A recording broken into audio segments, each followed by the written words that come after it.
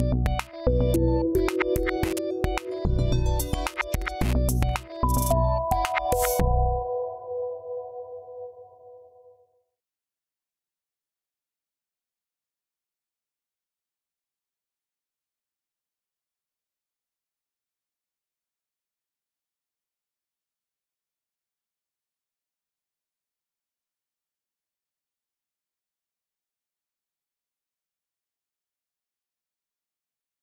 In this episode, we're going to be talking about sameness versus difference. What is sameness? What is difference? This topic is a lot more profound than it would initially seem. And this topic is also going to be very fun. We're going to dig into a lot of examples and we're going to talk about a lot of the ramifications of just how significant the answer to this question really is. And we're going to contemplate it together here today. I wanted to show you after last, last week's episode, which was uh, called How to Contemplate Using a Journal, I wanted to show you how to take your contemplations really deep. Because the problem that I see is that people still don't understand just how deep contemplation can go. I see people taking some profound question, some existential metaphysical question about the nature of reality, and just thinking about it for 30 minutes and then thinking they got the answer and then that's it, they're all done and now they're moving on to the next thing. And it's like, no, no, no, you don't understand how much more there is to to mine here. And so that's why I really want to go through with this um, uh, in a lot of detail with you. And then as a homework assignment, I'll have you contemplate this topic of sameness versus difference from scratch for yourself. Always you have to remember that these very obscure, sometimes sounding questions about the nature of reality, which might seem like they're just pure philosophy or they're just some mental masturbation or just some, yeah, just some random academic point, uh, like sameness versus difference they don't turn out to be that way. So, one thing that I want you to notice here is that by the time we finish with this episode, I want you to see just how far we've come. And I want you to see what you assumed this topic was about at the beginning, and then what it actually turned out to be after we go through all the details. And that should open your mind to the possibilities of contemplation and get you to start to take contemplation a lot more seriously. We have a lot of ground to cover, so let's begin exploring sameness versus difference. Are you, as they say, a difference person or a sameness person? And by that, what they mean is psychologists sometimes do various tests on people. And one of the things they discovered is that some people are more difference people, while others are more sameness people. And what that means is, is just that the mind tends to focus more on the differences between things for some people, and for other people, the mind tends to focus more on the similarities between things. And that's one way to categorize people, similar to how you might categorize people as introverts or extroverts or something like that. So let's do the test. I got a pop quiz for you. This is going to be about 40 questions that I'm going to go through really quickly here. So listen to them carefully. And I want you to give a yes or no answer to each one of these questions and this will determine whether you're a difference person or a sameness person. And uh, after we're done with uh, with this list, we're going to go through it again, and I'm going to show you um, just how much depth there really is to each one of these questions. So you can either make a mental note, yes or no, or if you want, you can actually pull out a piece of paper and, jot down your answers as I'm going through them. I'm going to go through them pretty quickly, so if you need to, you can pause to think about it. So, you ready? Here we go. First question is is Coke the same as Pepsi? Yes or no? Is gold the same as silver? Is an ant the same as an elephant? Is a chimpanzee the same as a human? Is an acorn the same as an oak? Is a child the same as an adult? Is abortion the same as murder? Is beheading a chicken the same as beheading a human? Are identical twins the same? Is your child if you have one, the same as you? Is Monday the same as Friday? Is nine hundred and ninety nine thousand and nine hundred and ninety nine dollars and ninety nine cents the same as one million dollars? Is English the same as Chinese, by which we mean the languages? Is the number five the same as the number 25? Is an idea of an elephant the same as an elephant? Are men and women the same? Are all human beings the same? Are Republicans and Democrats the same? Is Donald Trump the same as George Washington? Are U.S. drone strikes the same as terrorism? Is taking a knee at a football game during the national anthem the same as disrespecting the country? Is California the same as Mississippi? Are psychedelics the same as heroin and meth? Is a blowjob the same as sex? Is cheating on a test in college, for example, the same as cheating on your taxes? Are all religions the same?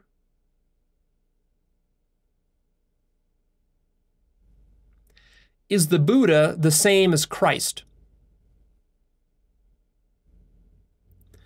Are my two fingers that I'm holding up the same? Are you the same as a Nazi? Are you the same as you were five years ago? 20 years ago? Are you the same as you were five seconds ago? Are all Actualized.org videos the same? Is every hydrogen atom in the universe the same? Is reality the same as illusion or fantasy? Is God the same as the devil? Is good the same as evil? Am I the same as you? Is nothing the same as something? That's it. That's the whole pop quiz. Now, I should have warned you, I guess, from the very beginning, some of these might have been trick questions. Maybe all of these were tr- trick questions. So let's go back and take a look at uh, just what we have on our hands here. These are some very fascinating questions. So, first, what we have is Coke and Pepsi. Are these two the same or are they different? Of course, it all depends on your point of view, doesn't it? For someone who's a connoisseur of soda, the way that maybe uh, I was when I was a teenager. I used to drink a lot of soda. I haven't for probably a decade. Uh, and I used to drink a lot of Coke. I loved my Coke. I was a Coke loyalist. I would drink a couple of cans of this stuff every single day. It's one of the things that made me fat. Uh, and I would hate Pepsi. Absolutely hate it. In fact, if I was brought a Pepsi at a restaurant, let's say, sometimes you order a Coke and the waitress, to her, the difference isn't as big as it is to you. So she'll just bring you some soda, the closest thing to Coke. Even if they don't have Coke and you say Coke, she'll just bring you a Pepsi. And then you drink it and you're like, ew, what is this? I asked for a Coke. And then you you get her to come up and you say, what, what's wrong with this Coke? And she's, oh, we only serve Pepsi products at this restaurant. And then, I mean, I'm thinking in my mind, well, if you would have told me that from the very get go, I wouldn't have even ordered it because I don't want to drink this nasty Pepsi. That's how it tasted to me. And then, you know, for other people, they, they're not very uh, discriminating between soda. And for them, cola is just cola, whether it's a Coke or a Pepsi or some Walmart branded, non you know generic brand cola. It doesn't matter to them. Some homemade cola um, doesn't matter. Um, but for someone who really likes their Coke, you know, they need Coke. They need the original classic Coke. And uh, it's interesting because you know, on the one hand, of course, they clearly appear different, different colors, different looking cans. On the other hand, the cans also look very similar. Same shape, same size. In fact, if you look, they have the exact same number of uh, of liquid in here. It's, it's uh, 473 milliliters. They both contain basically the same ingredients, like uh, carbonated water, high fructose corn syrup, caramel color, sugar, various kinds of phosphoric acid, citric acid, caffeine, and so forth, natural flavorings. But of course, they're not identical, right? Because that's why they have a different flavor, different, um, different taste. And in fact, if you look carefully at the ingredient lists, even though they're very similar, they're still a little bit different. The ordering of some of the ingredients is different, which tells you that the quantities, the relative quantities, are different. And actually, the Pepsi, this can of Pepsi has 200 calories, whereas this can of Coke has 160 calories. So this has 10 less calories. So are they the same or are they different? I mean, they're both cola, so in that sense, they're the same, but they're different kinds of cola. And they're certainly very different from Sprite or Mountain Dew or some other kind of soft drink. But then again, if we think about all the possible different drinks that a human being can drink, like uh, alcohol, fruit juice, even uh, inedible things like poison and liquid mercury and all this sorts of bad stuff that you definitely wouldn't want to drink, or just water. Uh, these two sodas are certainly much more similar than they are to any of those other kind of drinks. But it gets even trickier, this question. Because look at this. Are these two colas, two cokes, are they the same? Now you're very tempted to say, yes, of course, they're the same. But if they're the same, how can I have one over here on the left and one on the right? After all, they are two different cans. They're located at two different positions in space. I can drink one of them, throw it away, the other one will still remain. This one technically has a different number of atoms in it than this one does, different volumes. So even though it says on here 473 milliliters on both cans, if we go down to the decimal points, to the tens, hundreds, and thousands of a dec- decimal point of a milliliter, we'll see that these are not equivalent cans. And if we look closely at these cans, these cans aren't perfect. They have dents and scratches in them. Look, I can clearly see some dents and scratches and stuff in this can and in this can. And in fact, they have different expiration dates on them, slightly different. So again, are they the same or are they different?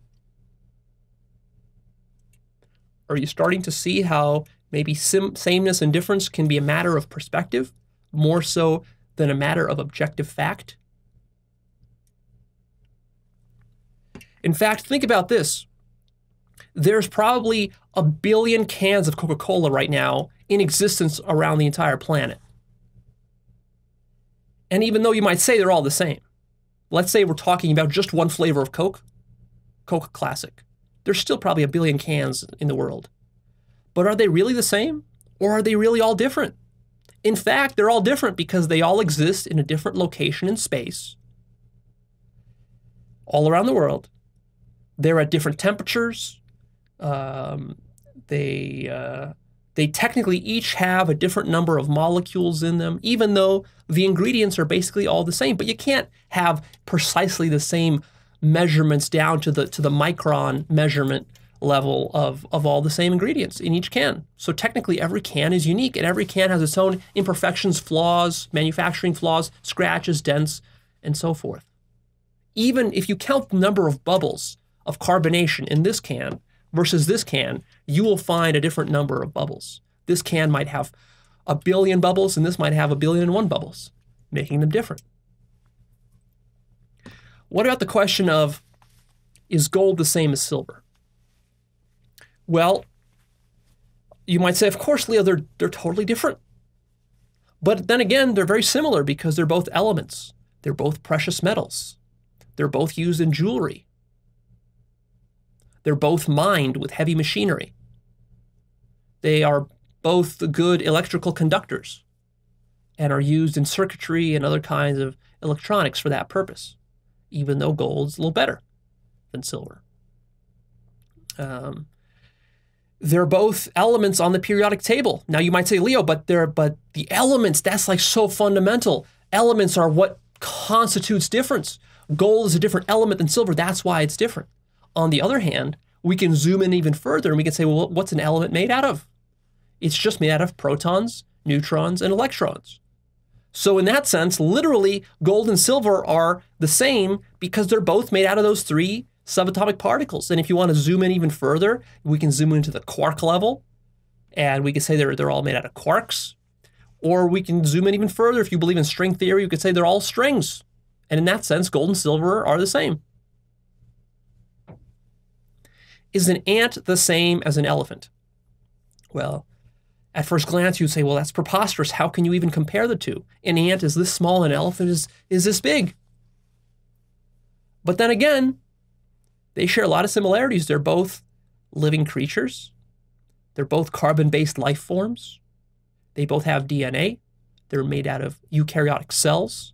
Each of these cells contains the same organelles, mitochondria and ribosomes and all the stuff you learned in biology class. These are all similar between ants and elephants. In fact, I'm not really sure what the similarity of their genome is, but I would bet it's somewhere around like 50%. Probably 50% of ants' DNA is similar to an elephant's DNA. They both have legs, they both have eyes, they both have uh, other kinds of perceptions. I, I, assume both of them can, can smell. I think ants can smell. They can smell various pheromones and so forth, just like elephants do. Um, I'm not sure if ants can hear. Uh, they probably can hear vibrations or sense vibrations, just like elephants can. They both have a nervous system. They both have neurons. They both have brains, even though uh, the ant's brain is very tiny. It's still there. They have a nervous system. They both probably see in color. Not the same color, but in colors, you could imagine, since they both have eyes. They can both die. They're both alive. So look how much they have in common. And you thought an ant and an elephant were different? No, they're the same. Look how much they have in common. We can keep talking. I can talk for a whole hour about the similarities between ants and elephants. And after all, you know, it's it's relative. It depends what you compare it to. Because like if I tell you to compare an elephant to something like the color blue, well, now that's a lot more different than comparing an elephant to an ant because the color blue isn't even a living thing. It's not even a creature. It's some sort of, I don't know what blue is. What is blue? It's a color, it's some abstract concept. It's not an elephant, it's not an animal, it's not even alive. You know, certainly if you compare uh, uh, an elephant to a Coke, it's very different than uh, an ant compared to that elephant. How about a chimpanzee and uh, a human being? Are they the same? Well, if you look at the science, science will tell you chimpanzee has about 98 plus percent similarity in the genome to a human being. But a lot of people get offended by this notion that chimpanzees are the same as humans. It's like, no, Leo, we need to. There's no, there's no way humans are like chimpanzees. What are you talking about? humans were uh, God's chosen creatures and chimpanzees are just like apes in the forest. How dare you compare me to a chimpanzee? What are you saying? Are you saying I'm primitive? Are you saying I'm ugly? Are you uh, trying to be racist? What are you saying calling me a chimpanzee? Yeah, see, people, uh, people need to differentiate themselves from a chimpanzee. Isn't that interesting? Why do people feel that need to do so? Uh, a lot of fundamentalist Christians around the country, around the world, take great offense at comparing humans to chimpanzees or that humans evolved from apes or share a common ancestor with chimpanzees. Now, of course, Science doesn't say that humans evolved from chimpanzees, it says we have a common shared ancestor. But even that idea is uh, very disturbing to people. Might there be something hidden behind that uh, triggering? Getting triggered by that? Yeah, maybe. We'll get to that uh, a little bit further in the episode. Um, but I mean, look at the similarities between a chimpanzee and, and human. Um, we're about the same size. We have, we both have ten fingers and ten toes. Um, we have hearts. We're both mammals. We're both we're both born in the same way. We have the almost identical nervous systems. We have eyes, ears, a nose, a mouth, a tongue, teeth. Our teeth are very similar. Um, we both have grasping hands. We have opposable thumbs. We can both use tools. There's so much that we have in common. We have both have hair. Uh, we both care about our young.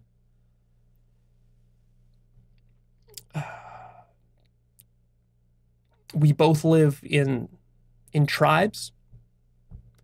And actually, there's a lot to be learned about the, the deep similarities between chimpanzees and humans. There's actually primatologists who spend their whole lives studying the similarities between chimpanzees and humans and drawing various profound psychological and sociological lessons for us. And I actually have a, a, a book on my book list that, that is written by a famous primatologist which compares humans and chimpanzees. And that's a very profound book. You read that book, it completely changes your understanding of humans because you realize, oh my God, humans are just like apes in tuxedos. That's all we are walking around with briefcases thinking we're so sophisticated. But really, our behaviors are so similar. Uh, humans and chimps get scared by the by the same things, uh, get angered by similar types of things. We both get jealous. We both uh, cause violence to each other. We both go attack each other and start small wars with each other if we're in tribes. There's tribal warfare within chimpanzees. So there's a, there's a lot of similarity in the psychology of a chimp and, an, and a human. But uh, but see, the more this similarity gets shared with people, uh, some people get even more offended by this because they don't like it when it's pointed out to them that they're basically just behaving like a dump, like a dumb ape. But in fact, that's what's happening. Most people are walking around like chimps, doing chimp stuff. Just of course we have more technology and we have more sophisticated language and and all this. We we dress nicer. We have nice cars. Chimps don't have that stuff. But um, but you can imagine if chimps did, then they would act very similar to the way that we act and handle all this technology and all this all this luxury that we've developed. So uh, you see, very interesting how these differences and similarities play out. Is an acorn the same as an oak tree? Well, you might say, how can you compare them? An acorn is this big, an oak, oak tree is huge. But then again, literally, an oak tree comes from an acorn. They literally have the same DNA. In fact, you can't get an oak tree without first having an acorn. One is necessary for the other. So look at how similar they are, and yet you think of them as being so different. How dare you? How about uh, a child? Is a child the same as an adult? Where this is kind of similar to the acorn and oak question. You might say, well, of course, Leo, as an adult, I'm not a child. I've outgrown all my childish ways. Children are silly and they're ignorant and they're smelly and they're loud and they're dirty and they're noisy and blah, blah, blah, blah, blah. but then again, as an adult, what are you but just a big child? That kid that was in you when you were a child, that's still there in you now. In fact, most of what you're doing in your adult life is just acting out stuff that you were as a child. You're still dealing with the same issues. You haven't really outgrown them.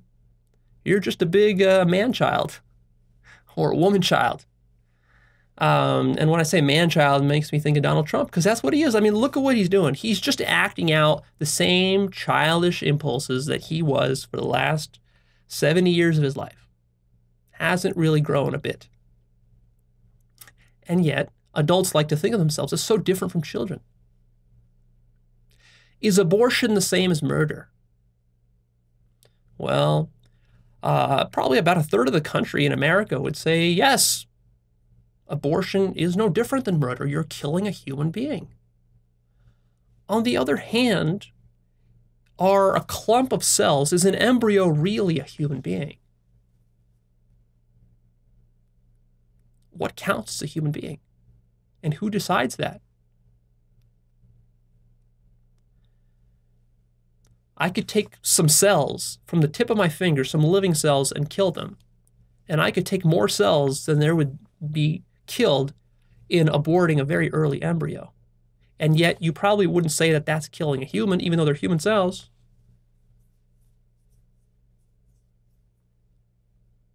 So, how are you drawing these lines? At what point is murder really murder?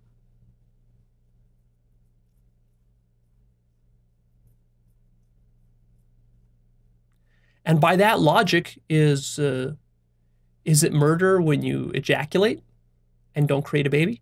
Is it murder when a when a female just uh, has an unfertilized egg that just goes out with her menstrual cycle? Is that murder? I mean, that's a potential baby.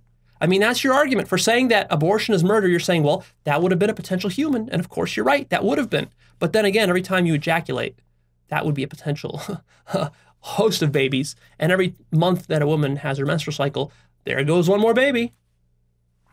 You're killing a baby. So are these the same or are they different?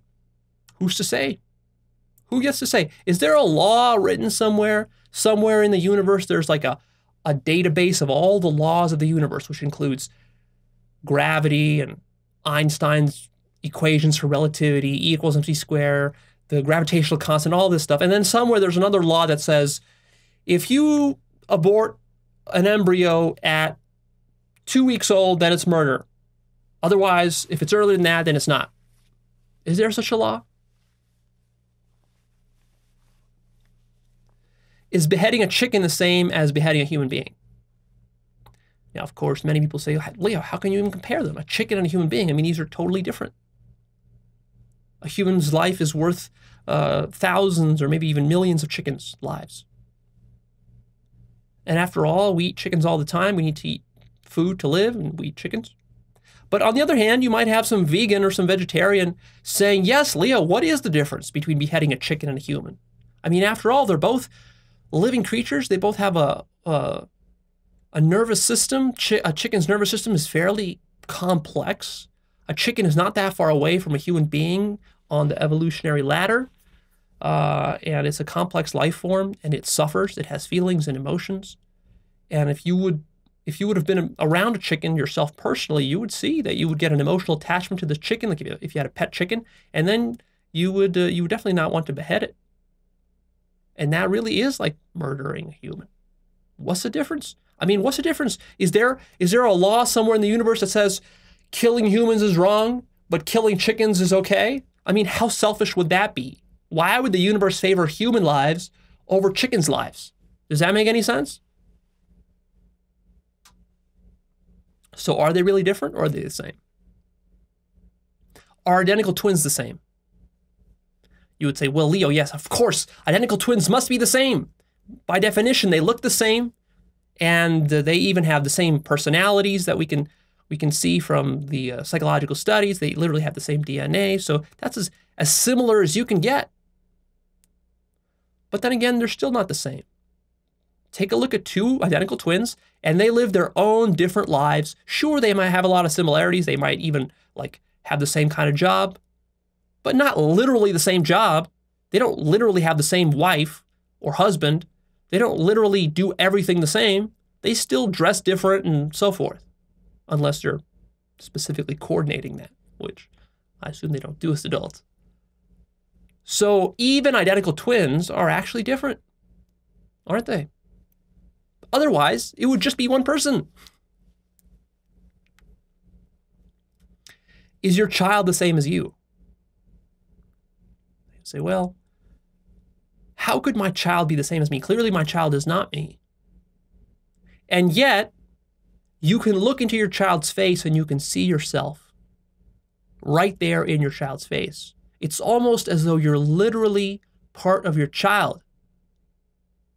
And in fact, if you're honest, isn't the only reason that you love your child because they're the same as you and you perceive that as such?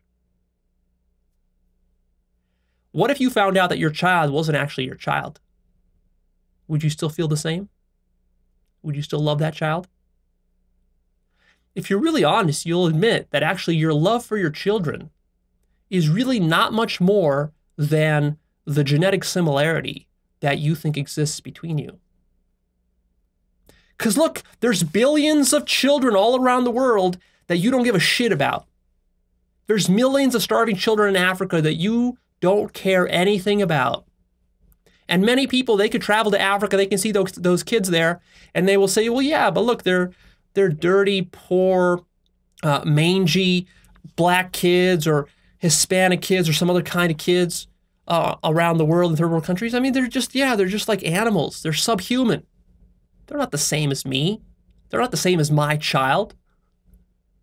But then again, some other people, they can travel to those exact same countries and they can look at that mangy um, uh, child who's a different ethnicity than them and they can literally see themselves in the child's eyes. And some people say, well, that's diluted. Leo, that's diluted because that child isn't really theirs. But then again, all human beings have almost identical DNA. We are so closely related as human beings that you might almost consider us as one large extended family that just interbreeds with itself. That's how close we are. We are not that many generations apart. Like ever, I forget exactly what the number was, but there was there was some profound number that I read where it said like that every human like if you if you meet a random human being from another country, the chances of you being related to that human being um, by like a factor of let's say two percent are actually enormously high. So like literally every human being on this planet is related to every hu- other human being on this planet because we we share a common ancestor just like a hundred or a thousand generations ago. Literally, we all came from the same uh, grandmothers and grandfathers. And yet, for some people, that doesn't matter. They'll still look at that mangy kid and they'll say, no, different race, different ethnicity, different country, not my kid, don't care about them at all. So who's right? Is Monday the same as Friday? Leo, how dare you even compare these two? If you work a standard nine to five job, then you might feel that way. Because you'll say, oh, Friday, Friday is the best day. I love that day. Thank goodness it's Fridays. I get to have fun. It's casual Friday. I have the whole weekend off. It's great. Whereas Mondays, I hate Mondays. I have to go back to work. The whole week is ahead of us. I got to answer emails and do all this sort of stuff. Mondays are boring and tedious. But then again, Mondays and Fridays are both work days. They're both days of the week. Like after all, I could have compared Friday to an ostrich. Now that would have been a radically different comparison. Friday compared to an ostrich, they don't have that much in common. But Monday compared to Friday, look how much they have in common. Is nine hundred and ninety-nine thousand nine hundred ninety-nine dollars ninety-nine cents the same as a million? Well, many people say yes. It doesn't matter. One penny difference. Leo, what difference does a penny make? And yet, depending on the circumstance, a penny can make all the difference in the world. For example, if you are making a digital purchase and you're transferring some money to some store using some shopping cart, and let's say you're buying something for a million dollars, will that shopping cart accept one penny shy of the actual buying price? No, it will reject your purchase. So in that case, one penny will make the difference between you buying that thing and not. For example, if you're bidding on an auction, like on let's say on eBay, you're buying, I don't know, what would cost a million dollars? Some super rare baseball card or something. Um, then uh, or some really fancy car, maybe some collector's car. Uh, and and the asking price, the final price is a million, but you bid one penny shy of a million. Are you going to get that car? No, you're going to lose your favorite car somebody else. And if you're a giant business who's doing thousands, millions of transactions every single day, let's say you're a giant company like Coca Cola, for you, a penny makes all the difference in the world. You know, if, if the, the price of a Coca Cola went up by one penny, that would mean uh, probably billions in additional revenue for Coca Cola. That would be very significant. So it's all about what context you put it in and how you look at it. Then again, you know, if you're just transferring some money between friends, like let's say you need to transfer $1,000 to your to your mom or to your dad to help them out with paying some of their bills. Does it matter if you transfer to them $999 or $1,000? Is that $1 going to make a difference to them? No. Doesn't make any difference. Is English the same as Chinese? Well, at first you might say, well, yeah, of course, Leo, you couldn't have picked two more dissimilar languages. Right, but I could have compared English to an ostrich. Now, those would be quite different. English and Chinese have a lot in common, a lot more than you might initially think. They both have verbs, nouns, adjectives, pronouns. They basically have almost the same kinds of words. You can say almost any sentence in English and also saying that exact same sentence in Chinese. And even if you, you, you found a situation where you couldn't, you could just invent some new Chinese characters, some new Chinese words to, to stand in for those English words.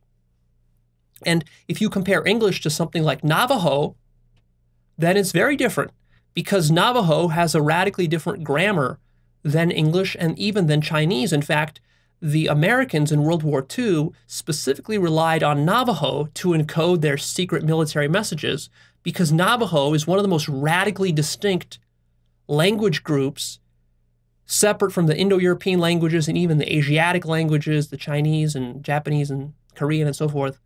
Uh, and it's so different and it's so difficult to learn for um, for Indo Europeans and for for Asians that like the grammar, the way it works is so different that actually you have to think radically differently just to use that language. And so it makes a perfect uh, encoding language. And in fact, from what I understand, the Germans and the Japanese in World War II, I don't, I don't think they were able to actually decipher Navajo because they didn't have the na- native interpreters because the only people who knew Navajo were Native Americans who were in America. So isn't that interesting? On the other hand, English and Chinese are very different because they don't have any of the same letters in common. Like English and French are much more similar, or English and German than English and Chinese. Is the number five the same as the number 25? And would say, well, Leo, here you've gone too far. Obviously, these are different. How can these two numbers be the same? But then again, they're both numbers. I could have compared number five to an ostrich. that would have been quite an interesting comparison. But they're both numbers. They're both odd. They're both whole numbers.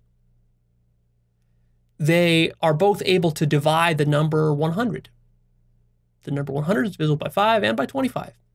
In fact, 25 is divisible by 5, and 25 is just 5 times 5. Five groups of 5 equal 25. So they have so much in common. In fact, if you wanted to, you could devote the rest of your life the next 60 years of your life could be devoted to tallying up the similarities between the number 5 and the number 25. And that list would not end. It would keep going and going and going. In fact, I want you to consider something very profound, which is that this list is infinitely long. There's an infinitely long list of similarities between the number 5 and 25.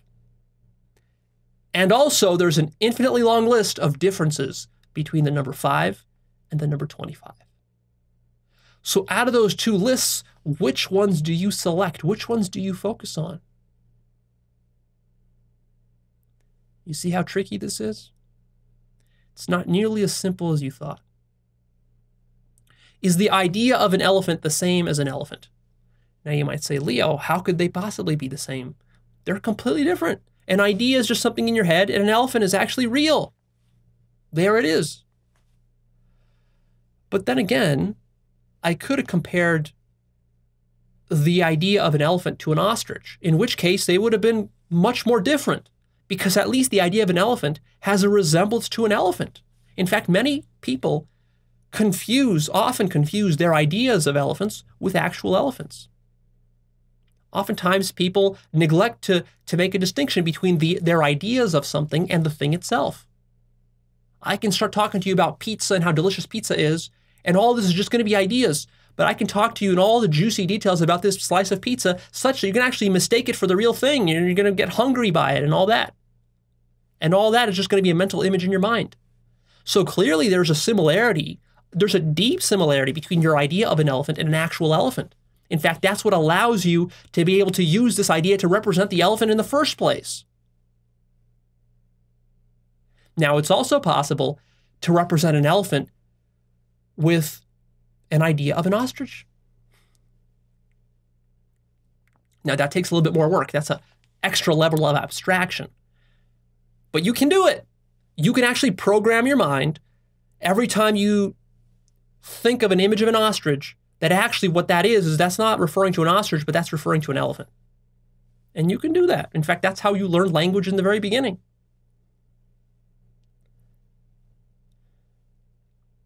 Are men and women the same? Well, this is a really hot button issue, especially these days. People like to make a big deal about how different men and women are. But then again, there's so much in common that men and women have. I mean, we have the same basic DNA. We're of the same species we both have hair and nails and fingers, and we basically have the exact same organs, and uh, we can basically do the same things. But then again, we also have differences. We have different ways we think. We have different psychologies. We have different things that we're sexually attracted to, and um, some of us are masculine, some of us are feminine, and and so forth. So, which is true? Are men really different from women, or are they the same? Are all human beings the same? That's also a hot button issue. A lot of people get triggered by that issue. You know, the liberals will say, oh, all human beings are basically the same. And then the conservatives will criticize the liberals, say, oh, those liberals are so stupid. They, they lump all human beings together, but really every human being is unique and different. Who's right? Could it be that it's a matter of perspective and that there is no such thing as an objective answer to this question in the way that most people think? See, most people just assume that these answers have objective questions. Oh, I'm sorry, these, these questions have objective answers. And what I'm trying to get you to, to maybe start to open your mind to is the possibility that maybe they don't. Maybe reality doesn't actually know whether all human beings are the same or whether they're all different. After all, how would reality know the difference? We'll get back to that. We'll talk about that in science a little bit later in this episode. Are Republicans the same as Democrats? You might think, well, Leo, they're so different. How could you put them in the same category? They're like almost the opposites. But then again, they're both Americans. They're both part of the same political system, part of the same government. Many Republicans and Democrats agree on exactly the same issues. They'll vote for the exact same policies. But then again, they're also quite different and not necessarily different in equal ways. And then you might zoom in further just on Democrats.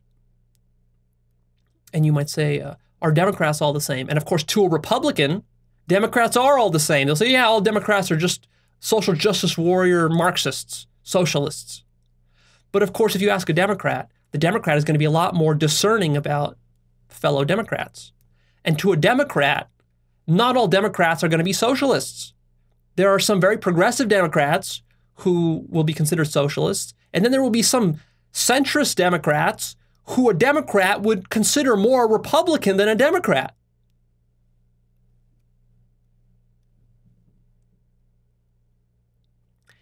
And the issues that Democrats and Republicans care about, they're basically the same issues. They both care about earning a good wage.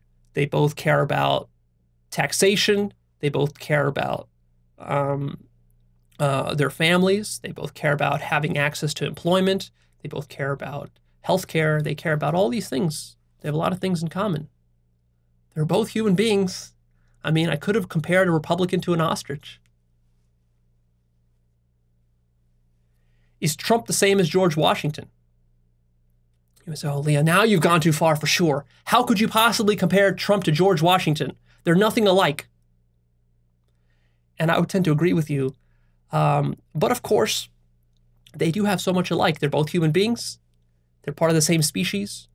Did you know that George Washington was one of the richest US presidents of all time? Of course, you have to account for inflation.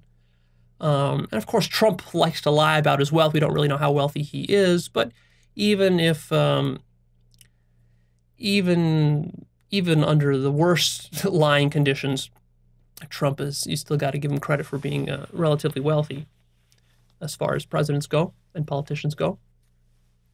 Um, and they have many other things in common. In fact, you could spend the next 60 years as a historian and researcher doing research on all the commonalities between George Washington and, and Trump. Of course, you could also spend 60 years um, doing a careful study of all their differences.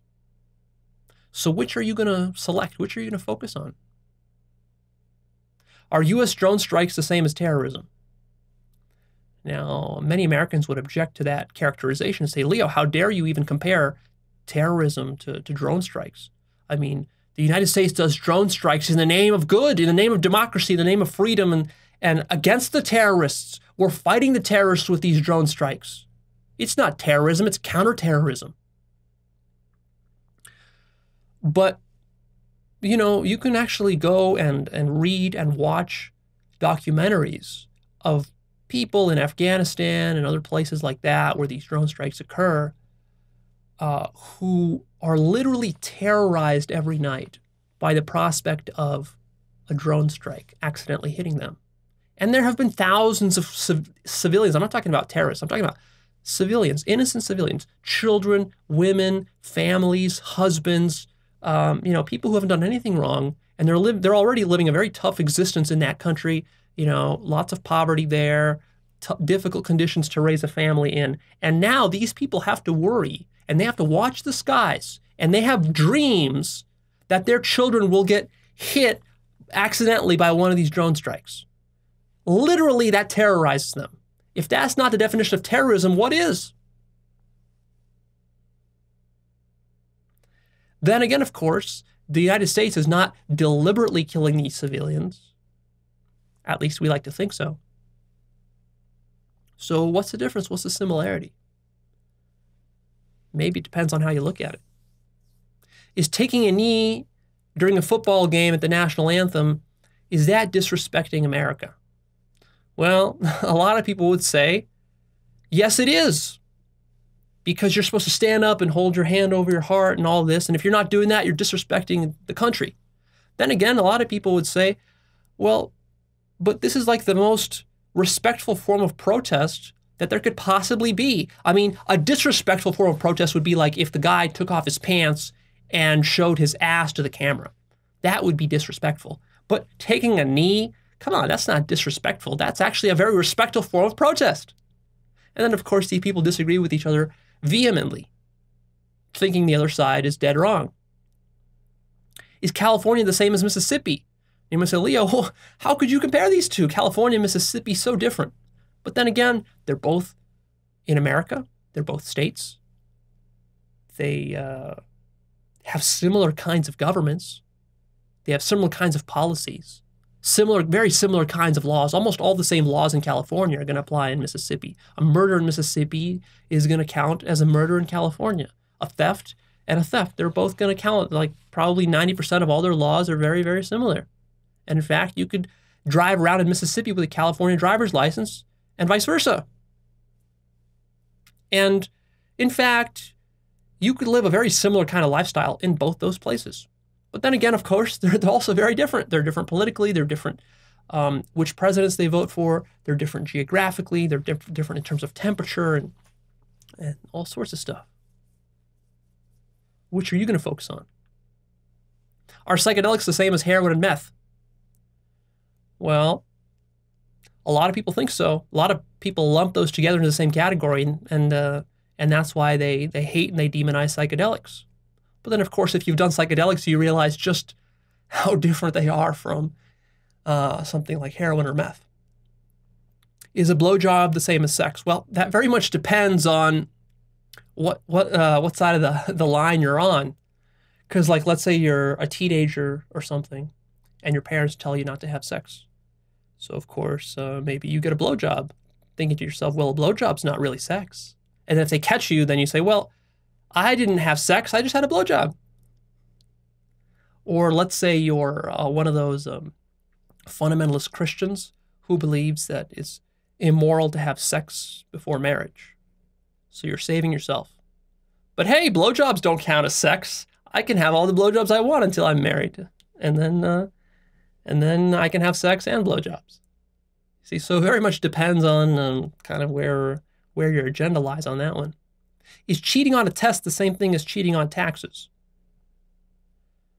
Well, you probably think they're quite different. I mean, what does cheating on a test have to do with cheating on taxes? One is a, a crime, cheating on your taxes. You can go to jail for that. Cheating on a test, that's not very serious. Probably most students have cheated on a test at least once or twice in their life. But then again, they're both forms of cheating. And fundamentally, a cheater is a cheater. Cheating is not a particular activity, cheating is an attitude, it's a frame of mind. And I would bet good money that there's a positive correlation between people who cheat on their tests and people who cheat on their taxes. Because a cheater is a cheater. Then again, there are many people who would just cheat on a test but never cheat on their taxes because they draw a clear distinction between those two and they see that, you know, cheating on taxes, that's a really serious offense, both uh, uh, legally speaking but also just morally, because when you're cheating on your taxes, what you're actually doing is you're basically just stealing money from public coffers. Whereas when you cheat on a test, you're not you're not really hurting anybody.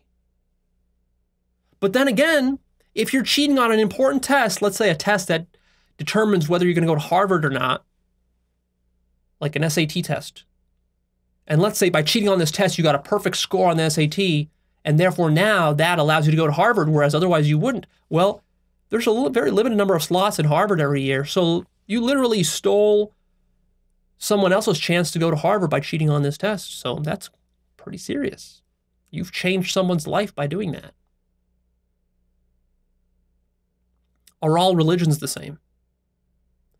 Well, a lot of scientifically minded, atheistically minded, rationally minded people would say, yeah, Leo, all religions are just all fantasy, myths, nonsense, stories, fairy tales, the flying spaghetti monster. That's all it basically is, just delusion.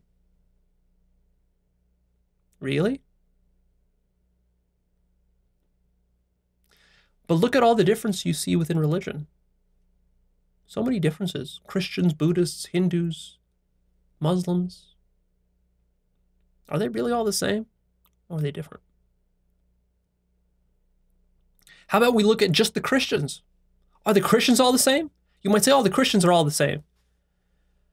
If you think that, go to Wikipedia and type in list of Christian denominations.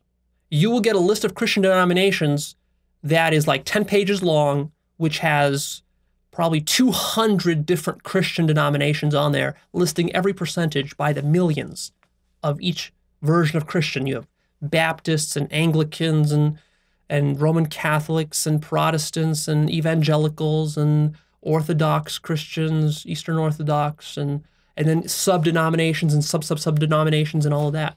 So are they all the same or are they different? Are all Baptists the same? If you ask a Baptist, are all Baptists the same? What do you think they would tell you? No. They will make fine distinctions between different kinds of Baptists. Like, oh, I hate those Baptists over there. That Baptist church is, is full of, of, uh, of, of evil Baptists, and we're the good Baptists over here. Is the Buddha the same as Christ? And for this one, I have a really funny story. I came back from Hawaii. This was maybe half a year ago after a meditation retreat there. Uh, a good retreat, lots of deep insights and awakening experiences. And I, am I'm, I'm driving back from the airport. My taxi driver's driving me back home, and um, and we're just chatting in the in the car, in his taxi. And he asked me, you know, oh, where are you from? What are you doing? I'm like, oh yeah, I just got back from a long retreat in Hawaii. I'm glad to be back. And then he's like, oh, a meditation. What is a meditation retreat? What is meditation? I mean, this guy was, you know, he wasn't into self help. He wasn't into spiritual. He didn't know anything about this sort of stuff. So I'm trying to explain to him what meditation is. So I tell him, well, meditation, I just basically sat there for a week and did nothing. And I just kind of sat in a room for 12 hours and just like stared at the wall. That's meditation. And I try to clear my mind of thoughts. And he's like, like, that's what you. Are you serious? Is that what you did? Or are you joking with me? I'm like, no, that's, I'm serious. That's what I did for a whole week. And, and he's like, that's, that's, that's crazy. Why, why would you do such a thing? If, he, and then he's like, if I, if I had to sit alone in a room for a whole week, my mind would just be nagging me all the time, coming up with all sorts of crazy thoughts and ideas. And I'm like, yeah, that's exactly the point is to calm your mind with meditation. And to him, this was such a foreign concept. And he's like, God, what's, what's the point of, but what's the point? Why, why empty your mind? Why would you want an empty mind? and I, this just this amused me so much. And I'm thinking about how to explain this to him. And I'm like, well, you can have profound mystical experiences after many days of emptying your mind. You can have awakening experiences. And I'm trying to explain this to him, but he doesn't know what awakening is, what enlightenment is. So I have to find a way to explain it to him. So I ask him, uh, "Hey, you know, uh, are you religious?" Because I, I know I can I can relate to this to him if he's religious. And he's like, "Yeah, uh, I'm a Christian." And he was actually, I think he was Ethiopian. And Ethiopia Christianity is um, it's one of the few northern African countries that um, that Christianity is big in. Other places it's more Muslims, but historically it was Christianity. So he's a Christian. And uh, and I'm like, okay, so you believe in Christ and the message of Christ? Uh, and he's like, oh yeah, yeah, I do. I go, I pray in church and all this every Sunday, blah blah blah. And I'm like, well, then you know, you know what I'm talking about. What was the central teaching of Christ? It was that you can awaken, you can have enlightenment, you can become like Christ by doing these practices. And what, what was Christ really teaching? He was teaching you meditation. What is prayer really about? It's not about asking God for gifts and stuff. Prayer is calming your mind so that you can silence your mind and actually merge with God and realize your own Christhood, your own Christ nature. And he's like, Yeah, I guess, but what does that have to do with meditation? Isn't meditation like something Buddhists do? Isn't that like the Buddha? That's not Christ. And I tell him, yeah, that's the Buddha. Christ, Buddha, same thing. Buddha nature, Christ nature. And he and this and I will never forget this. This made me laugh so hard. And also this was so eye-opening for me um, about just how difficult it is to communicate these these ideas. Um, this is exactly what he said to me. He said, "But isn't the Buddha evil?" And I just started laughing and laughing and laughing. Because, see, as a Christian, he was taught that Buddhism is just some devil worship cult. And it has nothing to do with Christianity, because what Christianity is interested in is differentiating itself from Buddhism and Hinduism and all the other religions. So, of course, what it does is it demonizes all the other ones. And that prevents people from actually seeing the deep interconnectedness between all of religions and what is really being taught. And realizing ultimately, when you have this union for yourself in your direct experience that you are none other than the Buddha, and the Buddha is none other than Christ. And that's a very profound realization. Are my two fingers the same? They look the same, but actually they're mere copies of each other. But of course, they're not even copies because each one is unique. Different hair, different different freckles, different scars, different cells. There's uh, there's very complex stuff going on in each one of these fingers. In fact, I could ask you this: Is this finger right now the same as this finger right now? You might think so, but how? How can they be the same? You know that there's billions of cells and blood cells, oxygen, chemicals, and stuff flowing through this finger every second. All the blood that was there has already flown out, new blood has flown in. It's changing, it's growing, it's aging, it's actually slowly dying. All these cells get replaced. This finger, you might think it's the same finger that I've had my whole life, but really, every single molecule in this finger has been replaced over my entire lifetime. So, how is it really the same? Which brings us to the even larger question Are you the same as you were five years ago? Or 20 years ago? Or hell, even five seconds ago? Are you the same? Are you the same as you were when you started watching this episode, listening to me, I've already filled your mind with all these crazy new ideas that you never thought before.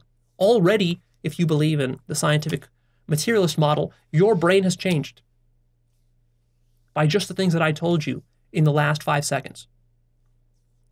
So you're always different. And yet you still think you're the same. You still fundamentally feel like you're the same thing that was born 20, 30, 40, 50 years ago, and that that's you. Why do you feel that if you're different? Technically, you're different. So how can you say you're the same? Which is true? Are you technically different or are you the same? Who's to say? Are you the same as a Nazi? Now, of course, people will immediately say, "No, Leo, how? Why? Why would I be a Nazi? I'm not a. I'm not a neo-Nazi." But that's not what I ask you. I ask you, can you see the similarity between you and a Nazi? I mean, after all, a Nazi is not some monster. A Nazi is a human being like you, same species, same organs, same brain, same mind, same basic ideas, pretty much the same value system as you. you. People think Nazis have radically different values. No, Nazis have almost the same values as you, even if you're not calling yourself a Nazi. There's so much similarity between Nazis to the point where uh, you know, people don't like being lumped together with Nazis. So, of course, they're going to make all this effort to try to differentiate themselves from Nazis. But in doing that, that actually makes them very susceptible to then becoming a Nazi. Because to really understand Nazism and the evils of it and how to avoid it, you have to actually study the similarities between the Nazi mind and your own mind. And to see that actually the kind of logic and reasoning and justifications that a Nazi would use to justify the kind of evils that they committed, every human mind is capable of. Every single one, I don't care who you are. You could take a baby, and that baby's mind is capable of what that Nazi mind is capable of. Because at one point, that Nazi was also just a baby. It's just all a matter of how your mind gets programmed, what kind of ideologies get fed to you, what you start to believe, what your paradigm is, and then what kind of place you find yourself in life. And then, you know, pretty soon you could start telling yourself that, hey, I was just following orders. But see, uh, the ego doesn't like to be compared to Nazis because the ego loves to compare itself to the good guys, not the bad guys. So the ego, the ego will do everything possible to differentiate itself from the bad, the quote unquote bad guys. Are all actualized.org videos the same? Well, if you're a casual uh, viewer of, of actualized.org, then you would say, yes, of course, Leo, you're you're just you're basically spouting the same shit. Enlightenment, this, self-actualization, that. Every single fucking week you're talking about egos and and this and suffering and religion and, and Buddha and blah blah blah blah blah. All the same. Same gobbledygook. Same religious sounding mumbo jumbo. But then of course if you're if you're a discerning viewer, then you're thinking to yourself, how could people even think that? Every video is unique, new topics are being covered, new profound insights and things that I never heard about before, even though I thought that I saw everything there was to see and heard everything there is to hear about self help. And then the next video comes out, and now it's something new, something different, something I never heard about before. How is this even possible? So, which is it? Is every hydrogen atom in the universe the same? Well, on this one, you might say, haha, Leo, I got you now. This is a physical, scientific question. And the answer is definitely that every hydrogen atom in the universe is the same. That's what physics tells us. Really? Really? Or is every one of them different? If they were all the same, how could they be in different positions in the universe? So, at the very least, they have different XYZ coordinates and also uh, the fourth dimension, time, a different time coordinate, let's say. At the very least, you have to posit that. Because if you didn't posit that, how could you distinguish one hydrogen atom from another one? So literally every single hydrogen atom in the universe is different. But of course, they also share a lot of similarities too. You could swap one hydrogen atom for another hydrogen atom, and it probably wouldn't make a big difference to your scientific experiments or to your technology. Is reality the same as illusion and fantasy? Well, you might say, Leo, that's totally, totally different. What can illusion and fantasy have to do with reality? It's the opposite. But then again, who's to tell? What is reality and what is fantasy? You assume there is such a thing as reality. And then anything that doesn't correspond to that is fantasy. But what if reality isn't like that? What if the nature of reality is that it's not distinct from illusion and fantasy? What if reality cannot tell the difference between reality and fantasy? What if fantasy is the reality? After all, how would you distinguish the two? And you might say, well, Leo, we can clearly distinguish between something real and the flying spaghetti monster. But that's not my question. My question is that thing that you call real, how do you know that that itself is not an illusion? How do you know this hand right before your eyes, right here, is not an illusion? What would you use to distinguish between an illusion and reality? And that criterion that you're using to distinguish between reality and illusion, how do you know that itself is not an illusion? You see the problem there? It's a very deep problem. Think about that one. Is God the same as the devil? Uh, Leo, no, religious people would say, Leo, how dare you even compare these two? Obviously, the devil is the opposite of God. But really, is it? Have you thought about this? Think about this. Set your dogmas and religious teachings aside and just think about this very simply using common sense. What did they tell you God is? They told you God is infinite. They told you God is the creator of everything. So, did the devil not get created by God? If the devil was not created by God, then that means that God did not create everything. And then the question is, how did the devil come uh, come into being? So if if God didn't create the devil, that means the only possible other place the devil came from is God uh, is that the devil created himself, right? But if the great devil created himself, that means he has the power to create himself, which is the power that God has. So that means that the devil is God. So let's say though that you say, okay, well, let's say the devil didn't uh, create himself. Let's say God created the devil. But Leo, that still doesn't mean that God is the devil. But they told you that God is infinite. If God is infinite, that means God is everything. There is nothing which God is not. That means that everything that God creates is God itself. So no, no creation of God's is separate from God, which means that God is literally the devil. Interesting. Is good the same as evil? Now, again, here you're going to say, no, they're the opposite. But then again, it depends on who you are and what position you're looking at it from. After all, what's good for one person is precisely evil for another person. And what's evil for another person is precisely good for another person. For example, a terrorist will think that blowing up some civilians is good. Whereas people looking from the outside on that situation will say that that's evil. So who is right? Be careful about just assuming that you're right because the terrorist is also just assuming that he's right. So again, who's right? Everybody feels they're right. So you can't just rely on your feelings of being right to determine whether you're right or not. And after all, what's the difference between right and wrong? Is there a law in the universe that says that something is right and something is wrong? Or is that something that your own mind created?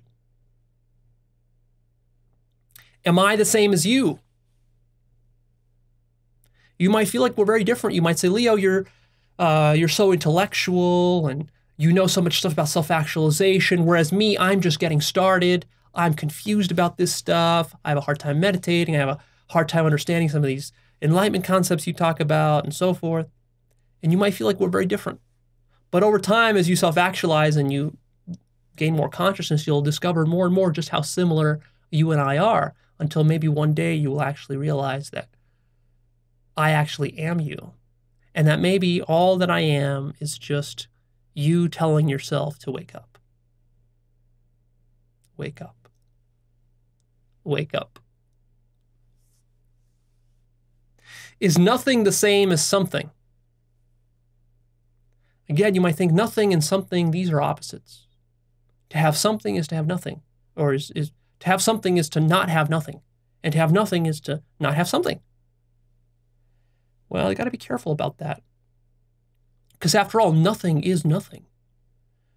And precisely because it's nothing, it could be hiding right under something.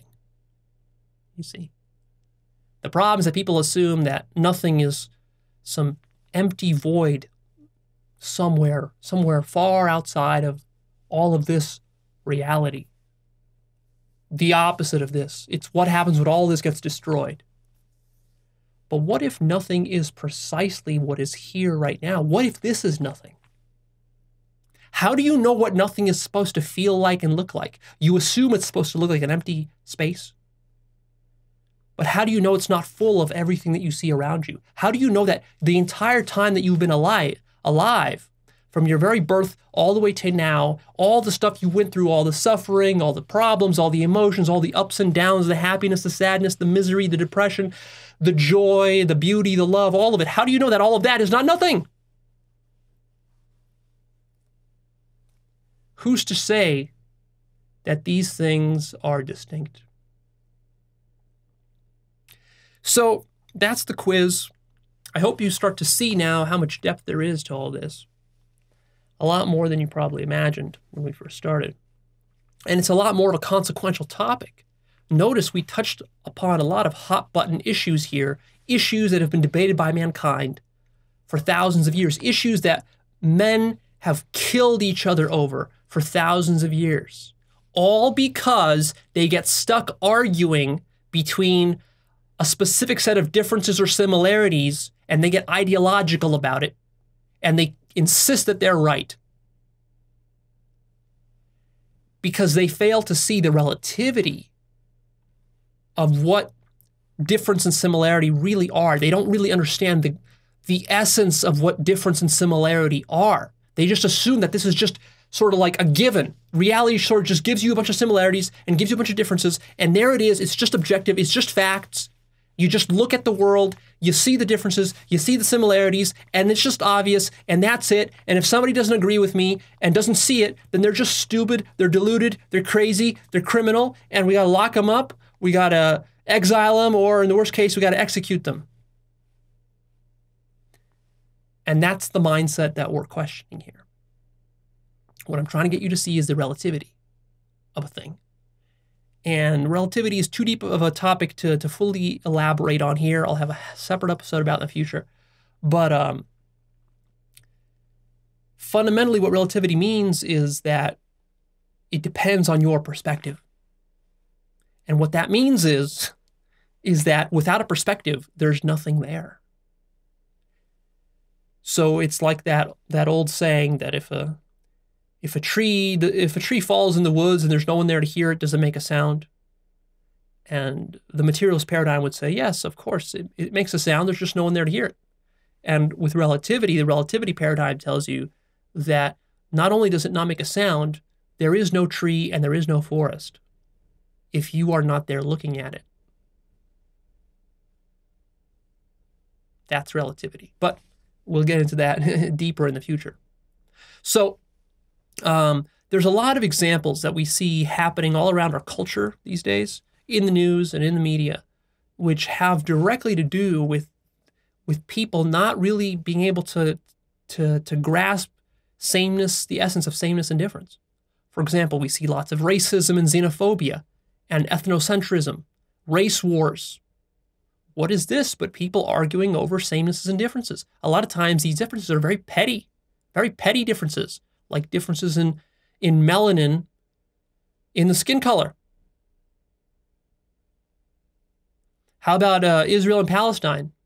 They've been at each other's throats, at each other's throats for a long time, and they consider themselves to be very different. But uh, I'll bet you this that if we had an alien race of Martians fly down tomorrow and start to conquer the world, uh, the Palestinians and the Israelis would start to get along just fine.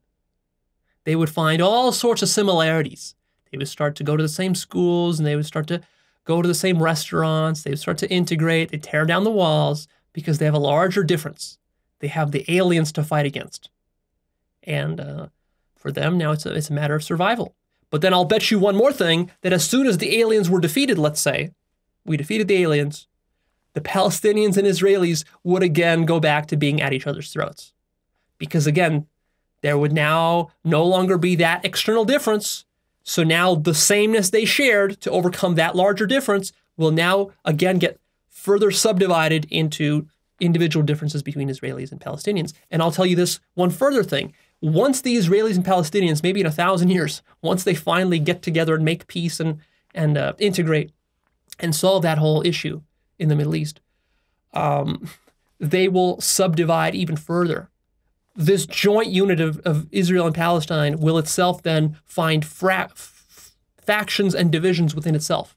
And in fact, right now within Israel, you can find divisions within Israel, different political factions and groups. Some of them want to integrate, some of them don't. And same thing with the Palestinians. Wouldn't it be helpful to understand this sort of stuff if you were trying to overcome that conflict and really find a, a lasting resolution and avoid all the violence and all the nonsense that goes on there, all the demagoguery and all the ideology? How about Christianity versus Islam? Uh, those like to go at each other's throats as well, uh, citing differences between each other, calling the other one evil, without seeing the, the deep similarities between the two. How about capitalists versus socialists? Same sort of problem. How about the culture wars that we're seeing all over the place now? Same sort of problem. How about the gender wars? Men versus women, feminists versus the men's rights advocates. Same sort of problem. How about sexual harassment? The Me Too movement. You see this this this sort of problem happening with the Me Too movement where some people lump too many different kinds of sexual harassment into one category.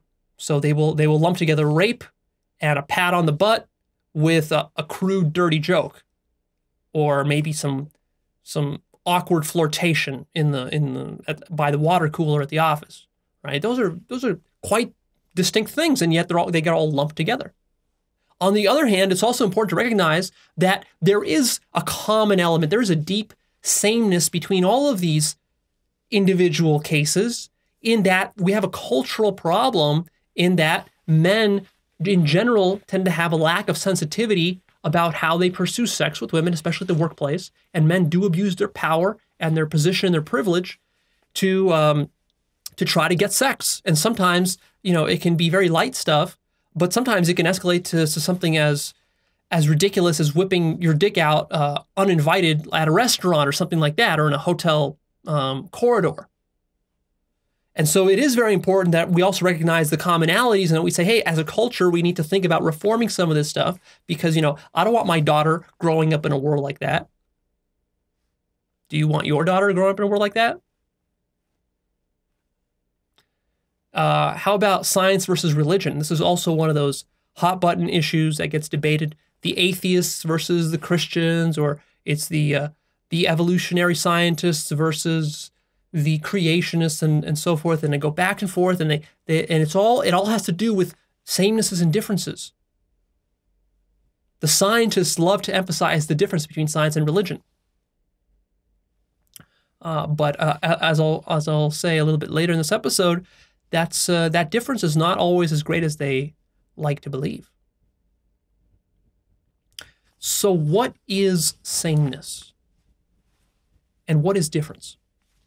Like, really, what are they? And here I want you to start to contemplate, and I don't want you to just speculate and to come up with theories. What I want you to do is I want you to take two objects in your direct experience right now, like this finger and this finger. Take them in your direct experience, look at them, and notice. Train your consciousness on these fingers and notice first of all, that they're different, but also that they're similar and the same. And I want you to kind of focus your, your consciousness back and forth between those two. And as you're doing that, also bring in a sort of meta consciousness, a meta awareness of what you're doing, and try to get a sense of like, what is difference and what is sameness? I'm not just asking you what's the difference between one finger and another finger. I'm asking you what is difference, period. Difference between any two objects, what is that?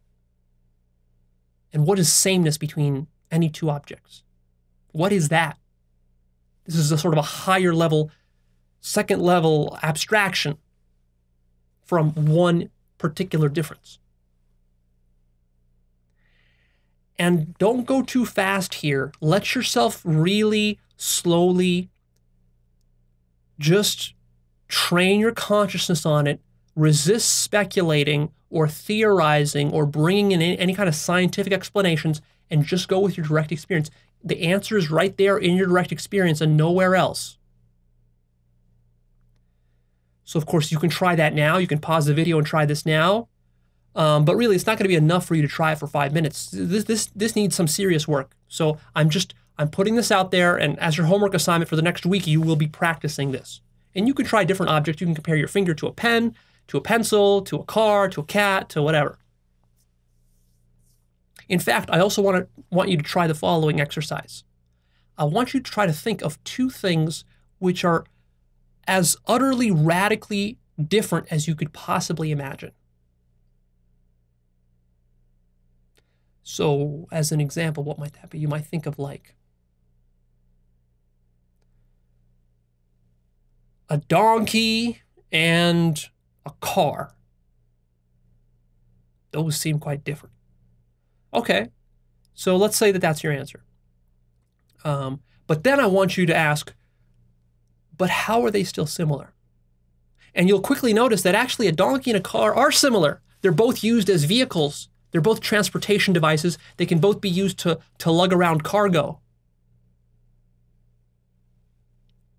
And in a certain sense, they almost both require fuel.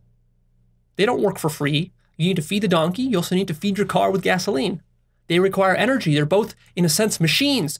One's a biological machine, another one's a mechanical machine, but they're both, in a sense, machines. Of course, very different but you you find those similarities. So then I want you to to say, okay, well, no, let me find something even more radically different.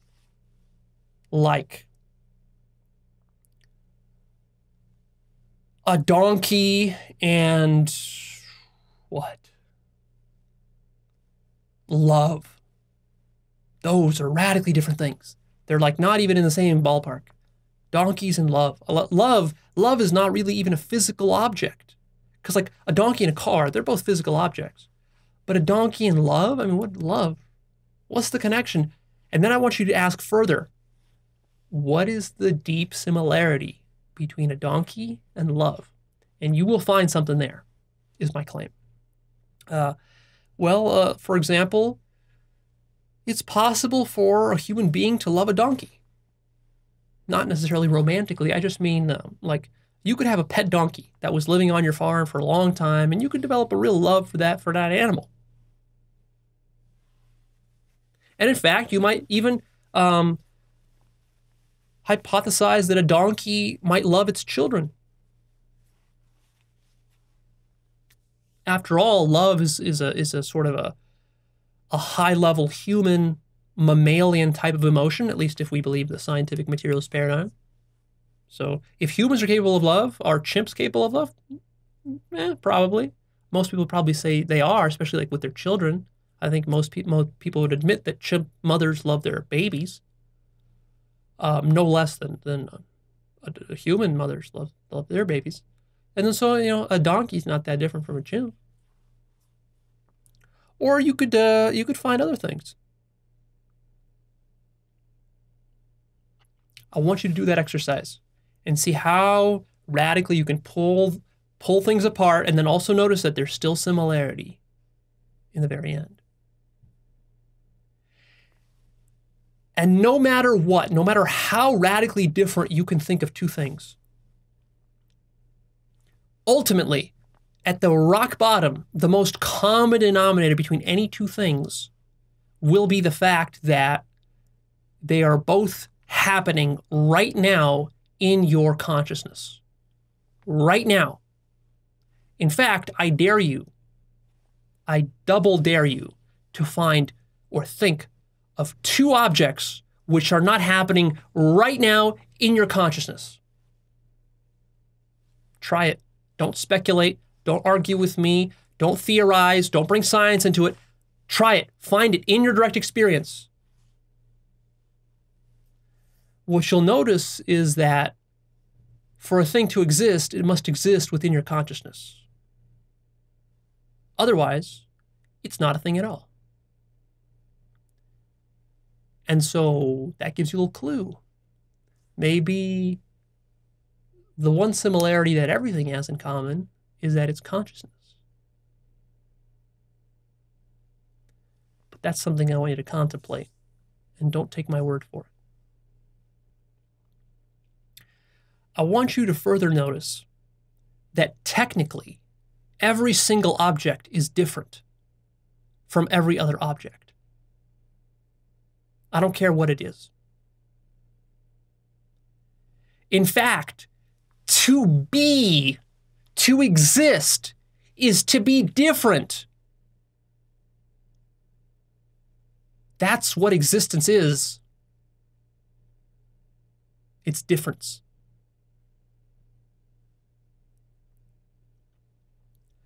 If we had two objects and they were precisely identical, that means that they would be so identical that even their coordinates in space and time would be superimposed on top of each other, such that literally the two objects would fuse into one, and we couldn't even speak of two objects anymore.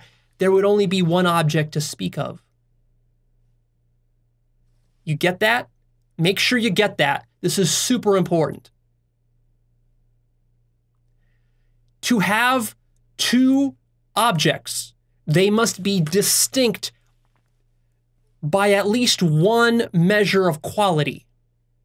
So, if we want to use space as our distinguishing dimension, then we would say that at the very least, if we want to have two particles, they must be separate from each other in the x coordinates, or in the y coordinate, or in the z coordinate, or in time.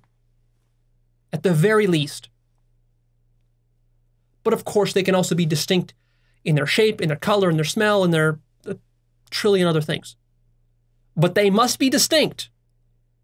Otherwise, they don't exist. You get that? This is super important that you get this. Don't just believe me. Pause the video, pause the recording, and actually get this in your direct experience. Everything, look around the room. Everything you see is completely distinct from everything else. Otherwise, you couldn't see it. Otherwise, it wouldn't exist. For your cat to be a cat, it has to not be a dog. For your finger to be a finger, it has to not be a toe. For your head to be a head, it has to not be a car. You get this? This is super important. So, Everything is different, but that's not where the story ends. Because, of course, I told you earlier that everything is the same as well. Everything is consciousness. So now it seems like we're saying that everything is different, but at the same time, everything is also the same. Which is it? Which is true? Could both be true simultaneously. Could this be the essence of relativity? Think about that.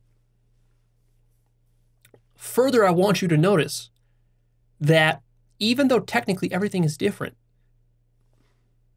if you only had the ability to see differences,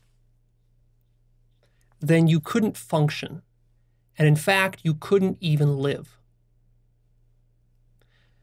Here's what I mean you couldn't recognize your own mother because the act of recognizing your own mother requires that you look past the differences to see the similarity.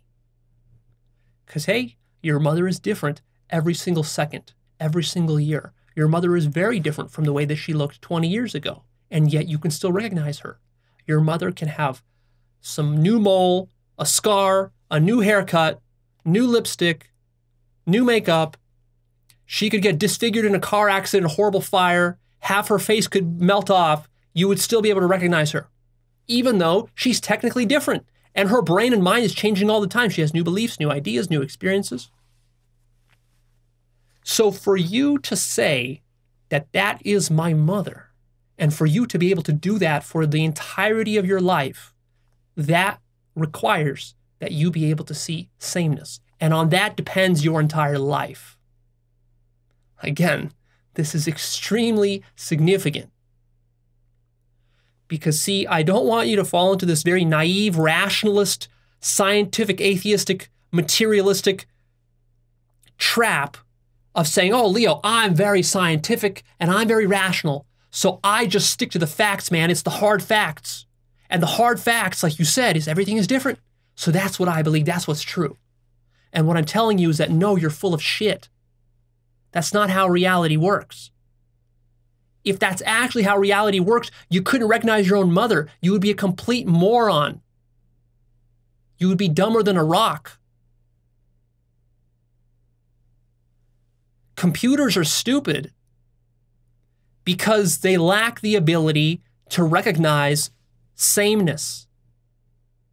It's very difficult for a computer to recognize the sameness between a photograph of this hand and this hand. Now, computer technology is advancing and our computers are becoming smarter, but notice what's happening. As they're becoming smarter, they're getting better at recognizing faces, recognizing images, matching them up, and looking past the differences to see the similarities. And as that happens, they become smarter. But a computer is still so stupid that a computer cannot tell the difference um, or cannot tell the similarity, for example, between a photograph of me as I am today and me as when I was a baby. A computer could not tell that similarity. A human being could. It would be difficult, but could. Uh, at least I can. And, um, uh, you know, a computer, for example, cannot see the similarity between um, a Baptist and uh, a, uh, a Roman Catholic, or between Christianity and Buddhism. Cannot see those differences. Now, in the future, they definitely will be able to, but right now they can't, and that's why they're dumb. So if you keep insisting that you're just sticking to the hard facts, which just means the differences, then you're insisting that you're going to be the dumbest thing that is alive. But of course, you can't do this because actually, um, it's not possible for you to actually live while doing this. So you just be lying to yourself. And what I mean by that is that actually, the, the problem is even worse than I said with your mother. The problem is much worse. The problem is that you couldn't even recognize yourself. For you to know that you are you every morning that you wake up and look in the mirror when you're brushing your teeth, you have to look past the differences to see the samenesses. Because, hey, your face is aging. It's aged over the last 10 years, probably quite significantly. You're different. All the molecules and cells in your body, according to science, have come and gone in the last 10 years, have all been replaced. You're a completely new creature. You've experienced so much, your beliefs have changed, your, uh, your I mean, uh, your learning, your knowledge has changed, your attitudes, your feelings have changed. Everything about you has changed from when you were a teenager to when you are wherever you are right now. Uh, it, sometimes in radical ways, radical ways. Might be difficult for you to even remember what life was like as a teenager and the kind of ridiculous stuff that you believed that you don't believe anymore. And yet, you still consider yourself to be the same. So, to accomplish that feat, what I want you to notice is that you have to look past a lot of differences, a lot of very significant differences to see the dip, uh, the, the deep similarity in order to exist as a self at all. That's profound. We'll return to that. I want to show you an example since we're on this uh, on this um, on this point of image recognition. I want to show you an example uh, here on the screen. Take a look at this first slide. And what you see is you see the word hello written in a bunch of different fonts. And if you're an English speaker, then you have no problem reading all these different fonts as hello. And in fact, your mind accomplished the task in a fraction of a second. You didn't even notice. It was not even difficult for you. And yet, also, now I want you to look very closely at each of the different letters. Look at the cursive H. Look at the different ways that H can be written in all these different fonts. Look at how radically different all of these are. So, for you to be able to accomplish the rather intelligent task of reading all these words and and noticing that they all say the same thing, hello, it's all the same one word. For you to notice that, your mind has to accomplish a very sophisticated thing. It has to look past a lot of differences. But it's precisely because your mind is so good at it that you don't even notice that you do this. The reason I'm emphasizing this point is because people will get stuck in this trap. I'm telling you, especially scientifically minded people get stuck in the trap that, hey, Leo, I'm just a hard nosed, scientifically minded person, and all I care about is the facts. And what I'm telling you is that no, you care a lot more about not the facts. You see? It's not a fact that all these words are the same word. That's not a fact. That's something your mind is constructing. And that's very important to start to see. That becomes very significant as we go along in this topic. And if you're still not convinced, then let me show you slide number two. Slide number two is the exact same phrase or word, hello, in Chinese. But now it's pretty difficult for you to see the sameness on this slide. Because in English, you learned over many years how to interrelate and look past the differences of various ways to spell and write English characters. Whereas with Chinese, you didn't do that if you're a native English speaker. And now, though, as I'm talking, as I'm pointing this out to you, now your mind is starting to focus in on every little character. And now maybe you're starting to match up this one here with that one there. And you're saying, oh, yeah, Leo, you're right. This is the same character as that. It's not a big difference. On the other hand, if you were a, a new student of Chinese and then you went to China for a vacation and you were asked to go around town reading different signs, even though you might know this word, this phrase, other kinds of common phrases, you might still struggle very much to read the signs because those signs would be written in fonts that you are not familiar with at all, such that you might be looking at the exact word that you know, but you're still not going to recognize it because it's written in a different font than the, the one that you're used to. Especially with cursive, kind of like calligraphy type fonts, it becomes quite quite difficult, or artsy fartsy types of fonts which have a lot of stylizing on them, they become quite challenging to read. So if you're learning Chinese, it will take you many years before you're actually able to, to read Chinese. Even if you already know it perfectly, to read it in all the different fonts that it comes in, that will be many years of work for your mind to look past those differences. Because, in point of fact, they are all different. If they weren't different, there would only be one set of characters on that page. You see?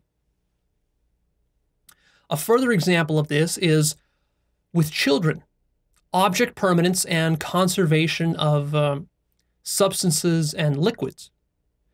And I'm actually going to post a video of this, a very illuminating video. I'm going to post it on my blog um, after this episode releases, where it will show a toddler sitting there. And they will ask the toddler um, to look at two glasses of water. Both the glasses of water have exactly the same liquid. Let's say they're half filled. Then the adult takes one of the glasses, pours it into a tall champagne glass, same amount of liquid, just tall, and takes the other glass, pours it into a into a flat petri dish, same amount of liquid, just now flat, and asks the child, this is like a three-year-old child or something, asks the child, which one has more liquid? And the child will say the tall one, even though they have the same amount of liquid.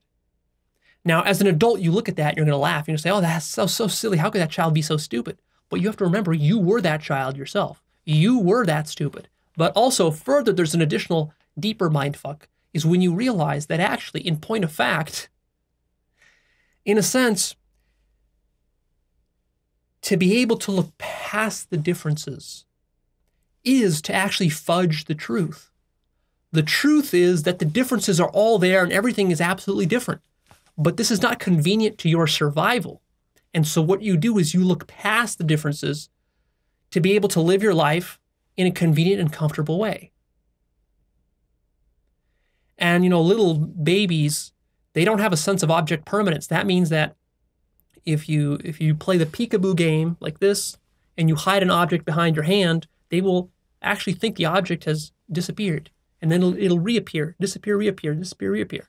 As an adult, though, you know the object didn't actually um, disappear. Now, you might say, well, Leo, that, yeah, so what? The, the, the kid was stupid. Then the kid learned how it was, what, what, what reality was really like, what's true. And now the kid just knows that objects exist. And there we go. It's as simple as that. If only it were that simple. What if actually it's you who's the stupid one? What if the kid was right? What if actually, in truth, the object does disappear? But you, as an adult, because it was necessary for your survival, you learned how to trick yourself into believing that the object was still there behind the scenes. That's not true that means actually what you learned, you didn't learn the truth as an adult. You actually learned to delude yourself. But Leo, why would I learn to delude myself? Well, we'll get back to that. I also want to show you an example of how sameness and difference are relative to context. So take a look at the following slide. We have two rectangles here on the first slide. Now, answer the question are they the same or are they different? Okay, remember your answer. Now I'm going to show you the second slide. And now again, the question is are those two rectangles the same or are they different?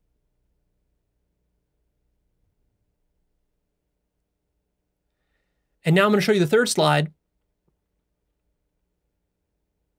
And again, are those two rectangles the same or are they different? Notice as, as I'm introducing a more and more different third object, the original two rectangles appear to be more and more similar. Until we get to slide number four, take a look. And now they look even more similar than they ever did. And all that we're doing here is we're just introducing an additional shape, which is really what we're doing is we're we're changing the context. And this is changing your perceptions of the situation. And now finally, I want you to take a look at the fifth slide. Are these the same or are these different? Be careful, it's a trick question. They can't possibly be the same because they are distinct.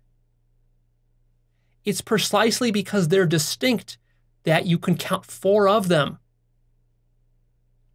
If they weren't distinct, you could only count one of them. There would only be one square on that screen.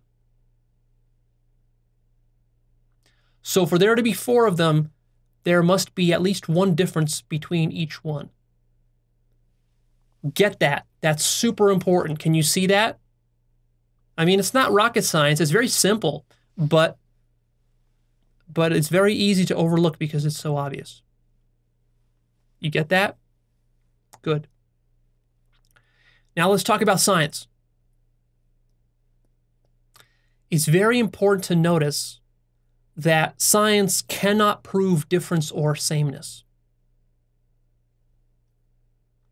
You might be very tempted at this point in order to um, deny the relativity that I'm proposing is to come in here and say, "Oh, Leo, you're just you're trying to push relativity on me, and I don't like relativity." Why don't we use science? Why can't we just use science to adjudicate these questions? Science will tell us. We'll just run some experiments. And what I'm telling you is that you can't do that because sameness and difference are prior to science. Because if you want to be technical, like I already said, everything is difference. But just because everything is difference, so what? That's not enough. The problem is when you're doing science, you're going way beyond just looking at differences between things. In fact, mostly what science is, is looking for similarities between things, grouping things into various categories, whether it's animals or elements or atoms or subatomic particles or people or monkeys or apes or uh, psychological diseases or disorders or whatever largely science is about categorizing stuff. And what is categorization? What is a category?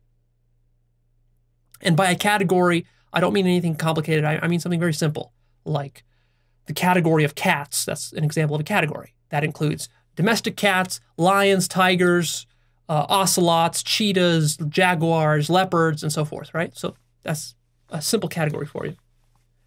But the question is, uh, what is a category? And where does it come from? Is a category something you find uh, walking around on the savannah? Do you like go go on the savannah and you see a you see a cat? You say, "Oh, look, that's that's a cat." No, you don't see cats on the savannah. You see a particular thing sitting there. Maybe it's a lion. By the way, a lion already is a category for many different kinds of individual creatures. Um, but let's overlook that. So you see a lion sitting there, but you don't know that it's a cat. To know that it's a cat, you have to also create a higher category based on your experiences with tigers and domestic cats, other things, to create a, a cat category. And then you have to create that. Your mind is creating that. It's not something you find in the world. So this this really stupid notion that science just deals with the facts, man, It's just rational. This, this is flying completely out the window. This is completely naive nonsense. There's no such thing Science is not objective. Science is deeply subjective. These categories you're creating, these are not objective things. The similarities you're drawing between different scientific fields and scientific phenomena, this is subjective stuff. It's not objective, despite what science tells itself. And this is the fundamental problem with science, is that science is not conscious of the way that it's it's it's constructing these categories and that it's constructing its um, metaphysical understanding of reality. It's it's sneaking in hidden metaphysical assumptions while denying that it's doing so. That's the fundamental problem. And by the way, you want a definition for what a category is? I forgot to tell you. A category, technically, is a collection of different objects which are similar. Again, let me repeat because this is profound. A category is a collection of different objects which are similar. But the question, of course, is who gets to arbitrate between what counts as different and similar? And notice that that is not done through any kind of mechanical means. You cannot go out with a ruler and measure the difference between, um, or rather, you cannot measure the similarity between a lion and a tiger using a ruler. Now, if you're uh, uh, if you're clever and you keep insisting on your materialism, you're going to say, Leo, but uh, we can use DNA testing to measure the similarity of DNA between a cat and a, or a tiger and a lion, and, and through that we can create categories. But you're still overlooking the obvious. Who is determining that DNA is what should be the criterion that accounts for the similarity or the difference? And how much of a difference in the DNA counts as the determining factor? Is it 1%, 5%? I mean, science tells you that you're 99% chimpanzee, so why don't you call yourself a chimpanzee?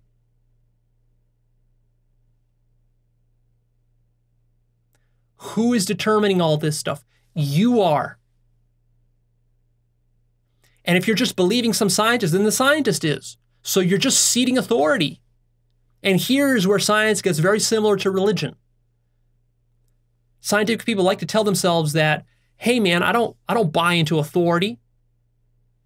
Religious people will will justify their beliefs by citing authority like the Pope or the Bible. But science doesn't do that. Yes, it does. Science builds a consensus around categories. These categories are arbitrary. These categories are created by the ego mind. They're constructions. But science needs to build a consensus in a community precisely because there's no reality to, to those concepts. They're arbitrary. So the only way to win that battle is to win the battle through consensus, not through truth. Science doesn't win through truth, science wins through consensus. Just like religion, which is why science needs to fight for its ideas, just like religion. Ah, now we see some deep similarities here. Now things are getting a little clear. You see? Science is far from some objective pursuit of the ultimate truth. That's not what science is about. Science is about creating categories that serve the ego mind. Uh, but that that's a, that's a, very deep point. That, there's so much to unpack in that. We'll, we'll, we'll keep chipping away at it. Um, I want you to notice that identity is not an objective fact the way that most people assume identity is not an objective fact. You get this? Science cannot determine if two things are identical.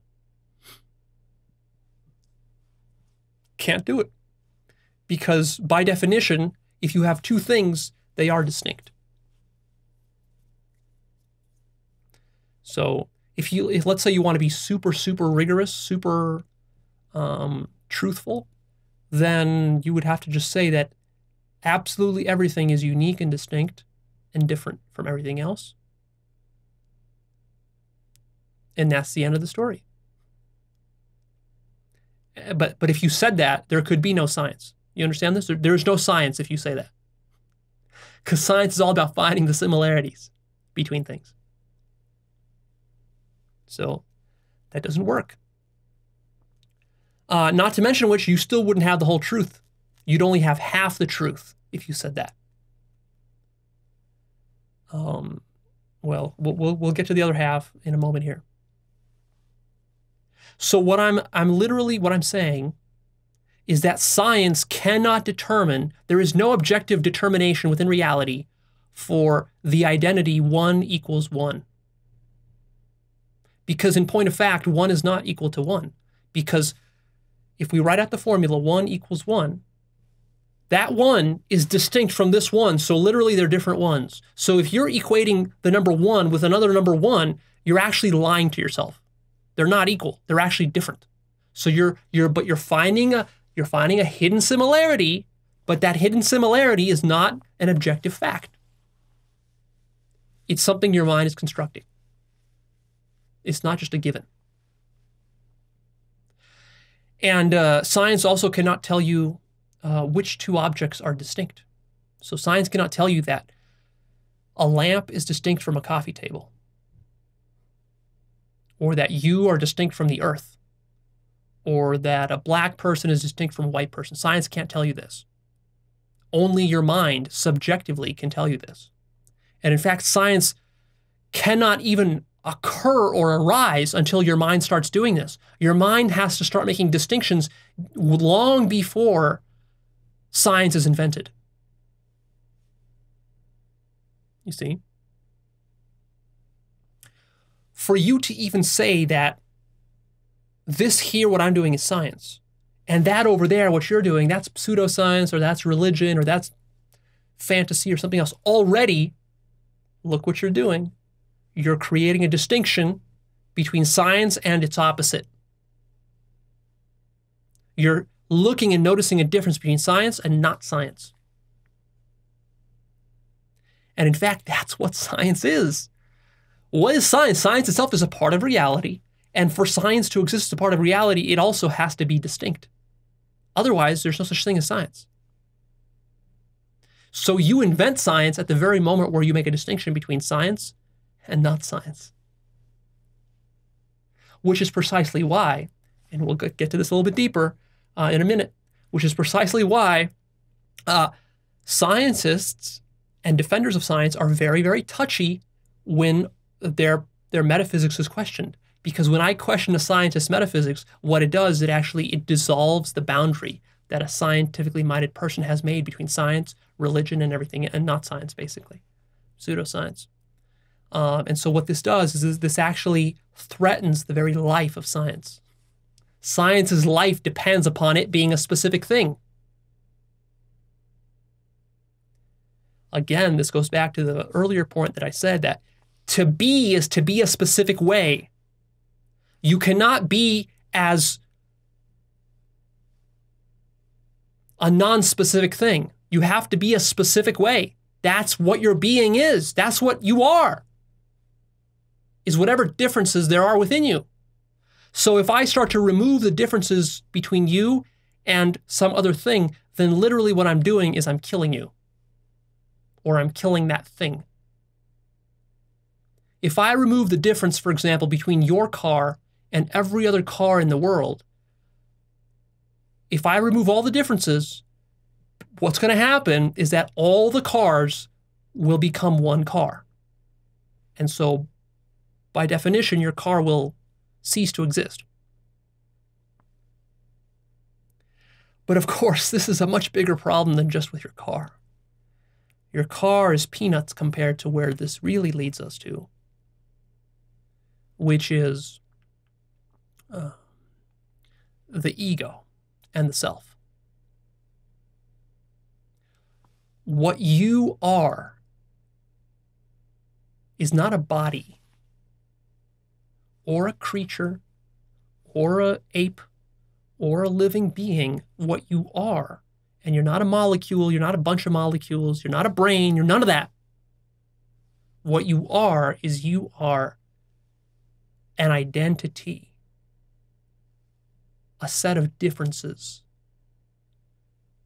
You are different from your environment. You have differentiated yourself, and through that differentiation, you came into existence. You weren't born in the conventional sense that you think of as like you came out of your mom's vagina. That may have happened, but that did not create you. You came about years later, only when you became conscious of a distinction between yourself and your environment.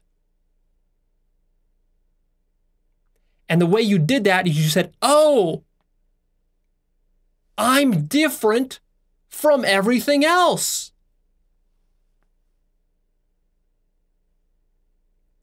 And that's how you were really born. And that's also how you're going to die.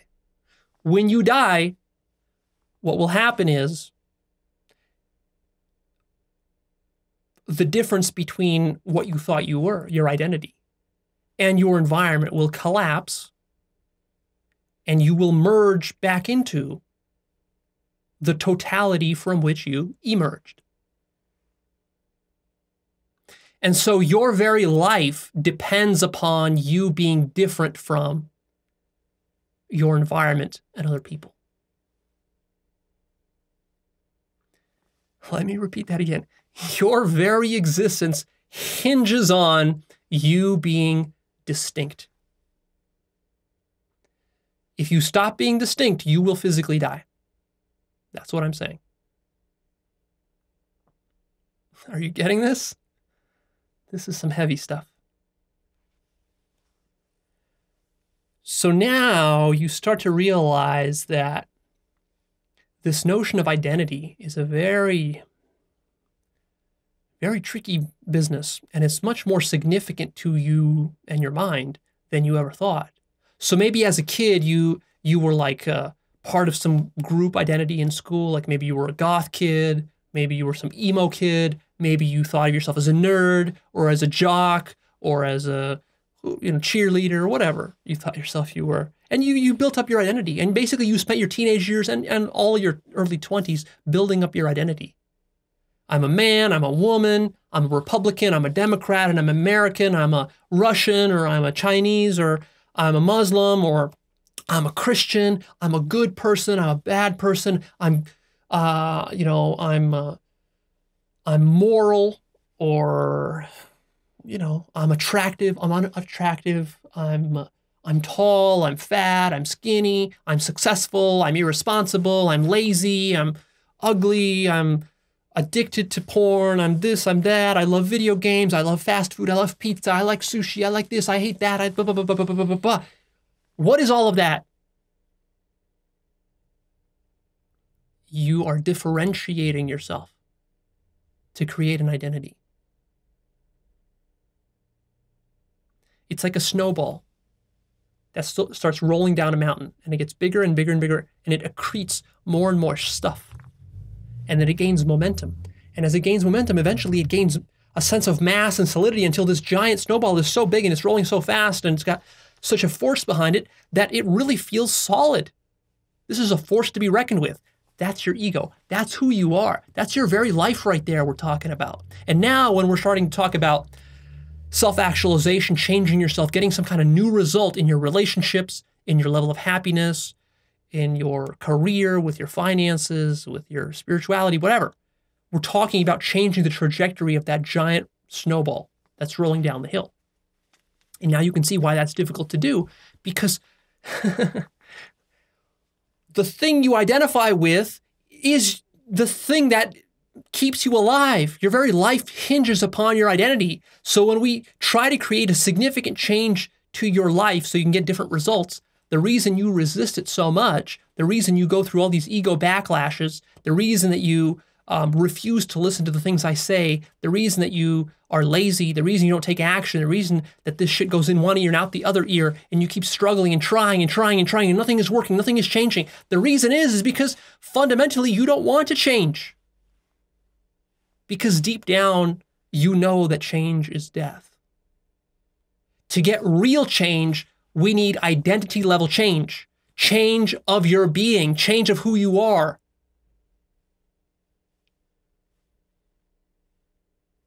That's not what you want. You want the results of the change without changing your identity. But unfortunately, it's precisely the shitty results you're getting that are the result of your identity. So, to, change your shitty results in any area of life, you got to change your identity. But of course, that's the last thing you want to do. So that's the catch 22 of all personal development. That's why it's difficult. That's why nobody does it. That's why your friends don't care about any of this stuff. That's why nobody listens to this stuff. That's why this stuff isn't talked about on TV or anywhere else, because nobody wants to do it. And really, everything that society sells you, all the books and cars and advertisements and all the shit they tell you on TV and in the media, all the intellectuals you listen to, Sam Harris, Jordan Peterson, blah, blah, blah, Richard Dawkins, I don't care who it is, religious people, scientific people, what are they telling you? They are they are they are serving your ego to build up your identity because that's what sells. Because your ego will only pay money for that which builds up its identity. Your ego doesn't want to pay money for breaking itself down. Your ego wants to live. It doesn't want to die. So your ego is going to run far, far away from anything that destroys its identity. But uh, paradoxically, that's what we're doing here today. Is we're laying the groundwork for destroying your identity. But of course, see, your ego is going to be very sneaky.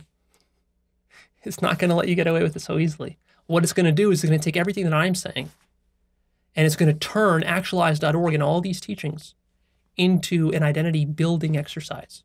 So even though Actualized.org is supposed to help you break down your identity, what your ego is going to do is it's going to it's going to flip it on its head and it's actually going to use it to build up your identity. You're going to build up the identity of becoming a self-actualizer, someone who's pursuing enlightenment, someone who's into consciousness, someone who's a vegan, a vegetarian, a this, a that, and uh, there you go again. You see how tricky this is? That's your life. You're fucking with your life here and your life is not going to go without a fight. But nevertheless, if you keep persisting with it, eventually you'll die. And that will be enlightenment. And then you'll be finally happy. And you'll realize how stupid this whole this whole game was. Because the entire time really what you were is you were the whole shebang. You were infinite. You were everything. You were everything and nothing, and um, you were sameness and difference, and that there is no difference between sameness and difference. But until such time, you are going to keep struggling and keep trying to differentiate yourself. The ego needs this. This is why the ego creates enemies. This is why the ego demonizes. This is why the ego criticizes. This is why the ego builds up ideologies. Uh, this is why the ego joins groups, cults, sects, philosophies, scientific schools, you name it, political groups, economic groups, ethnic groups, racial groups, family groups, national groups. All of this is building the ego's identity. The ego needs to be able to say, I am different from you. Because if I'm not different from you, I am starting to become more and more like you. More and more and more and more. We're getting closer and closer and closer until we we literally join and we become one. I become you. And holy fuck, you don't want to become like everyone else on the planet. That's scary. That's a lot. That's a big burden. You know, it's a big burden to realize that you are Hitler, that you are Donald Trump, that you are a terrorist, that you are a, a fundamentalist, that you are a murderer, that you're a rapist, that you're um, that you're everything that you've ever hated in your life. You're all of it.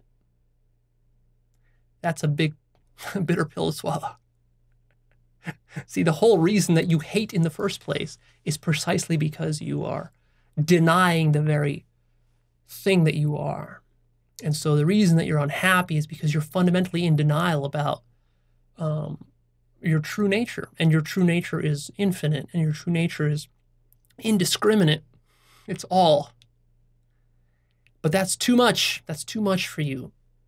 Uh, so what you want, rather than the, see the, the whole cake, the whole cake of reality is so big and so delicious and so beautiful that it's too much. You can't eat so much fucking cake.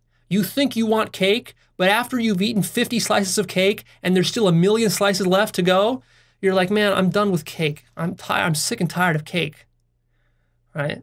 So then you draw a line and say, okay, 50 pieces. That's where I'm drawing a line. 50 pieces. That's where I'm drawing a line. And the whole challenge of life and the whole purpose of life is to say, fuck it, I'm going to go for the whole cake. You go for the whole cake. And then you realize how huge that is. And you realize that you couldn't have even imagined what you're really, um, what you're really in for until it's already too late. But luckily by that point, the ego is dead and you realize everything is peachy.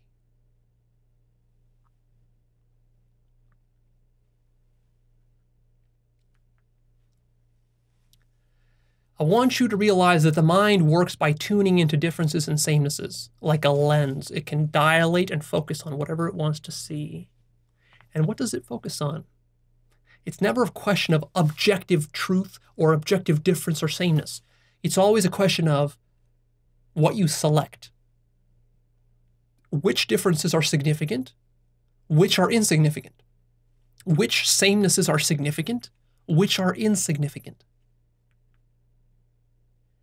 And of course, how do you determine that? How does your mind determine that? Based on who you are as an identity. So you will select those similarities and differences which are most conducive to your survival as the identity that you have identified yourself to be. It's not a matter of truth. Your mind doesn't give a fuck about truth. It cares about preserving your identity. And it will cite all the scientific evidence, all the rationales, all the justifications, all the logic, all the religious scriptures, everything. It will muster and marshal everything in its power to see reality as selectively as it possibly can, such that your identity is preserved despite the changing circumstances of the environment. And uh, and that's that's a struggle. That's why you're struggling in life all the time. If your life feels like a struggle, feels difficult, that's because fundamentally that's what you're struggling against. And uh, because you will lose that battle. You cannot win that battle. It will always be lost. In the end, your identity will collapse because ultimately what you are is you are the whole.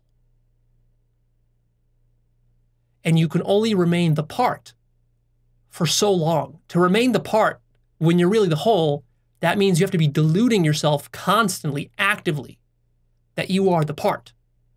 And that can only go on for so long until finally the game ends. And you will merge in back with the whole because that's the truth of what you are. You cannot be other than what you really are, other than for a short period of time, which is what your life amounts to. The ego mind is terrified of deep sameness. This is why it clings to ideology and it clings to anything that it identifies with. Do you know why a white supremacist or um, a racist hates immigrants? You might think, well, Leo, that's because he sees immigrants as different than him. That's why he hates them. Wrong. Precisely the opposite. The reason that xenophobia exists is because people are afraid of the deep similarity that they have been denying their entire life. So racists hate immigrants or people of different color because deep down, actually, the truth is that we're all the same. And that's what the uh, racist doesn't want to admit. And he's in denial about it. And of course, if he hears me saying this to him, he will, of course, deny it as well um, and accuse me of being deluded. Um, but that's just a defense mechanism that he has from admitting that actually um, we're all the same. Because you see, a racist or a white supremacist is someone who's built his identity on being a certain ethnicity. And he's built this identity so much that now it's a, it's a deep part of him. So now to tell him that actually he's the same as a black person or brown person or Chinese person or even a chimpanzee or whatever, um, this is going to threaten his identity. It's going to feel very painful. He's not even going to be conscious of the fact that it's threatening his identity. He's just going to react in a knee jerk way with anger, with violence, with fear, with um, denials, with criticism, with blaming, with scapegoating, and so forth. Which is why very conscious people who become very grounded in their metaphysical identity they don't they don't care. They don't care about uh, other races. Other races don't threaten them. They don't get angry. They don't get fearful of them um, or any of this kind of stuff. They are, are unfazed by this stuff because their identity transcends all of that. And that's ultimately what you should be working for. The mistake that xenophobic people make is that they double down on their xenophobia and they try to justify it and rationalize it and say stuff like, "Oh, but but but those people we've done IQ tests and you know, black people have a lower IQ than white people. It's proven. Leo, it's proven science." Or they will cite other kinds of studies and other kinds of evidence. It doesn't matter. The ego will use any studies or any evidence or any science to justify whatever the fuck it wants. The ego doesn't play fair. It doesn't care about the truth. It doesn't care about being honest. It's not honest with other people. It's not even honest with itself. The ego lies to itself first and foremost. The ego is built upon lies, self lies, self deceptions. That's what you are. That's the very mechanism by which you have come into existence. So uh, it's a sunk cost uh, bias, you see. I mean, you've sunk so much energy into defending your current identity that you will not admit that it's a lie. That's the last thing you want to admit. So, uh, what you have to do is you have to come up with justifications and further lies to explain why what I'm saying isn't true and why what you believed, all the lies that you believed your whole life, that they were actually not lies but real. So you got you got to keep playing the lying game. Yeah, that's the problem with lies. You start lying, got to keep lying, keep lying, keep lying to sustain the lies. The ego mind does not care about truth. If the ego wants to see difference, it will see difference where there isn't. And if the ego wants to see sameness, it will see sameness where there isn't. Or rather, the reason it can do that is because sameness and difference are in the same place. They're always there at the same time, everywhere. Everything is different and everything is the same. And that's why the ego can cherry pick whatever the fuck it wants whatever is, is most self-serving. Look, look at this happening. Look at this happening in the news. Look at this happening with Donald Trump. Look at this happening with politicians, with people on, on TV, your favorite speakers, your favorite scientists, your favorite whoever. It doesn't matter. They're all playing this game. This is what it is. This is the game of life.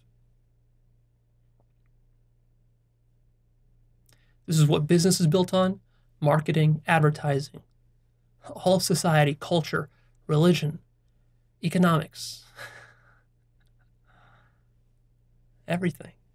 Everything socially constructed is based upon this fundamental principle of helping you to maintain your identity, both individually and collectively. Remember, you have an individual identity, you also have a collective identity. Those people who fancy themselves as individualists, like those libertarians, maybe some of those uh, Jordan Peterson followers who, who fancy themselves as, oh, I defend free speech and individualism and I follow Ayn Rand and I'm an individualist. I mean, it's the most preposterous thing because, of course, as you're saying that, what you're doing is you're actually building your libertarian ideology, which is your collective identity, your collective ego. And then these people complain about identity politics the entire right wing is pure identity politics. That's all it is. That's all libertarianism is. It's identity politics. It has nothing to do with truth, has nothing to do with reality, has nothing to do with improving society. It's pure identity politics. That's what it is.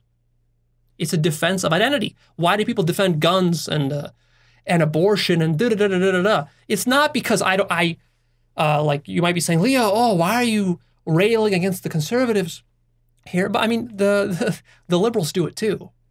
Um, but the liberals are are more conscious of it than than conservatives are. Uh, which is not to say liberals can't do stupid things. They can't. They can. They can be deluded. They can be very deluded. They come up can come up with very bad policies. Um, there's far higher to go beyond liberalism. But um, but for conservatives, mostly, if they defend an idea, all they're doing is they're they're just defending an identity. That's all it is. That's why um, Republican politicians they don't they don't talk about policy. Republicans don't care about policy. The Republican base doesn't care about policy. They don't care about the economy, healthcare. They don't care about this. They don't seriously study like how to improve the healthcare system in this country or the school system. No. Uh, what they're doing is they're they're they're defending their identity. Um, Republican politics is all about identity. You know, are you a patriot? Are you a true American? Are you uh, a conservative? Are you um, are you fighting for freedom? Are you sticking sticking it to the social justice warriors and the snowflakes and the and the liberals? If you are, then you're part of the identity. And life is good. You feel good, you feel happy. And so uh, to rally up the base, what does Trump do? Trump just um, Trump Trump just pushes that identity politics button all the time. Just pushes it all the time. That's what all Trump is doing, right? He doesn't really know consciously that he's doing it. He's just doing it out of instinct. I'm telling you what he's doing because I've studied this stuff very deeply in a way that he hasn't. But he, that's all he's, he's just pushing that button. And intuitively, he understands that's what's actually going to get people riled up And uh, that's what good sales and marketing is. It's all about riling up people's emotions. It's not about the truth. Nobody buys anything for truth. Nobody votes for politicians based on truth. They vote for them um, based on uh, whether those people are able to push their their most base psychological needs because most people the majority of society is operating at the at the bottom third of Maslow's hierarchy of needs right? So you can't motivate the majority of society by appealing to their higher interest to love to truth to beauty to creativity to um, to spirituality to con it doesn't work because most people aren't there yet. Maybe in a thousand years they'll be there but right now they're at the bottom. The bottom is what? Sex food uh, partying, entertainment, uh, identity politics, ethnocentrism.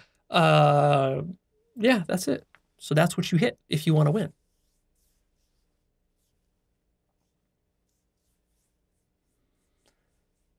Pretty interesting how that works, huh? Why am I telling you all this? Well, we live in a time of seeing differences. A lot of people now are emphasizing differences. The entire materialist paradigm emphasizes differences. It's built upon that, including science, business, and basically all of Western society is built upon the materialist paradigm at every level. So in school, they teach you analysis. In university, you're analyzing, you're using reason, you're using your left brain. Your left brain. This leads to reductionism, ag- uh, atomism, and fragmentation. Everything is fragmented, broken down into little pieces the large unity that reality is is all fragmented. That's the state that we find ourselves in today. And because of this, we have all the crazy stuff happening in our politics and the media and, and everywhere around the world violence, uh, evil, suffering. All of this comes from fragmentation, fundamentally. The ego, otherwise known as the devil, the devil uses fragmentation to achieve his aims. Why does the devil do this? What is the devil? The devil is that which separated itself from God. The devil is the fallen angel. See, a true angel understands that the angel and God are really one. But an angel who is arrogant and denies that it is God, hates God, starts to criticize God, deny that God, that God exists, uh, what the devil does is the devil fragments. And the devil depends upon fragmentation because that's ultimately what the devil's very existence is. The devil's body is made out of a fragment of God. So, of course, if the devil wants to stay separate from God, God will allow it as long as the devil keeps insisting on fragmentation. And the only way fragmentation can happen is through delusion, through lack of consciousness. So the devil has to limit its own consciousness to maintain its uh, devilry. And so that's what the ego mind fundamentally does. That's what you are. You are the devil. The devil is not some some red uh, guy with tail and with horn. The devil is you. The fragmentation that you create. It's the demonizing, the scapegoating, the denying, the hatred, the criticism, the crusading, the separation of you against other groups, the splintering, the, the sects that you create. It's the, not sex, sects. Make sure you hear me right. Um, um, it's all the cherry picking that you do. It's all the differences and samenesses that you see which serve your identity rather than the truth. And of course, God is the truth. Eventually, the, the devil will lose the battle and the devil will merge back into God, but not without a good long battle.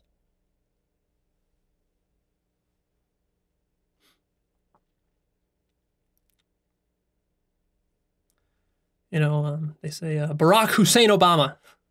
Barack Hussein. So people who say Barack Hussein Obama, what are they doing? They're emphasizing the Hussein. Why are they doing that? Because they don't want to acknowledge the sameness between Barack Obama and themselves. They need to differentiate. So they're going to cherry pick. Their mind is going to go out there and cherry pick every single difference between themselves and Barack Obama so they can demonize Obama and uh, think of themselves as superior, righteous. By the way, this is not something exclusive. I'm not, I'm, don't don't get the wrong idea here that I'm just saying this as though, like, uh, from a liberal position to defend liberalism. No, not at all. Liberals definitely do this as well. Liberals also love to demonize Republicans, love to demonize corporations, love to demonize Trump, love to compare Trump to Nazi, Nazism, to Hitler, and so forth. Um, so uh, I'm saying this is a general characteristic of every human mind. It doesn't matter whether you're an American, a Republican, a Democrat, an Iranian, an Iraqi, um, uh, you know, uh, a European, a Scandinavian, an African. It doesn't matter who you are, you're doing this. That is one of the deep samenesses that we all have, is that we're all doing this all the time. The only question is, how conscious are you of the process? And the more conscious you become of the process, the less you will do it. So while materialism emphasizes fragmentation and seeing differences, spirituality is the opposite movement. True spirituality is an emphasis of deep sameness. And this is done through the right hemisphere. The right hemisphere is responsible for intuition, integration, consciousness, and wisdom.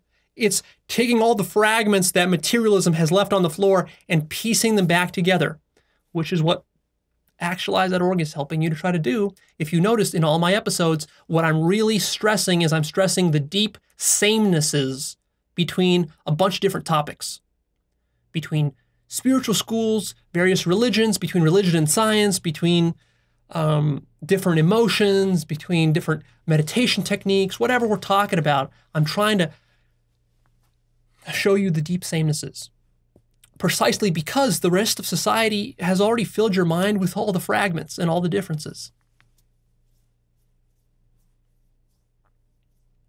What do I mean by deep sameness?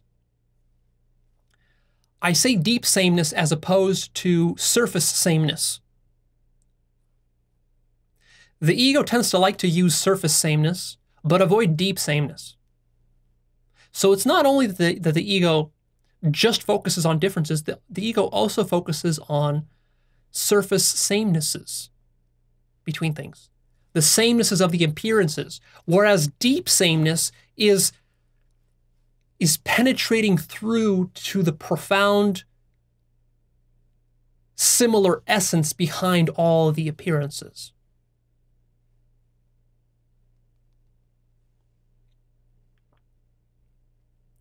And that's what intelligence and genius are.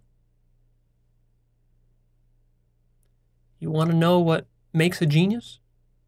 A genius is someone who's able to see deep sameness, where other people only see differences and surface similarities. By surface similarities, what I mean is similarities that the, uh, that the ego deliberately uses to try to create an identity for itself. So, for example, um,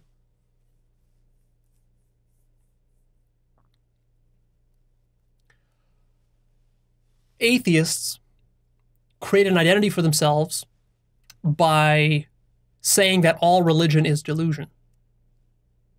So there they think, the atheist thinks that he's come up with some brilliant genius insight. That oh, all religion is delusion and I'm above that.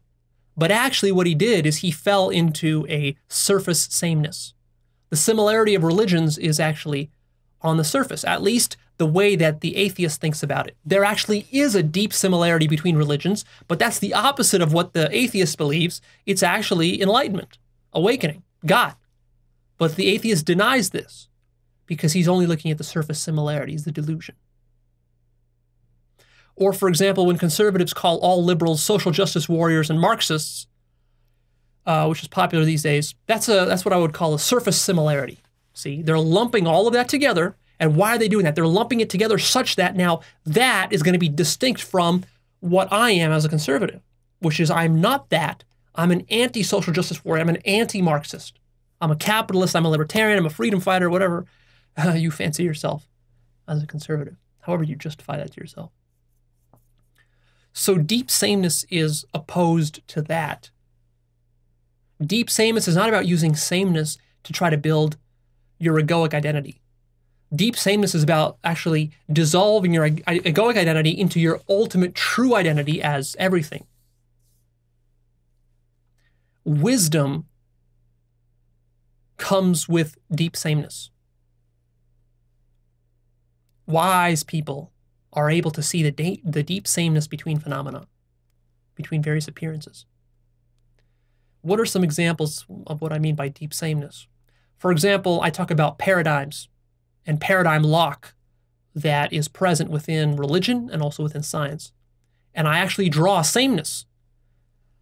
For me, unlike, for example, someone like Sam Harris, who's going to emphasize the difference between science and religion, I actually do the opposite. Because see, what he's doing there is he's actually he's drawing a a very shallow, phony distinction between religion and science. It's actually much more profound and much more useful to help to draw out the the sameness between religion and science. And what we mean by that is that both are dogmatic, both are ideological, both are sneaking into metaphysics without realizing that they're doing so.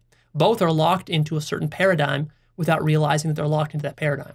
That's a sameness, that's a very profound sameness, which is not easy to see, which is lost on most people. And if you can see this sameness and be aware of it and be conscious of it at all times, that's going to produce enormous growth in you and wisdom. It takes genius to see that. Another example of deep sameness is to start to understand where all the suffering in the world comes from and that it comes from selfishness. To draw that connection between all the suffering you've ever had in your life and selfishness. And all the evils in the world war and violence and uh, corruption and, and theft and murder and all this sort of stuff. To realize that all of that comes from the selfishness which is there present within you and present within all people. To see that, that's a deep sameness. And that's not easy to see. It takes genius to see that. To realize that all living beings have equal worth and that no living being is has more value or worth than any other living being. That is a deep sameness which is lost on most people.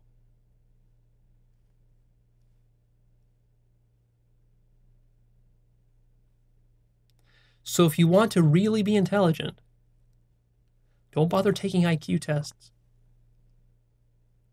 Don't bother reading textbooks. What you need to do is you need to develop your capacity to see deep sameness.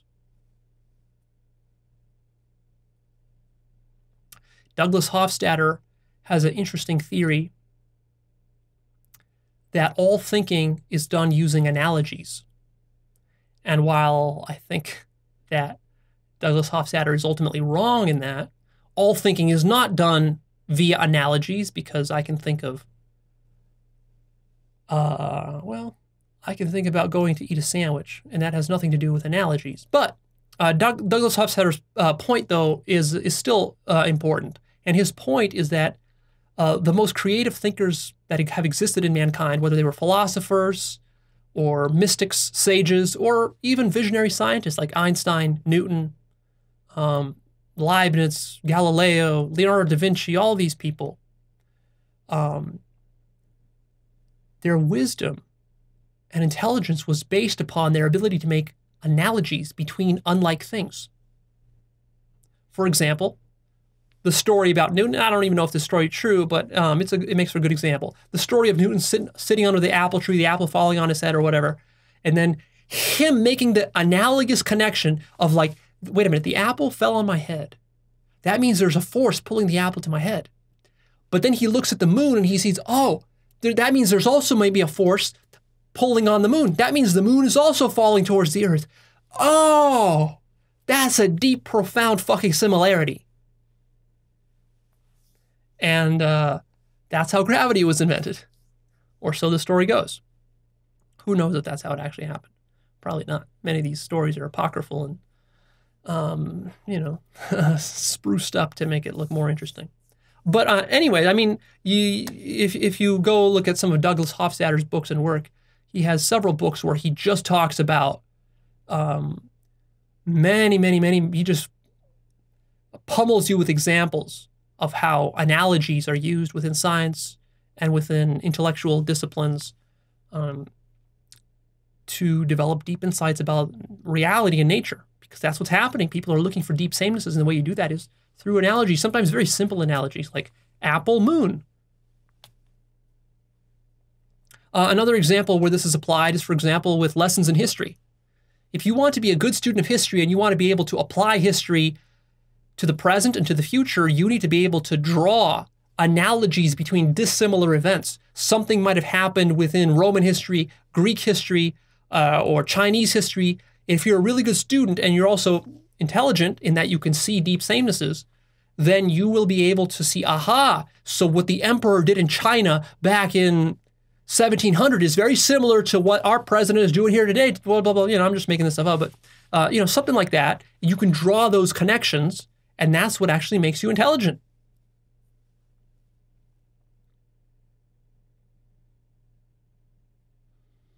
Another example would be integrating all of religion. To understand how all of religion interconnects with itself requires seeing deep sameness. And the ultimate deep sameness, like I said, is that everything is consciousness.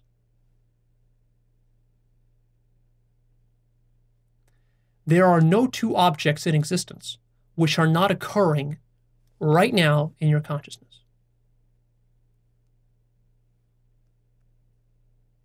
Think of any two objects, and you will realize they are occurring within your consciousness. They are made out of consciousness. They are consciousness.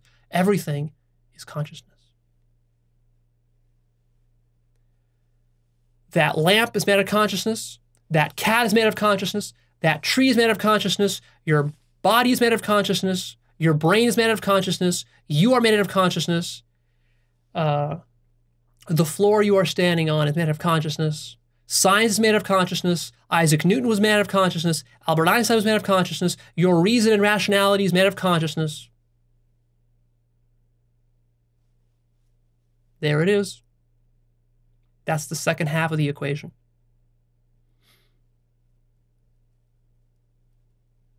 You need both.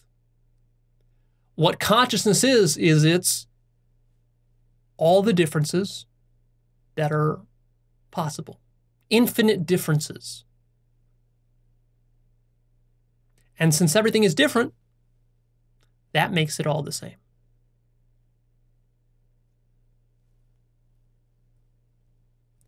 The deepest sameness is to realize that all of reality is alive and intelligent. Everything, look around you, everything around you, everything in your room is intelligent. Everything is alive. Intelligence and aliveness is not something that human beings possess or that creatures possess, it's a quality of the universe itself. And which finally brings us to love and compassion.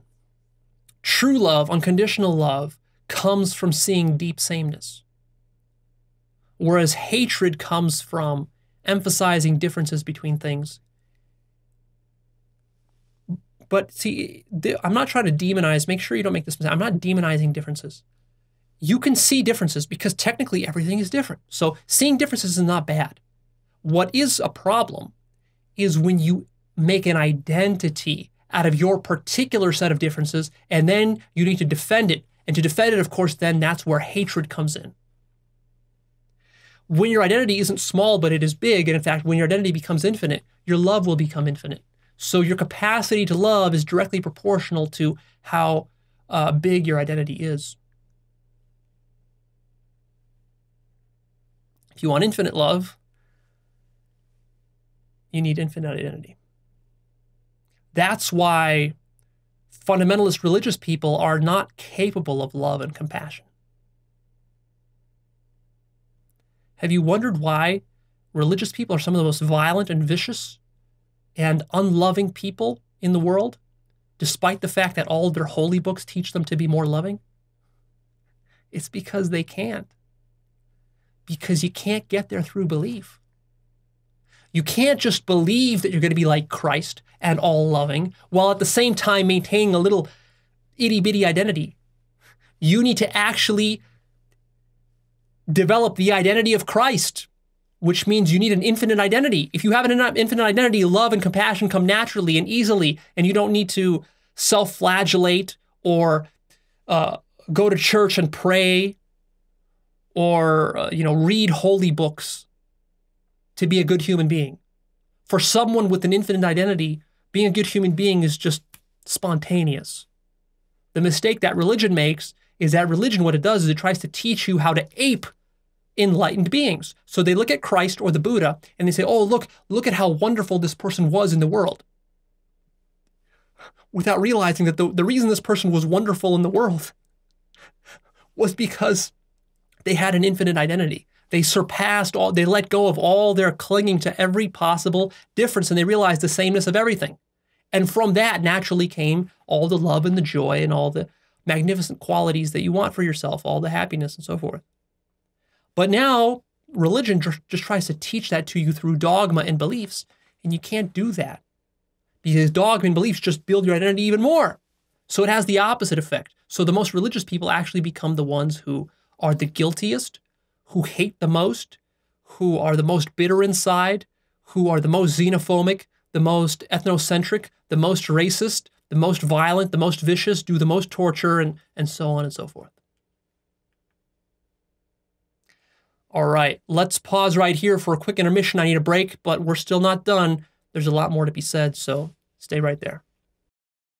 All right, let's talk about applications of this topic of sameness and difference. I want to show you just how much stuff there is here to work with and where you can apply this in basically almost any human fields and domains of study. Um, and it's very broad in terms of its application. And as you should, of course, expect, it would be that way if what we're talking about here is sort of the very nature of existence itself, being samenesses and differences. So, uh, first of all, historical analysis. In order to do proper historical analysis, it's all about making differences or distinctions between things and also bringing things together and finding deep similarities and then applying those to the future or to the present. Uh, also, medicine. Can you see how in medicine it's extremely important to be really good at using your mind to both make distinctions and find differences, but also make deep interconnections and find the samenesses between, let's say, your patient's uh, symptoms or illnesses or the spread of diseases or any kind of research that's being done within the medical field. Speaking of research, we've got science. Science is a huge can of worms. There's so much that we could say about science and how science is limiting itself by not deeply studying the essence of what reality is, the metaphysical nature of reality being samenesses and differences. See, science generally, generally treats reality as though it's an objective external object that can be studied in an objective manner and that really all you're doing is you're finding the differences and similarities that are just there kind of given to you and you're just discovering them and science isn't that good at seeing how the human mind plays a role in constructing various models and category schemes. And in this way, science lacks self reflection. It lacks the ability to observe itself with consciousness and awareness to see how it's creating these categories, how it's slicing up and carving reality. And therefore, science likes to say that what it's doing is just a simple objective process when in fact that's not the case at all. And so by denying the subjectivity which, in, which is inherent in science, um, science is limiting itself and it's overlooking important discoveries which will be made in the future. And of course, one of the key problems with science we have today is that science is fragmented. It lacks integration. It lacks holistic perspectives. So, some of the most important work that's going to be done in science over the next hundred years is going to be done at the intersection of various disciplines. So, over the last two or 300 years, science has fragmented itself more and more and more. So, you have a lot of very intelligent scientists and academics sitting around in universities and in laboratories around the world, but they are hyper, hyper specialized. such that they're not even biologists or physicists. They're much more deeply specialized than that. They're like a microbiologist who studies evolution in fruit flies of one particular kind of species. Or it's a physicist who studies the movements of electrons in one particular type of substance, like um, cold liquids, right? Or some plasma. And like that's all they know is they know that one thing. But the problem with that is, is that when you really want to understand life and reality and your place within reality, what you need is you need the ultimate big picture. And you can't get that by hyper specializing into some technical field. And so, what's going to have to happen with science going forward in the next hundred years? Uh, most of the big breakthroughs and all the really interesting discoveries are going to happen now with people who are able to straddle multiple fields. So it's someone who's going to come in there and integrate, find a way to integrate biology and psychology, or sociology and chemistry, or some other you know thing. Uh, bridging multiple disciplines, not just two, sometimes three, sometimes four disciplines, and coming up with an integrated, holistic model or picture of what's really going on. That's going to be necessary. And so, if you're a budding young scientist and you're looking for a, a research field for yourself, um, what I recommend for you is, is don't just do what your professors tell you to do. Don't go into their little box. You got to think outside the box. You got to be an integrator, not a fragmenter, because our science right now has is sort of it's starting to sort of uh, reach the limits of fragmentation. There's only so much you can do with that, and we've been doing a good job for the last couple hundred years fragmenting and analyzing reality to death. But what we're really lacking is in integration, seeing those deep samenesses. That's where the really groundbreaking stuff is going to happen. Um, of course, science just like religion fragments itself into various schools of thought, various schools within physics, various schools within biology, within chemistry, within psychology, within sociology, and so forth. Um, and uh, and these schools they go to war with each other. They're ideological, just like religious sects are. They have their own premises, they have their own biases. Of course, they fight to defend the school. They have a collective ego. And by school, by the way, I don't mean like uh, a university. I mean a scientific school, like, for example, behaviorism, or if you consider psychoanalysis, uh, even science. I mean, there's a lot of bunk in, in psychoanalysis, but you can call that a, a, a school, or maybe string theory. String theorists might be a, like a sub school within uh, quantum mechanics or within theoretical physics, you know, so you have various kinds of schools of, of scientific thought. And what, what defines a school is their assumptions, uh, metaphysical, epistemic assumptions, and, and so forth, and the procedures and methods that they use. Um, and so, yeah, so these schools, they have egos and they fight with each other. And uh, wouldn't it be nice to be able to understand that rather than just participating in these scholastic battles that have been happening for hundreds of years and they'll, they'll, keep happening for hundreds of years more. And it's easy to get sucked into that. It doesn't matter if you're uh, a really intelligent academic or scientist, you're still going to fall into these traps. And you're still going to fail to see how sameness and difference plays a role in you becoming ideological, sucked into these debates and games. How about application within the legal system?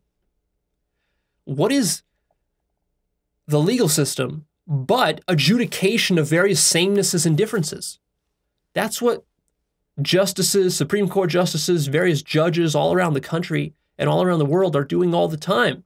They're faced with the tough job of, of getting particular situations showing up in their courtroom, or whether it's lawyers that are arguing for, for various things. What are they doing when they're arguing?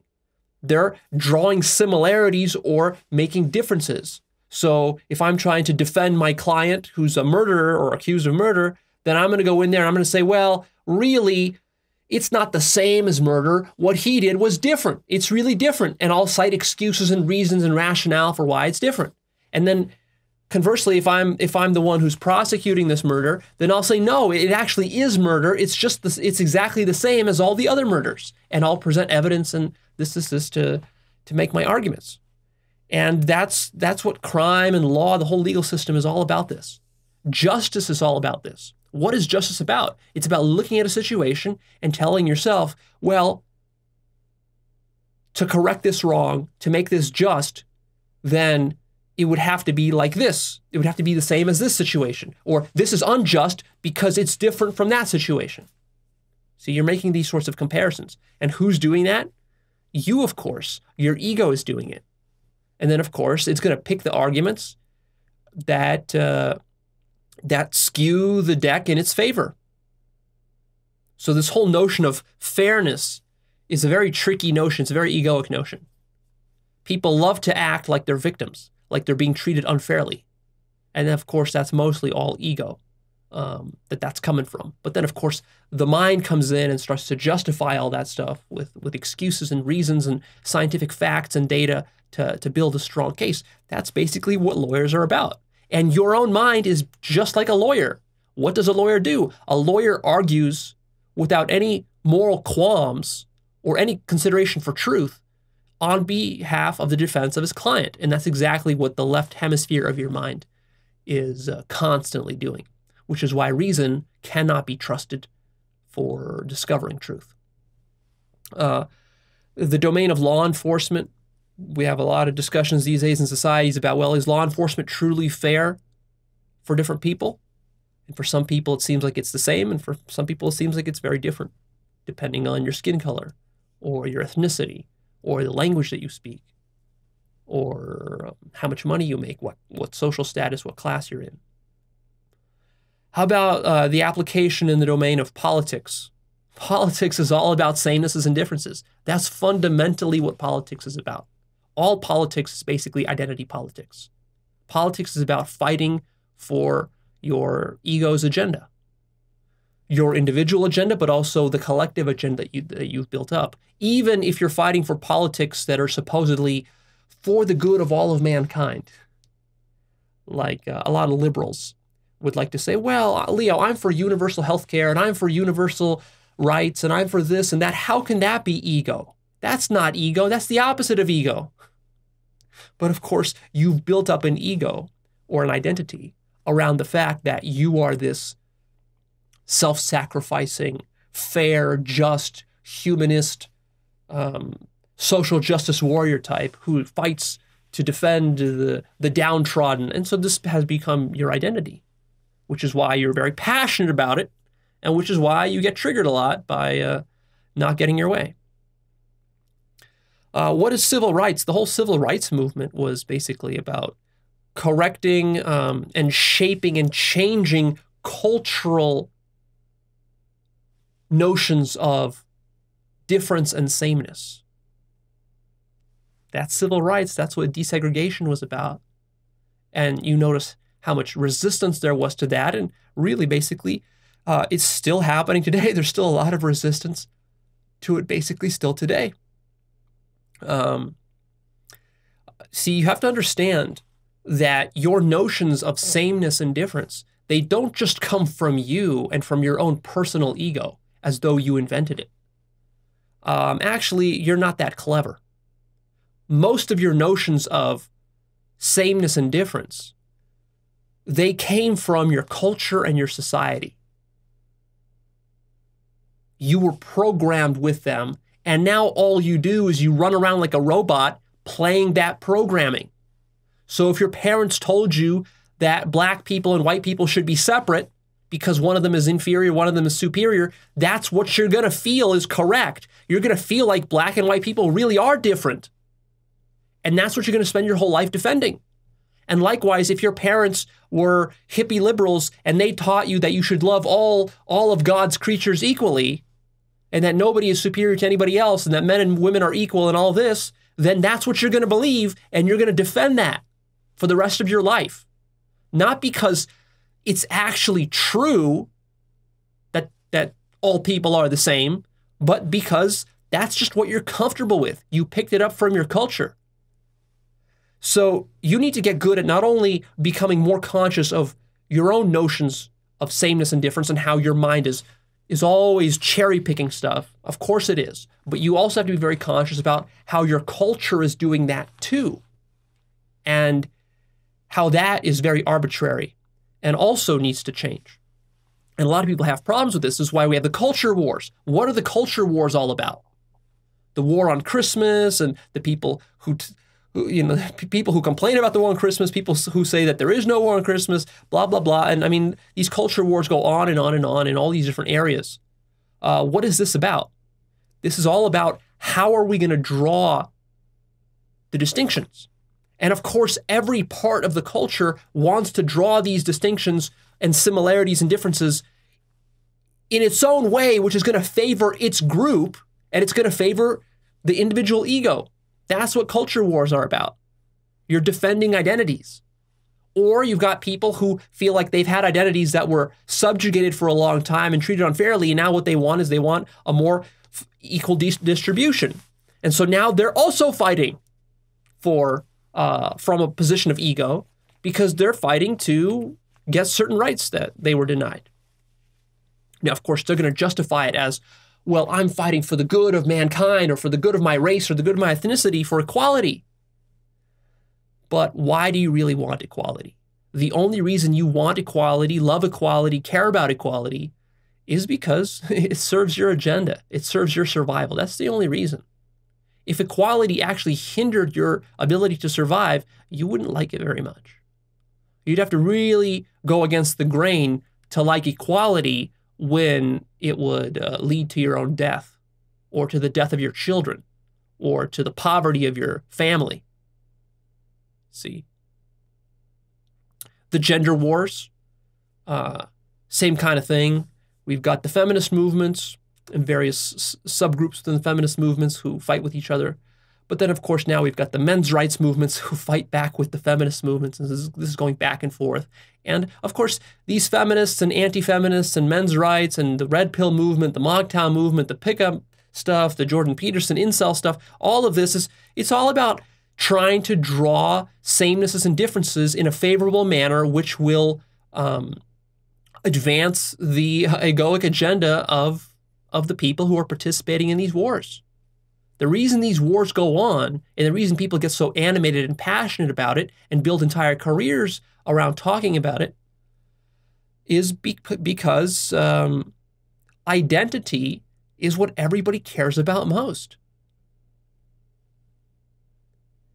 If you're pissed off about something, if you're angry about something, if you don't like something, almost anything, if you have a problem in the world, any problem, I don't care what problem it is, the only reason you have a problem with it is guess why?